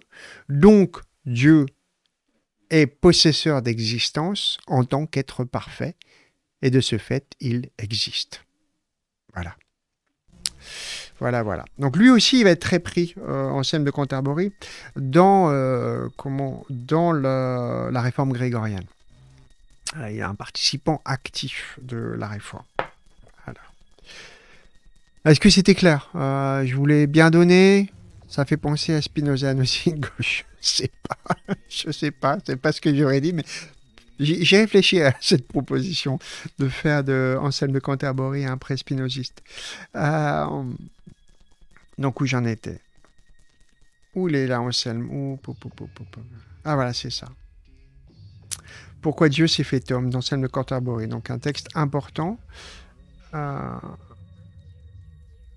Comme chez les auteurs du Haut Moyen Âge, mais avec plus d'intensité encore, il s'agit de rechercher dans le monde créé la marque de l'harmonie voulue par Dieu, dans ses hiérarchies et ses consonances constitutives, donc dans l'organisation même du monde. Sachant, je vous le rappelle, que la notion d'une légalité euh, naturelle n'a pas de sens à ce moment-là. Donc de la question de l'organisation des de, lois de la nature. Donc euh, cette question va plutôt passer par des harmoniques fondamentales de l'organisation du monde qui appartiendraient euh, au créateur. C'est très important pour comprendre quelque chose de. euh, C'était déjà le cas dans les propositions comment euh, presque méréologiques, enfin presque les, théories des ensembles de euh, l'aristotélisme des néoplatoniciens quand on parlait l'autre fois de, Porphyre ou de choses comme ça. De ces espèces de vibrations, de règles particulières qui sont plutôt de l'ordre de, l'émanation des puissances, quoi, euh, constitutives euh, de l'organisation du monde. Et lorsque Honorius Augusto de Nensis amplifie cette conception, alors Honorius Augusto de Nensis, c'est Honoré d'Autun. Vous allez rencontrer son nom euh, souvent, donc on parlait tout à l'heure de Autun, bah voilà, Honoré euh, d'Autun. C'est, euh, un théologien un peu plus tardif hein, que, qu'Anselme de Canterbury, c'est un... je ne sais pas s'il y a un siècle qui les sépare, mais bon, ils sont séparés dans le temps. Il a été, euh, enfin non, il n'y a pas un siècle d'ailleurs parce qu'il a été formé par, Anselme. Donc euh, ils sont forcément un peu croisés si euh, Honoré d'Autun a été formé par Anselme. Donc oui, que je dis pas de bêtises. Ah, comme d'autres comment, théologiens de cette époque, hein, il va faire cette proposition. C'est-à-dire qu'il a une vision pédagogique de sa mission euh, Honoré d'Autun, euh, comme par exemple Hugues de Saint-Victor, qui doit lui être à peu près contemporain, euh, qui a écrit lui le Didascalicon, l'art de lire. Donc c'est des gens qui ont une foi très forte dans l'enseignement et la mission pédagogique. Il place très haut Honoré d'Autun, lui, euh, comment euh, la valeur des sciences, euh, enfin, on n'appelle pas ça les sciences à l'époque, mais disons l'équivalent de cette époque, certaines modalités de la connaissance organisée, une certaine rationalité, et, mais également l'espèce d'empirisme à, à la Aristote, quoi. Et en tout cas, il, il s'intéresse à ce, ce caractère-là de rapport au monde qu'il considère comme susceptible d'apporter une dignité spirituelle et un, accomplissement. Euh, donc il écrit euh, des, bouquins de théologie comme l'Elicudarium, mais aussi il a fait des œuvres plus encyclopédiques. On a parlé tout à l'heure de l'encyclopédisme médiéval. Ben, lui, il a écrit un bouquin important qui s'appelle l'Imago Mundi, du monde. Et euh, on est pleinement dans ce, moment-là de la pensée médiévale. Alors tu dis est un bien meilleur élément en soirée que Spinoza. Oui, c'est, ça, va être plus, plus léger, on va dire. Euh, Donc lorsque Honorius Augusto de Nandis amplifie cette conception de l'ordre musical du cosmos, en affirmant que Dieu a créé l'univers comme une grande cithare, il est clair qu'il parle non de la perfection initiale de la création, mais du temps présent, dans son ambivalence même, puisque son explication suggère, à la suite de Boès, que les sons opposés, rendus par le corps et l'âme, les anges et les diables, le ciel et l'enfer, ont leur place sur l'instrument divin. Alors, c'est pas le premier théologien à avoir une vision musicale de l'organisation du monde. Je pense à Joachim de Flore et son Psalterion. Euh, donc, c'est des idées qui, euh, qui trouvent leur place, en tout cas, dans, dans les grandes et puissantes métaphores. Euh, L'ambivalence euh, qui caractérise les conceptions romanes du monde créé est celle d'un monde tiraillé entre le poids du péché et la promesse du salut. Mais elle tient aussi l'inscription dans les choses de l'univers d'une positivité propre, pensée comme harmonie musicale, et qui pour une large part n'est pas affectée par les fluctuations de la guerre du bien et du mal. Alors je ne sais pas si... euh, fait, je ne sais pas si les intellectuels de cette époque ont connaissance de Pythagore, donc de ses propositions d'organisation euh, musicale de, l'univers. En fait, je ne sais pas. Euh, parce que les corpus hein, de, textes antiques sont euh, bordéliques, euh, pas rangés. On attribue souvent des trucs de Platon à Aristote et réciproquement. On n'a pas tous les textes, tout n'est pas traduit. Donc, je ne sais pas. Si quelqu'un sait ça, ça inté- m'intéresserait assez. Bonne nuit, Pierre. À bientôt. De toute façon, on va pas faire de vieux os, tu sais, Pierre. hein. Là, ça fait 3h20 qu'on qu'on est dans euh, le chapitre. euh, Est-ce que je vais le faire en entier Non, parce qu'il est très long. Donc, on va avancer un peu et je pense qu'on on va pas trop tarder. Il y a beaucoup d'informations quand même. Au total, le processus de refondation euh, institutionnelle, qu'on dénomme réforme grégorienne, se caractérise d'une part par une accentuation de la dualité âme-corps une insistance vigoureuse sur la supériorité du principe spirituel. Donc ça permet d'assimiler à une souillure toute intromission des laïcs dans les affaires de l'Église, hein, querelle des investitures, et de l'autre par l'affirmation d'une logique antidualiste, d'articulation du corporel et du spirituel, qui s'avère d'autant plus nécessaire que leur dissociation est forte. Ils produisent un problème et de façon contemporaine, ils produisent d'une certaine façon un remède fonctionnel, efficace euh, au problème qu'ils ont eux-mêmes apporté. L'articulation positive du corporel et du spirituel peut être considérée comme un schème fondamental, qui tout à la fois exprime et permet de faire valoir la puissance dominante de l'institution ecclésiale, notamment celle de résoudre les paradoxes, par exemple. C'est cette articulation qui lui permet d'accepter des dons matériels considérables, tout en affirmant ne rien perdre de sa pureté spirituelle. Bref, de s'assumer comme institution incarnée et engagée dans le monde, mais prétendant néanmoins être fondée rigoureusement sur des valeurs spirituelles. Et tout ça en accusant évidemment de simonie tous ceux qui se penchent un peu trop sur le négoce des, euh, biens matériels de l'Église. Donc tout ça exige, vous l'avez bien compris, hop là, ça fait deux fois que je fais ça, je fous tout en l'air, exige une aptitude au jonglage quand même euh, pas mal. hein. Ils sont très très forts. C'est grégorien. Hop. Bon, il va essayer d'arrêter de poker cette pauvre hein, caméra zénitale hein, qui a l'air de, de bouger pas à pas, hop, hors de sa cible. voilà. Alors, lorsqu'elle est assez poussée, l'articulation du corporel et du spirituel ne consiste pas seulement en un passage de l'un à l'autre ou en une simple conjonction des deux. Leur mise en rapport les modifie l'un comme l'autre et le sens de cette opération dépend de la dynamique qui préside à leur association.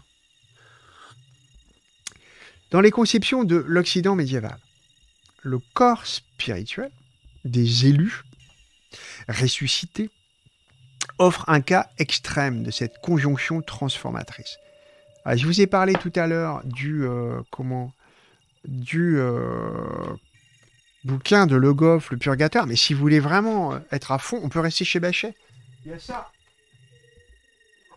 Sur ces questions vraiment très très complexes, il y a aussi ça, parce qu'il en parle énormément dans sa grosse grosse somme. Je crois que c'était son mémoire de thèse. Enfin, c'est ce, ce, ce, ce truc fou aussi.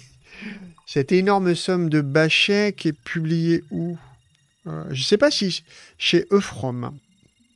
Euh, je ne sais pas si l'école française de Rome, Eufrom.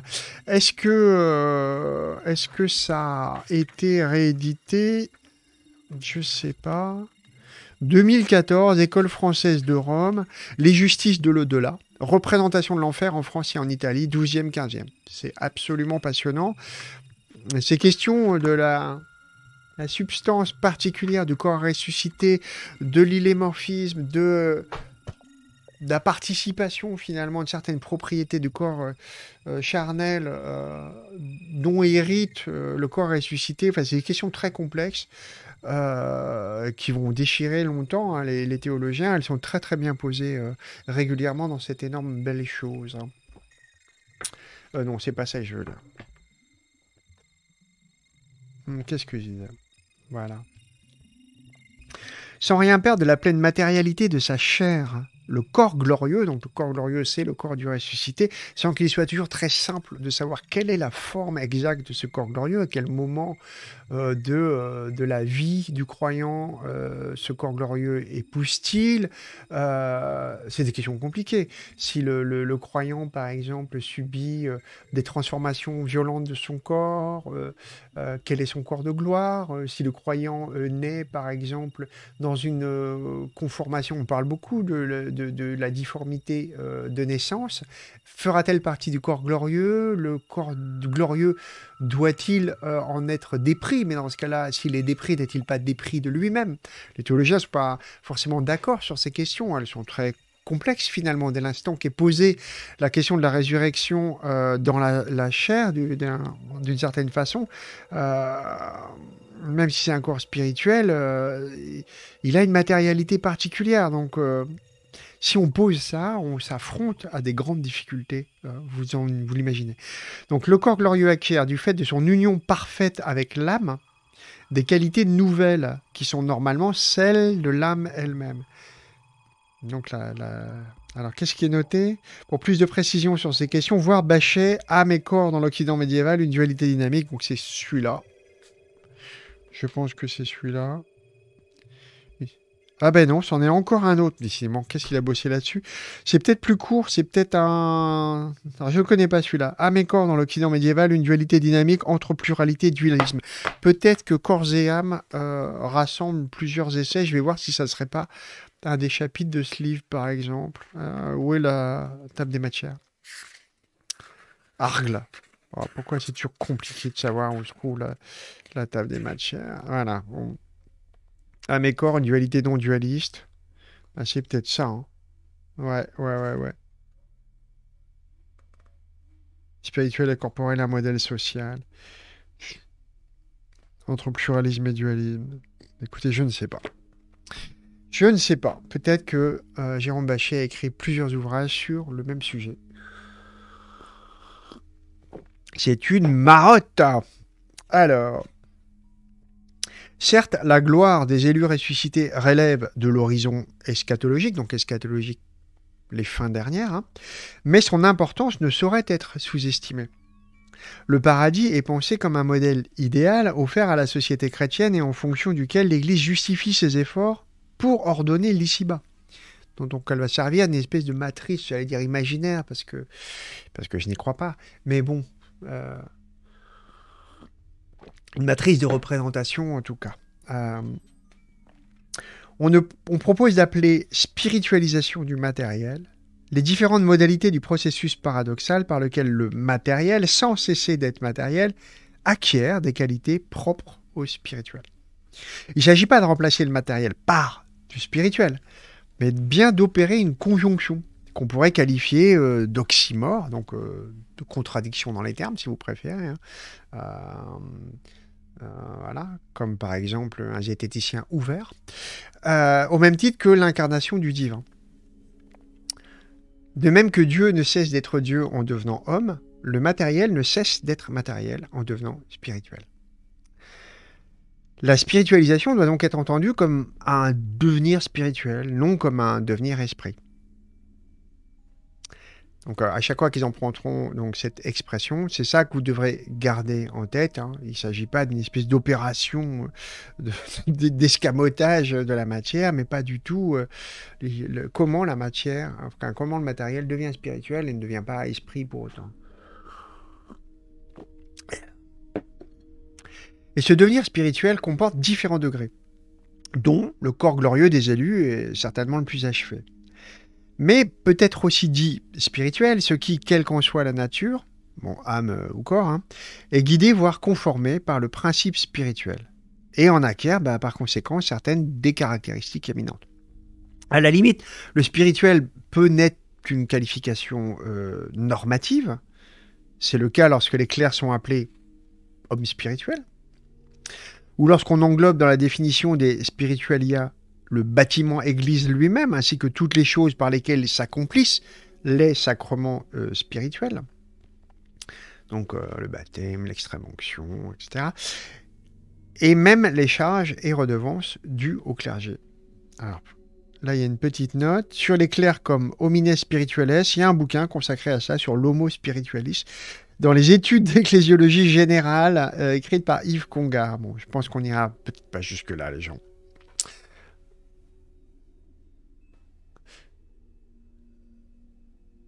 Alors, qu'est-ce qu'on ne voit pas dans le chat Dis-moi? Il y a quelqu'un qui m'informe gratuitement qu'on ne la voit pas dans le chat. On parle de qui? De quoi? L'esprit? Le spirituel? C'est ça? De Dieu? C'est ça? Vous ne voyez pas Dieu dans le chat? Euh, les édifices ecclésiaux peuvent être analysés conformément à cette logique d'articulation du matériel et du spirituel. Ça va être l'idée. Ce point est même essentiel pour l'approcher. Et pour l'approche pardon, que nous souhaitons développer dans ce livre. Donc j'ai déjà évoqué pour vous tout à l'heure hein, le parcours à l'intérieur. Ah euh, bah, euh, Pierrot a dit qu'il pourrait peut-être passer. Et dans ce cas-là, je l'ai invité à passer en, comment, en, en, en audio, s'il le désirait, au moment où il le désirait. Mais pour autant, parmi les choses euh, qu'on désire faire, enfin que je désire faire et à laquelle il semble excité de participer, ce qui me ferait immensément plaisir, j'aimerais organiser une rencontre avec plein de, de parties, enfin avec au moins trois des représentants du GAOM qui représentent trois directions différentes, puis aussi une, je une, belle étendue dans le temps des corps. J'aimerais bien qu'on cause avec euh, Pierrot, euh, Jean-Claude Bonne et Thomas Golsen, qui ont des approches assez différentes et assez chouettes, euh, faire un live juste pour vous présenter le GAOM. Qu'est-ce que les gens du GAOM foutent? Comment ils bossent? Comment ils pensent? Comment ils s'organisent? Ça pourrait être assez cool. Ou d'autres, hein, on pourrait recevoir euh, euh, Maude, euh, qui que vous avez pu apercevoir dans euh, un des lives quand j'étais à Brescia, et qui est peut-être joignable aussi, peut-être que ça l'amuserait aussi de participer. Si ça, enfin, c'est une chose qui se mettra en place. Je n'en doute pas, on y arrivera. Donc, euh, vous aurez, j'en suis sûr, le plaisir euh, d'écouter euh, Pierre-Olivier Dittmar et, et d'autres gens du GAOM parler de leur travail et de l'anthropologie historique. Voilà, donc vous le voyez pas. Mais euh, oui, euh, c'est possible. Et il m'a pas dit explicitement qu'il serait là ce soir. Il m'a dit qu'au long des lives, ça viendrait. Il a dit qu'il allait essayer. Voilà, il a du travail, cet homme aussi. Il n'est peut-être pas comme vous capable d'écouter des lectures à 1h du matin. Aussi est-il nécessaire, avant de l'expliciter, de rappeler quelques caractéristiques générales de ces bâtiments que nous nommons églises, et qui avaient, au Moyen Âge, un sens bien différent de celui que nous sommes spontanément enclins à leur prêter aujourd'hui. En effet, les églises n'étaient pas alors de simples lieux de culte. Elles jouaient aussi un rôle majeur dans l'organisation sociale, et tout particulièrement dans le processus de spatialisation des rapports sociaux qui s'intensifie au XIe et XIIe siècle. La fixation et le regroupement euh, de l'habitat aboutit alors à la constitution d'un réseau stable de villages organisés le plus souvent autour de l'église et du cimetière environnant. Il est là, il m'envoie un message pour me dire que ces messages apparaissent pas dans le chat. Ah, mais qu'est-ce que c'est que ce bordel? Bah, Il faudrait que Pierrot s'inscrive. hein. Est-il inscrit? Pourquoi ces messages n'apparaîtraient pas dans le chat? Qu'est-ce que c'est que ce bordel? Pierrot frappe trois coups. Qu'est-ce qui se passe? Pourquoi ces messages n'apparaissent pas dans le chat? D'accord. Bah écoutez, je sais pas comment faire. euh, Est-ce que moi je reçois les messages de Pierrot dans, en, en chuchotement par exemple? Hop. Mais oui, il dit je suis là. Qu'est-ce que c'est que ce bordel? Mais alors ça fait combien de temps qu'il dit qu'il est là? Euh, Et il est inscrit, et pourquoi il peut pas écrire dans le chat? Mais c'est n'importe quoi. Est-ce que tu suis la chaîne? Peut-être qu'il faut suivre la chaîne. Je crois pas. hein. Je pense pas que ce soit nécessaire de suivre la chaîne pour intervenir dans le chat. Euh, je vois pas le. Normalement, non. Il n'y a pas besoin. Alors, il te parle depuis tout à l'heure. D'accord, ça n'a aucun sens. Euh, comment faire en sorte de régler ce problème? C'est délirant, ça. Qu'est-ce que c'est que ce bordel? Dietmar n'est pas Dieu. N'ayant pas la moindre idée de ce à quoi ressemble Dieu, euh, je ne peux pas répondre à cette question. Qui sait, en fait? Allez savoir. Euh, et je ne comprends pas euh, ce problème technique. Et puis je vais vais avoir bien des difficultés à le régler là, au pied levé. Est-ce que quelqu'un a une explication pourquoi quelqu'un qui est inscrit à Twitch, puisqu'il a un pseudo, qu'il discute avec Suze, ne pourrait pas intervenir dans le chat C'est délirant quand même. J'ai jamais rencontré ce problème. Ça fait rire Ingolp. Ben, c'est déjà pas mal. Bon, écoutez, s'il y a quelqu'un d'un peu doué là, euh, techniquement, parce que c'est la première fois que je rencontre cette difficulté, donc euh, c'est con. Alors, il me réécrit en privé. Laisse tomber, continue. c'est ridicule. C'est la merde. Bon, bah tant pis. où j'en étais ça n'a aucun sens. Hein. Pourquoi tu peux écrire en privé, pas dans le chat? Vous allez prouver l'existence de Dietmar, ce serait un bon début. On peut faire la démonstration de Saint-Anselme avec la preuve de l'existence de Pierrot. Euh, c'est quand même dingue, ça. Alors, euh, ah, serait, ça aurait été, c'est con. J'ai pas prévu d'espace pour le prendre en, audio, mais je vais essayer. Écoutez, je, tente un truc. Euh, on va voir si ça marche. Ça marche pas, tant pis, mais ça peut être plus simple de le prendre en audio. Euh, mais non, il n'est pas banni. Mais pourquoi il serait banni Enfin, pourquoi Pierrot serait banni? Tout ça n'a aucun sens. Je, vais lancer un truc simple. Euh, je vais lui envoyer ça euh, en. Voilà. Hop. Je crée un, un espace et j'essaie de le prendre en, audio. CTRL C. On y va. Vous allez voir. On, on va arriver à quelque chose. Euh, Bon, je ne mets pas de mot de passe, on s'en fout. Je copie le lien, je lui fous ça en, en chuchotement. Voilà. Tu vas là. Voilà. Et on va voir si ça marche. Tu veux te désabonner Mais pourquoi tu veux te, tu veux désabonner et réabonner? C'est ça ce qu'il follow la chaîne. Mais je crois pas que ce soit nécessaire. Euh. Il n'y a pas que les, followers qui peuvent écrire dans le chat. J'ai jamais institué ça. Hein. Alors, est-ce qu'il l'a reçu? Hop. Il dit laisse tomber, continue. C'est aussi bien d'écouter. Bon, écoute, on va essayer d'organiser ça la prochaine fois. Euh, ce serait plus cool quand même. Alors, t'es là depuis longtemps? C'est trop drôle. Alors, où j'en étais? On en était à ce truc important, c'est-à-dire la particularité de cet espace hein, au 11e, 12e siècle, qui est très sensiblement différent évidemment de, de, de, ce qu'il est aujourd'hui. On a parlé des multiples réformes de l'organisation euh, liturgique, mais il y a plein d'autres aspects, parce que l'Église, elle est prise aussi euh, dans la société. Vous n'êtes pas sans, savoir euh, les liens étroits qui existent entre la création, par exemple, du, cimetière comme espace particulier, qui à un certain moment va rentrer dans euh, le domaine, une certaine gestion des corps et des âmes euh, de l'Église comme lieu, comme espace. donc ça, ça va changer beaucoup de choses. Il y a énormément enfin, d'aspects de la, de la vie dans un sens plus général, quoi, qui va s'organiser tout au long de l'histoire de l'Église de façon très différente. Donc la fixation et le regroupement de l'habitat aboutit alors à la constitution d'un réseau stable de villages, organisés le plus souvent autour de l'église et du cimetière environnant. Et même dans les régions où l'habitat reste dispersé, le pôle ecclésial devient déterminant en raison de la généralisation du réseau paroissial, cadre de vie décisif auquel s'attache la triple obligation du baptême, du versement de la dîme, donc l'impôt payé à l'Église, enfin un des impôts payés par tout le monde, du versement de la dîme à l'Église et de la sépulture. La sépulture, j'allais dire désormais. Dès lors, les vivants se trouvent fixés dans des entités locales dont le binôme Église-cimetière constitue le noyau central. L'espace social est ainsi polarisé par les bâtiments ecclésiaux et par la terre des morts, désormais située au cœur des espaces habités. La mutation est considérable. Alors, corps, ça peut même, euh, en dehors du cimetière lui-même, euh, pour les plus, euh, les personnalités les plus importantes, cette inhumation pourra atteindre l'Église elle-même, l'ensevelissement à l'intérieur de l'Église.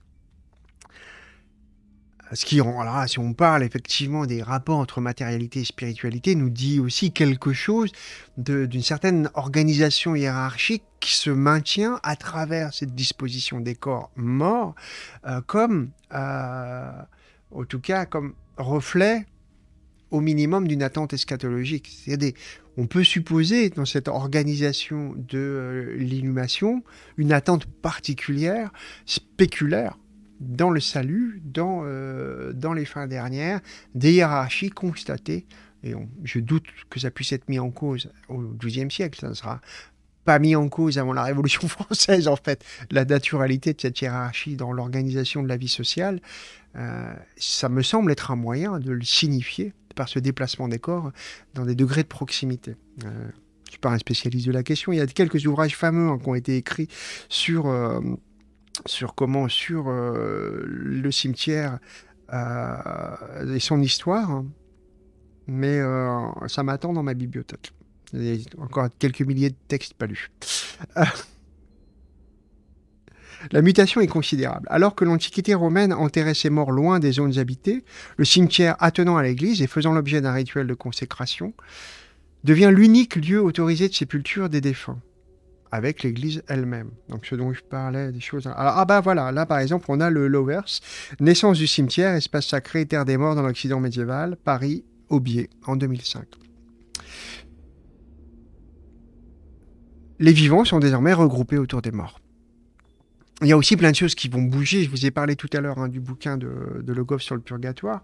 Mais parmi ces reconfigurations des lieux intermédiaires euh, eschatologiques, donc euh, d'un seul coup l'apparition, enfin pas d'un seul coup d'ailleurs, hein, si vous lisez Le Goff, vous verrez que c'est pas quelque chose qui jaillit comme ça, mais cette réorganisation euh, avec une espèce de, hiérarchie des espaces et des temporalités va produire aussi des relations entre les vivants et les morts d'une autre nature. C'est-à-dire qu'un un certain interventionnisme va être imaginé, supposé, des euh, vivants pour le salut des morts. La prière pour les morts va atteindre un statut tout à fait particulier, extrêmement intensif, et ce qui va reconfigurer aussi les lieux ecclésiales c'est-à-dire imposer la nécessité d'une multiplication, on va dire, des, des, messes pour les morts, donc des lieux pour les accueillir, donc des chapelles et toutes ces sortes de choses. Hein, des, euh, clairement, le, un resserrement très très intense des, entre les, vivants et les morts. Dans le même temps émerge une nouvelle doctrine du lieu et du culte qui amplifie l'importance que les édifices ecclésiaux acquièrent dans le fonctionnement de la société du temps. Là encore, il s'agit d'une transformation profonde, car les chrétiens de l'Antiquité tardive et des premiers siècles médiévaux concevaient la communauté sur un mode essentiellement spirituel, ou du moins tendaient à minimiser l'importance du lieu matériel où se déroulait le culte, de même que celle de la sépulture des défunts. L'époque carolingienne marque une étape importante. L'époque carolingienne, pour vous situer, c'est le 9e siècle. Marque une étape importante dans la valorisation du lieu cultuel, comme l'indique le développement d'un rituel spécifique de dédicace de l'Église à partir du 8e siècle. D'accord? 8e Bon. Puis au 11e, 12e, le renversement est complet, puisqu'on attribue alors un caractère absolument nécessaire au bâtiment ecclésial, en même temps qu'un autre renversement doctrinal aboutit à la proclamation pontificale de la présence réelle du Christ dans les espèces eucharistiques. Donc je crois que ce qui va l'affirmer le plus euh, définitivement, la présence réelle, c'est euh, le Concile de Trente. Mais en fait, c'est une question doctrinale qui est présente, j'allais dire, depuis extrêmement euh, longtemps, depuis les, premiers grands conciles. Je sais pas, dans me souviens plus dans quel premier grand concile cette question de la présence réelle est discutée. Donc la présence réelle, comprenez bien, veut dire qu'au cours de l'Eucharistie, ce qui apparaît dans l'hostie n'est pas un symbole, mais réellement le corps du Christ. Donc c'est lui qui est absorbé. C'est important que vous le compreniez parce que ça entretient des relations avec l'hostie elle-même comme chose matérielle d'une nature quasiment inquiétante. Vous pouvez imaginer dans quelle euh, étrange situation se trouve le, croyant devant absorber l'hostie, euh, dans la crainte littérale d'en perdre une miette du, du corps réel.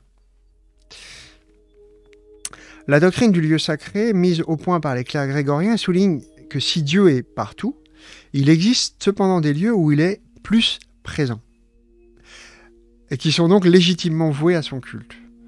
Voilà, cette question euh, est complexe, hein, vous pouvez vous en rendre compte. Elle, euh, par rapport à la proposition d'Anselme de Canterbury, elle paraît, carrément, elle paraît quasi contradictoire.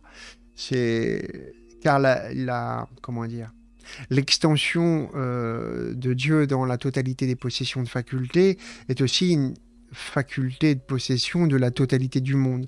Donc l'idée qu'il puisse y avoir une géographie assertative de Dieu dans des lieux privilégiés, là encore, oblige, je suppose, à des grands détours théologiques pour pouvoir l'affirmer.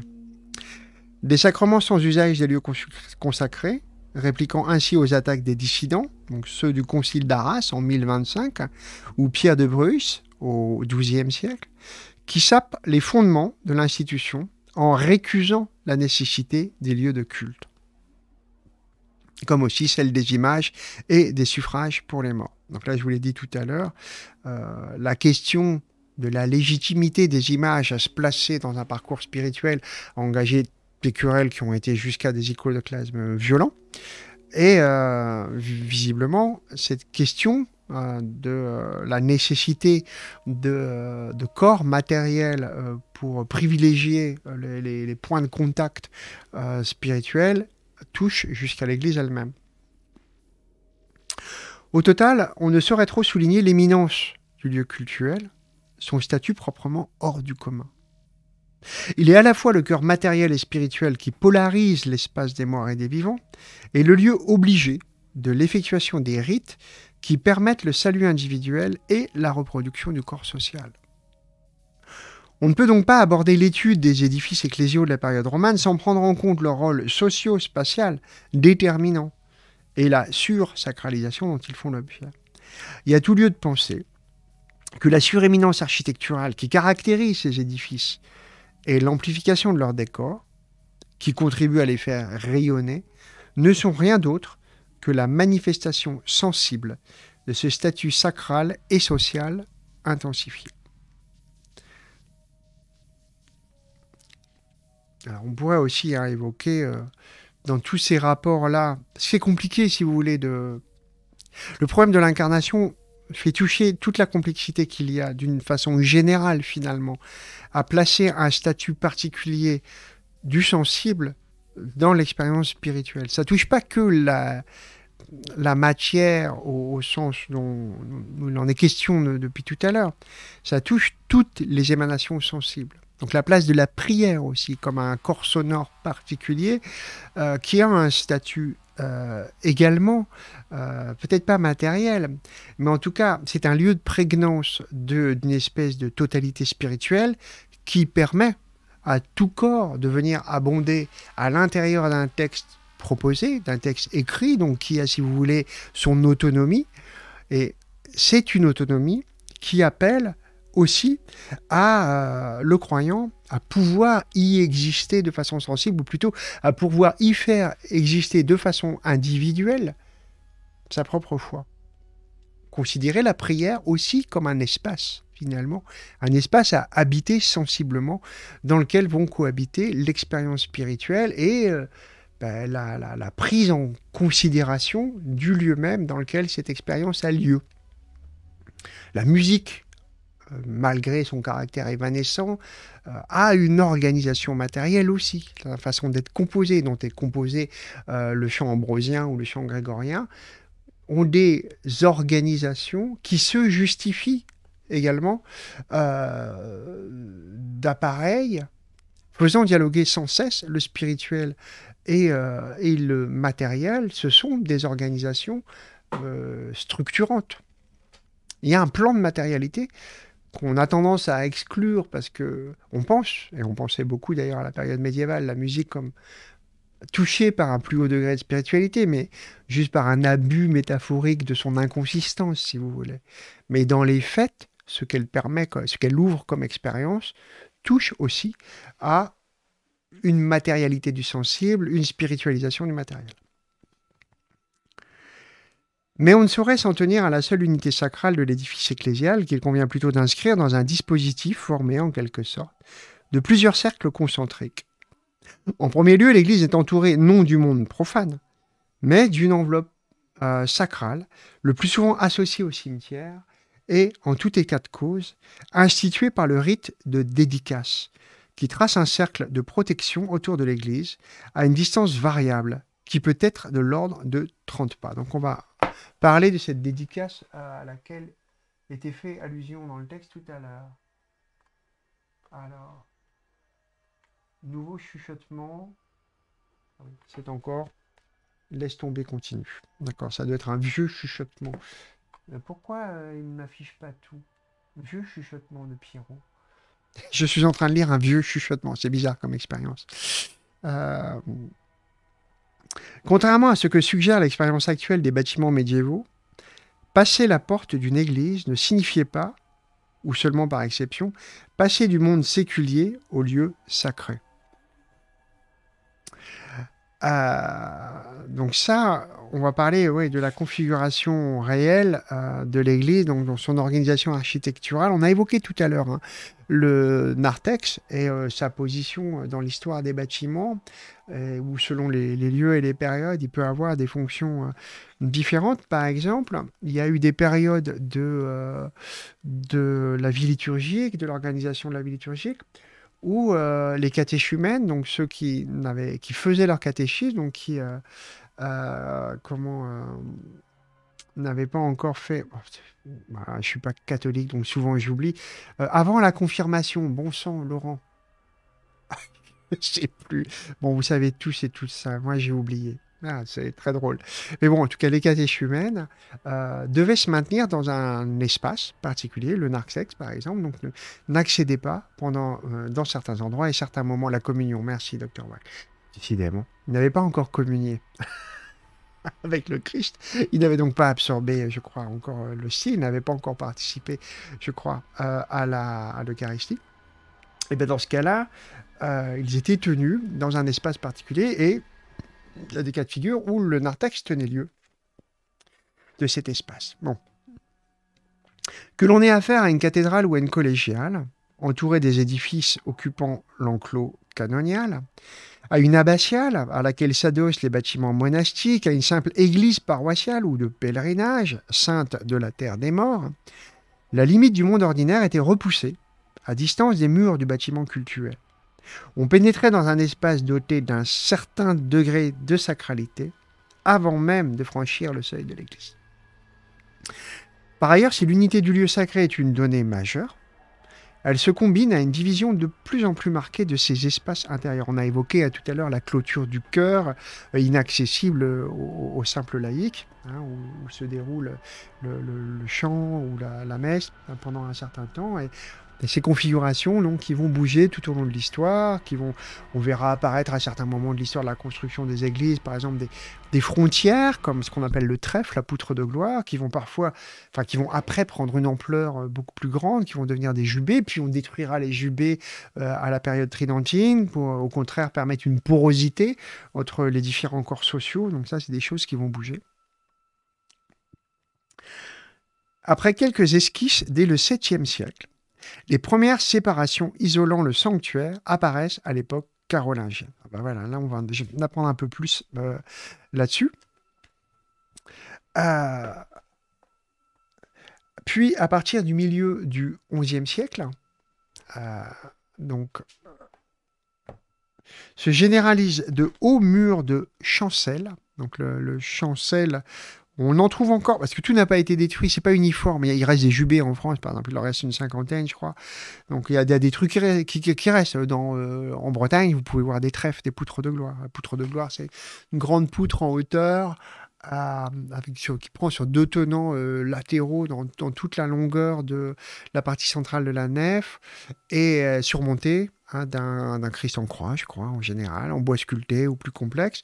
Et le chancel, lui, qui, peut marquer euh, une séparation nette, c'est euh, une clôture, basse plutôt, hein, qui peut être en toutes sortes de matériaux. Hein. Ça peut être bois, pierre, ça peut être des grilles métalliques euh, ouvragées ou très simples, ça peut être en barreau, en treillis, et ça séparait la nef, donc la nef, l'espace des fidèles, des laïcs, des croyants, du cœur.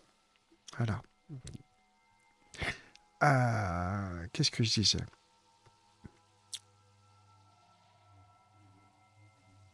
Euh, À partir du 11e, se généralisent les hauts murs de chancel qui excluent physiquement et visuellement les laïcs du lieu de la célébration eucharistique.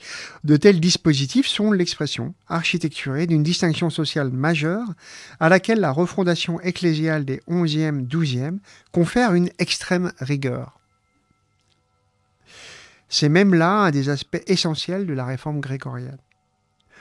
On affirme alors, hein, comme le fait le décret de Gratien, qu'il existe deux sortes de chrétiens.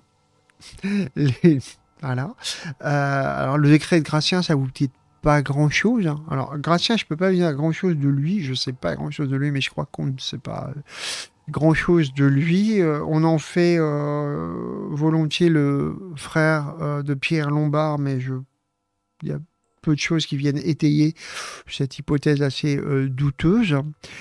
Et euh, il, a, il a le décret, c'est vraiment un truc colossal. C'est une histoire assez dingue.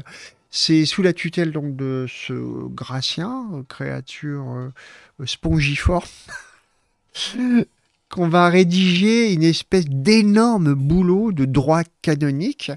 Et ça va commencer par euh, rassembler des, mais des milliers de textes canoniques pour tenter de les harmoniser.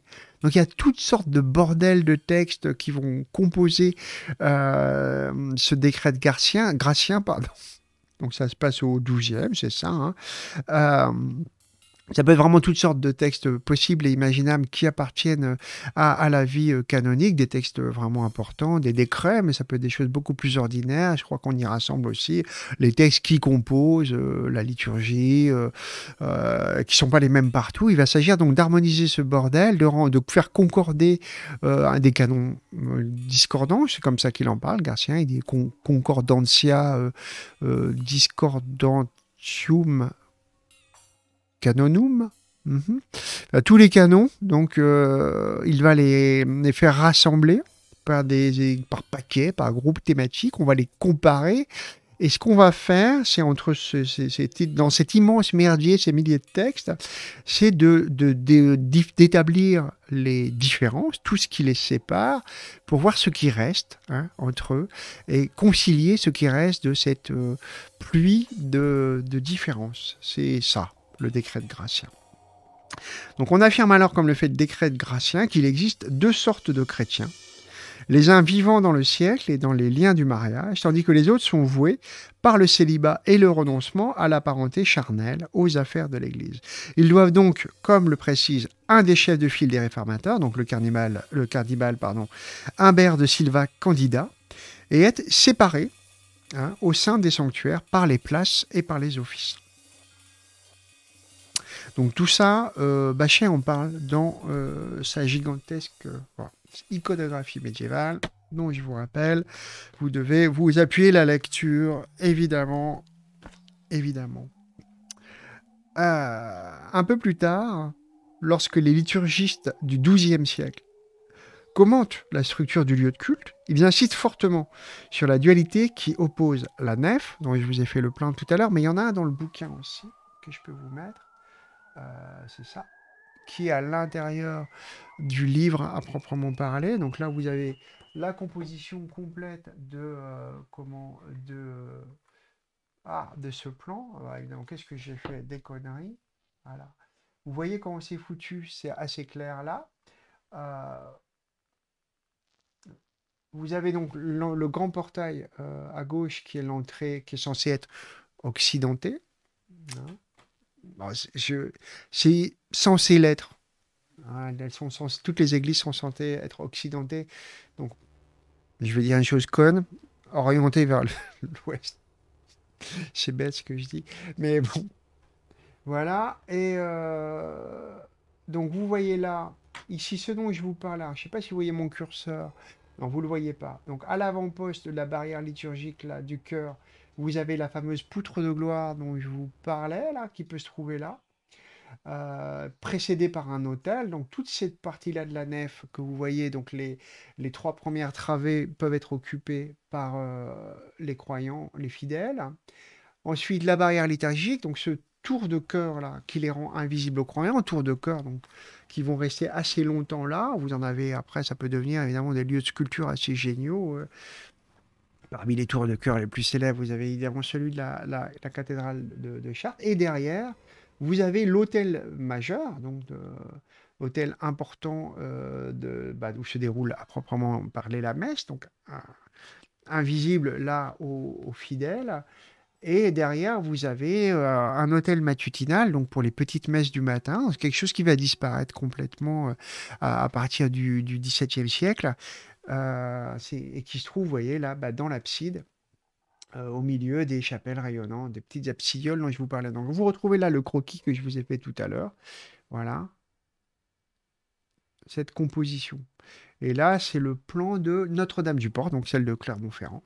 Voilà, hypothèse de restitution de l'aménagement liturgique, puisque plein de trucs, évidemment, ont disparu. Je suppose qu'a disparu, par exemple, euh, le trèfle, euh, c'est-à-dire la, la- la poutre de gloire, hein, donc cette poutre peinte, sculptée en son centre, qui est apparue assez tôt, je crois, dans les temples, et euh, qui disparaîtra bah, au profit du fameux jubé, ces grandes pièces sculptées magnifiques. Si vous voulez en voir des, des beaux jubés, donc ils vont disparaître à partir du Concile de Trente, comme je vous l'ai dit, petit à petit. Mais on peut en trouver en- en- encore. Celui d'Albi est absolument dément.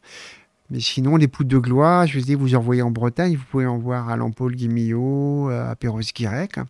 Sinon, vous pouvez aussi en trouver pas mal en Allemagne, je crois. Et pour les jubés, donc euh, celui d'Albi est super. Puis sinon, à Troyes, il y a celui de la Madeleine qui est, très beau. Donc voilà. Euh, après quelques esquisses, attends, où j'en suis? Non. Non, non, je suis allé en arrière, je fais des conneries. Voilà. Après le douzième. Donc même si ces deux parties, euh, entre le sanctuaire et les laïcs, entre la nef et le sanctuaire, sont englobées dans l'unité du lieu ecclésial, et si la frontière qui les délimite peut être franchie par les laïcs en certaines occasions, le chancel, donc cette barrière dont on a parlé euh, tout à l'heure, hein, salut Samou Sassa, euh, comme les autres éléments séparant les espaces liturgiques et la matérialisation architecturée d'une distinction sociale majeure. L'expérience physique des lieux devient ainsi un vecteur privilégié de l'incorporation de cette dualité sociale. Pour autant, il convient aussi de faire place à une division ternaire du lieu ecclésial, du moins pour les édifices importants. Donc, quelle est cette composition? Vous avez la nef, navis par pars antérieur, pardon, qui est l'espace des laïcs, d'accord? Le chœur, chorus, est celui où les moines et chanoines se réunissent aux différentes heures de la journée et de la nuit pour les offices. Et enfin, le sanctuaire, donc derrière, le lieu, ce que vous voyez euh, sur le plan là tout au fond, le lieu de l'autel majeur, où seuls les clercs pénètrent pour la célébration des messes. C'est à cette structuration tripartite que nous nous référons dans les chapitres suivants, donc le plan que vous êtes en train de regarder. Car les édifices auvergnats que nous prenons en compte sont marqués par la distinction entre une nef, où se rassemblent les laïcs, avec l'autel de la croix qui leur est propre, le chœur liturgique, avec le chancel qui en marque la limite à l'ouest, et le sanctuaire, avec euh, généralement, en plus de l'autel majeur, l'autel matutinal situé plus à l'est. Donc le petit autel pour euh, la messe du matin que vous voyez là. Donc euh, vous notez quand même qu'il y a quelque chose qui fait le tour là, au fond. Hein. donc je vous ai déjà parlé, je vous ai marqué donc ce marquage par la colonnade qui euh, sépare l'espace comme vu de l'extérieur le, la nef marque euh, affirme la séparation des bas côtés et, euh, et de la nef principale du vaisseau principal eh ben, vous retrouvez dans le pourtour de l'abside cette circulation avec une plus petite colonnade ou en tout cas des colonnes plus petites qui est le déambulatoire qui a un, autre statut Euh, on voit en note par ailleurs euh, que euh, les auteurs parlent du déambulatoire et voyons ce qu'ils en disent. Ça peut être intéressant. Le statut du déambulatoire, dont les liturgistes ne disent mot, est particulièrement délicat à cerner. Il nous intéresse tout particulièrement car c'est souvent le lieu où les tensions et les ambiguïtés qui sont au cœur de notre étude se manifestent avec le plus d'intensité. Du moins doit-on renoncer à l'interprétation classique du chevet à déambulatoire comme réponse fonctionnelle visant à canaliser le flux des pèlerins attirés par des reliques prestigieuses. Donc pour des indications plus précises sur ce point, voir notre Iter et Locus, donc dans l'ouvrage qui est cité. On vous a mis tout à l'heure hein, le lien euh, dans le chat. Alors Iter et Locus, c'est euh, important quand même. C'est des notions que moi j'ai découvert pour la première fois de façon vraiment explicite, même si d'une certaine manière, Iter et Locus, c'est des notions dont, euh, quand vous traversez une église, vous faites l'épreuve presque euh, comment intuitive, si vous voulez.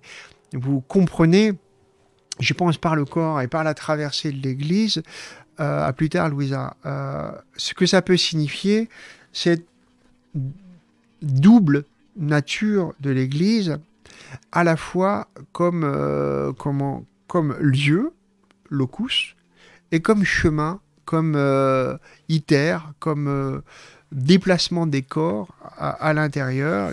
Donc, je vous ai trouvé un truc euh, dans l'iconographie médiévale, je crois, là-dessus, sur iter et locus. Voilà, ça va être un peu plus clair si vous voulez. Vers 1200, l'évêque de Sicard de Crémone exprime cette dynamique axiale de façon remarquable lorsqu'il associe la longueur de l'édifice ecclésial à la patience qui supporte les épreuves jusqu'à parvenir dans la patrie, céleste.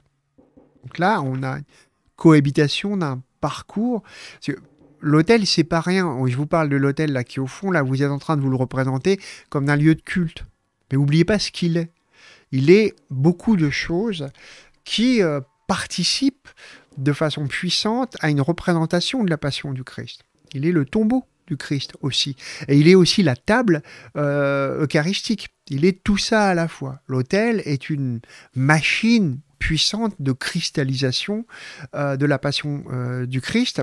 Et donc, quand vous vous dirigez dans l'Église, vous vous dirigez aussi vers des forces de spiritualité, d'un certain niveau en fait de participation du croyant à la passion. Donc il y a, euh, je ne sais pas dans quelle mesure, les représentations des stations du Christ qui aujourd'hui, enfin qui depuis un certain moment prolongent la nef de, de représentation. Je ne sais pas jusqu'à quel point c'est vieux, j'en sais rien. Moi, je n'en connais que des relativement récentes, plutôt à partir des églises gothiques, mais euh, toujours est-il que ce déplacement à l'intérieur des églises vous amène à toute une série de propositions. Vous êtes accueilli par un jugement dernier, par exemple, dans les églises gothiques, mais c'est déjà le cas euh, à Conques ou à Autun, donc, euh, ou à Vézelay. Donc vous êtes accueilli par des jugements, donc on va dire une certaine proposition de partage du monde entre le temporel et le spirituel. Vous rentrez par la fin, d'une certaine façon. Vous, vous commencez l'histoire par la fin. Et c'est pas rien de passer sous un jugement de ce point de vue-là, si vous voulez, en termes de composition avec le temps chrétien. Et euh, du coup, quand vous traversez l'Église, vous traversez, vous superposez votre corps aussi à toute une série euh, de euh, d'événements, de symboles qui ont toutes, je dirais, une certaine intensité spirituelle particulière rabattue sur l'expérience de l'incarnation. Est-ce que le déambulateur est un circuit de course pour personne en déambulateur? Nous propose Ahmed. Je ne crois pas, mais ça se tente. Alors, cette expression aussi riche que concise peut suggérer d'associer la nef avec l'adversité, le combat spirituel, et l'abside avec la plénitude paradisiaque. Surtout, elle assimile l'axialité longitudinale de l'édifice. Donc, euh, elle affirme, hein, si vous voulez, la, nature narrative qui va du jugement dernier jusqu'à l'autel du sacrifice. Elle assimile la- l'axialité longitudinale de l'édifice au cheminement de l'homo viator. Donc, l'homo viator, c'est l'homme en chemin, le pèlerin, si vous voulez. Au pèlerinage de la vie humaine tendu dans l'espérance du ciel, de l'eschatologie, du jugement dernier de, sa propre euh, rédemption par le Christ euh, à la résurrection. En quelques mots, Sicard noue habilement la dynamique axiale de l'Église et la valeur centrale de la société chrétienne qui est la quête du salut. L'un et l'autre sont associés à un cheminement, donc iter, schème omniprésent dans les représentations médiévales de l'espace. Déployant intérieurement l'iter, que polarise l'autel majeur et l'abside, l'édifice cultuel reproduit ainsi, à une échelle réduite, le modèle du pèlerinage dont il constitue en tant que lieu sacré le point d'attraction.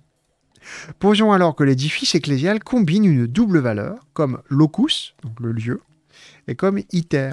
Il est le lieu sacré par excellence qui polarise l'espace social, donc localement ou plus amplement selon les flux pèlerins qu'il draine, mais son unité sacrale s'ouvre dynamiquement pour déployer en son intérieur un iter, donc un déplacement, un cheminement, scandé par une série de seuils réitérés à franchir comme autant d'épreuves. Paradoxal, cette conjonction locus-iter aide à saisir la complexité de l'édifice ecclésial ainsi que les tensions qui font la richesse de ces modes de fonctionnement. De fait, elle est bien mise en relief dans le rituel de dédicace qui qualifie l'édifice de maison de Dieu et porte du ciel, donc Domus Dei porta celi. Cette formule est souvent reprise dans les inscriptions placées à la porte de l'édifice, avec parfois des variantes suggestives. Domus Dei suggère bien un locus, sacralisé par la présence privilégiée du Créateur, mais il est en même temps conçu comme un seuil, une mise en chemin, porta, via, vers la pleine réunion de Dieu. Donc on a déjà parlé ensemble de la construction euh, des cités romaines depuis le Templum et de la Porta, donc on ne va pas refaire ça ici. Mais là, je référez-vous plutôt à la série des lives sur euh, euh, Ivan Illich et H2O. D'accord? Telle est la dualité d'un lien, d'un lieu pleinement sacré et néanmoins traversé par la tension d'une quête. Voilà.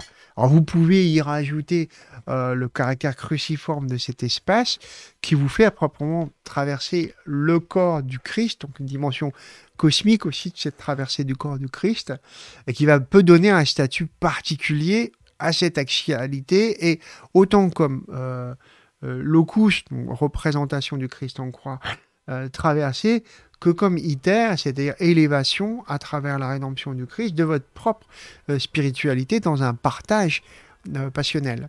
Donc la, croix elle-même hein, du Christ est, un espace composite assez savant. Chaque partie de la croix a son petit nom, voilà, et peut représenter un cheminement. Elle est, selon certaines traditions, euh, un véritable lieu, puisque la composition de la croix, de quatre arbres différentes, d'une certaine manière raconte hein, l'histoire complète de la passion euh, à travers les différents éléments qui composent euh, le, comment ça s'appelle déjà le, stipé, le, pied duquel découle le mot stipité avec un petit pied en français, le patibulum, donc la traverse, euh, le suppedaneum là, qui reviendrait au niveau du narthex en quelque sorte, c'est l'endroit où le pied, le Christ pardon pose ses pieds, et puis le petit titulus, c'est-à-dire le nom du Christ qui se trouverait là-bas au niveau de l'autel, euh, voilà, de majeur. Bon, voilà. Bon, là, je, dérive, mais ça rajoute, si vous voulez, ça une complexité hein, à, cet espace déjà éminemment euh, complexe. Donc, qu'est-ce que je disais? Je vous avais lu le petit passage sur le déambulatoire. Continuons, donc. Cette dynamique euh, iter euh, locus, à laquelle on est invité à, se référer. Alors, la plupart... attends, une telle configuration, pardon c'est affirmé au cours des 10e, 11e à mesure que se défaisait la bipolarité des églises carolingiennes avec une abside orientale dédiée à un saint et un massif occidental amplifié accueillant l'autel du Sauveur. Euh, donc l'autel du Sauveur, vous voyez, c'est celui qui est posé sur le plan. Euh, Il y a un autel hein, qui se trouve près de l'entrée et qui est avant le trèfle, avant la poutre de gloire. La plupart des hôtels se regroupant dans la partie orientale de l'édifice, l'axialité dynamique du bâtiment, polarisée par l'autel majeur et l'abside, s'affirme comme une caractéristique majeure des édifices occidentaux. Vers 1200, l'évêque Sicard de Crémone, dont, parlait Bachet dans l'iconographie médiévale à l'instant, synthétise les propos de ses prédécesseurs et exprime cette dynamique de façon remarquable en associant la longueur de l'édifice ecclésial, bah là on redouble ce qu'on vient de lire, qui supporte les épreuves jusqu'à parvenir dans la, la partie, la, pouf, la patrie céleste. Je crois que je fatigue un peu. Aussi riche que concise, cette expression suggère d'associer la nef avec l'adversité, le combat spirituel, et l'abside avec la plénitude paradisiaque. Donc là, on relit un peu ce qu'on vient de lire. Elle assimile l'axialité longitudinale de l'édifice au cheminement de... Bon, on relit en fait exactement ce que je viens de dire. Donc l'une et l'autre sont associées à un cheminement, iter, schem omniprésent dans les représentations médiévales. C'est un, ah, un copier-coller du texte qui se trouve dans iconographie médiévale. Ah ouais. Déployant antérieurement l'iter qui que polarise l'autel majeur et l'abside, l'édifice cultuel, reproduisant ainsi, en son intérieur à une échelle réduite, le cheminement dont il constitue, en tant que lieu sacré, le point d'attraction. Ben, je pense qu'on peut commencer euh, la prochaine fois. Maintenant que vous avez bien intégré euh, les notions d'iter et de locus, on peut commencer là. à ainsi l'édifice ecclésial peut-il être pensé à la fois comme locus euh, et comme iter? Parce que ça nous permettra de traverser comment l'Église Alors, je ne sais pas si on commence par Moza ou par Notre-Dame-du-Port, mais on verra ça euh, eh bien, la prochaine fois. Donc, vous avez noté la petite biblio que je vous proposais. J'essaierai de réduire le problème euh, de Pierrot. Euh, Peut-être tu peux faire un truc, Pierrot, par rapport à, cette histoire de chat. C'est, euh, t'es peut-être pas tout à fait au bon endroit. C'est-à-dire qu'on peut être en deux endroits. Et si tu cliques sur euh, le titre bande dessinée, tu peux arriver à un autre endroit euh, de la représentation du live dans l'espace de Twitch. Et peut-être que c'est ça le problème d'accès. T'es peut-être pas tout à fait au bon endroit. Ça mérite d'être testé, en tout cas. Donc, on a vu pas mal de notions. Euh, il faut intégrer les notions au lieu de raconter des conneries. Ben ouais, on est là pour bosser euh, les goûts. J'aime pas la nef, ça a le goût d'anif. Mon Dieu. Voilà, j'ai fini là-dessus. Heureusement, je vous lis pas tout le temps. L'édifice, ça fait beaucoup de subjonctifs, etc. etc. Vous intervenez toujours à bon et je vous félicite de ça. Salut John Kehart, merci pour la lecture et les explications. Ben, J'espère que c'était clair. J'espère que vous avez bien euh, intégré euh, l'argument autologique de Saint-Anselme. et euh, on peut essayer de faire un petit raid. Ah, il y a qui? Il y a des entre-deux, Delphéa qui est en train de jouer, Daimon qui discute, Maman joue, qui joue évidemment, S'attrape Mondragora. Est-ce qu'on garde la tradition euh, d'aller. euh, comment ça a été? Bon, bah tant mieux. D'aller raider chez Satrape ou pas? On peut essayer. Allez, on y va. Ça va devenir une vraie, euh, une vraie habitude. Écoutez, je sais pas ce qu'il regarde ou ce qu'il lit. J'espère que vous avez passé un bon moment. Je vais essayer de régler cette histoire avec Pierrot pour voir ce qui a déconné et comment euh, régler cette histoire. euh, euh, comment de difficulté à, à se rejoindre. On fera mieux la prochaine fois. C'est dommage, mais c'est pas grave. Alors, j'ai raidé sa trappe je vous souhaite une euh, bonne fin de soirée. Euh, soyez gentils, comportez-vous bien et toute cette sorte de choses comme d'habitude, évidemment. Et je vous dis à très bientôt pour la suite. Voilà, voilà. Hop, je lance le raid, ça va partir.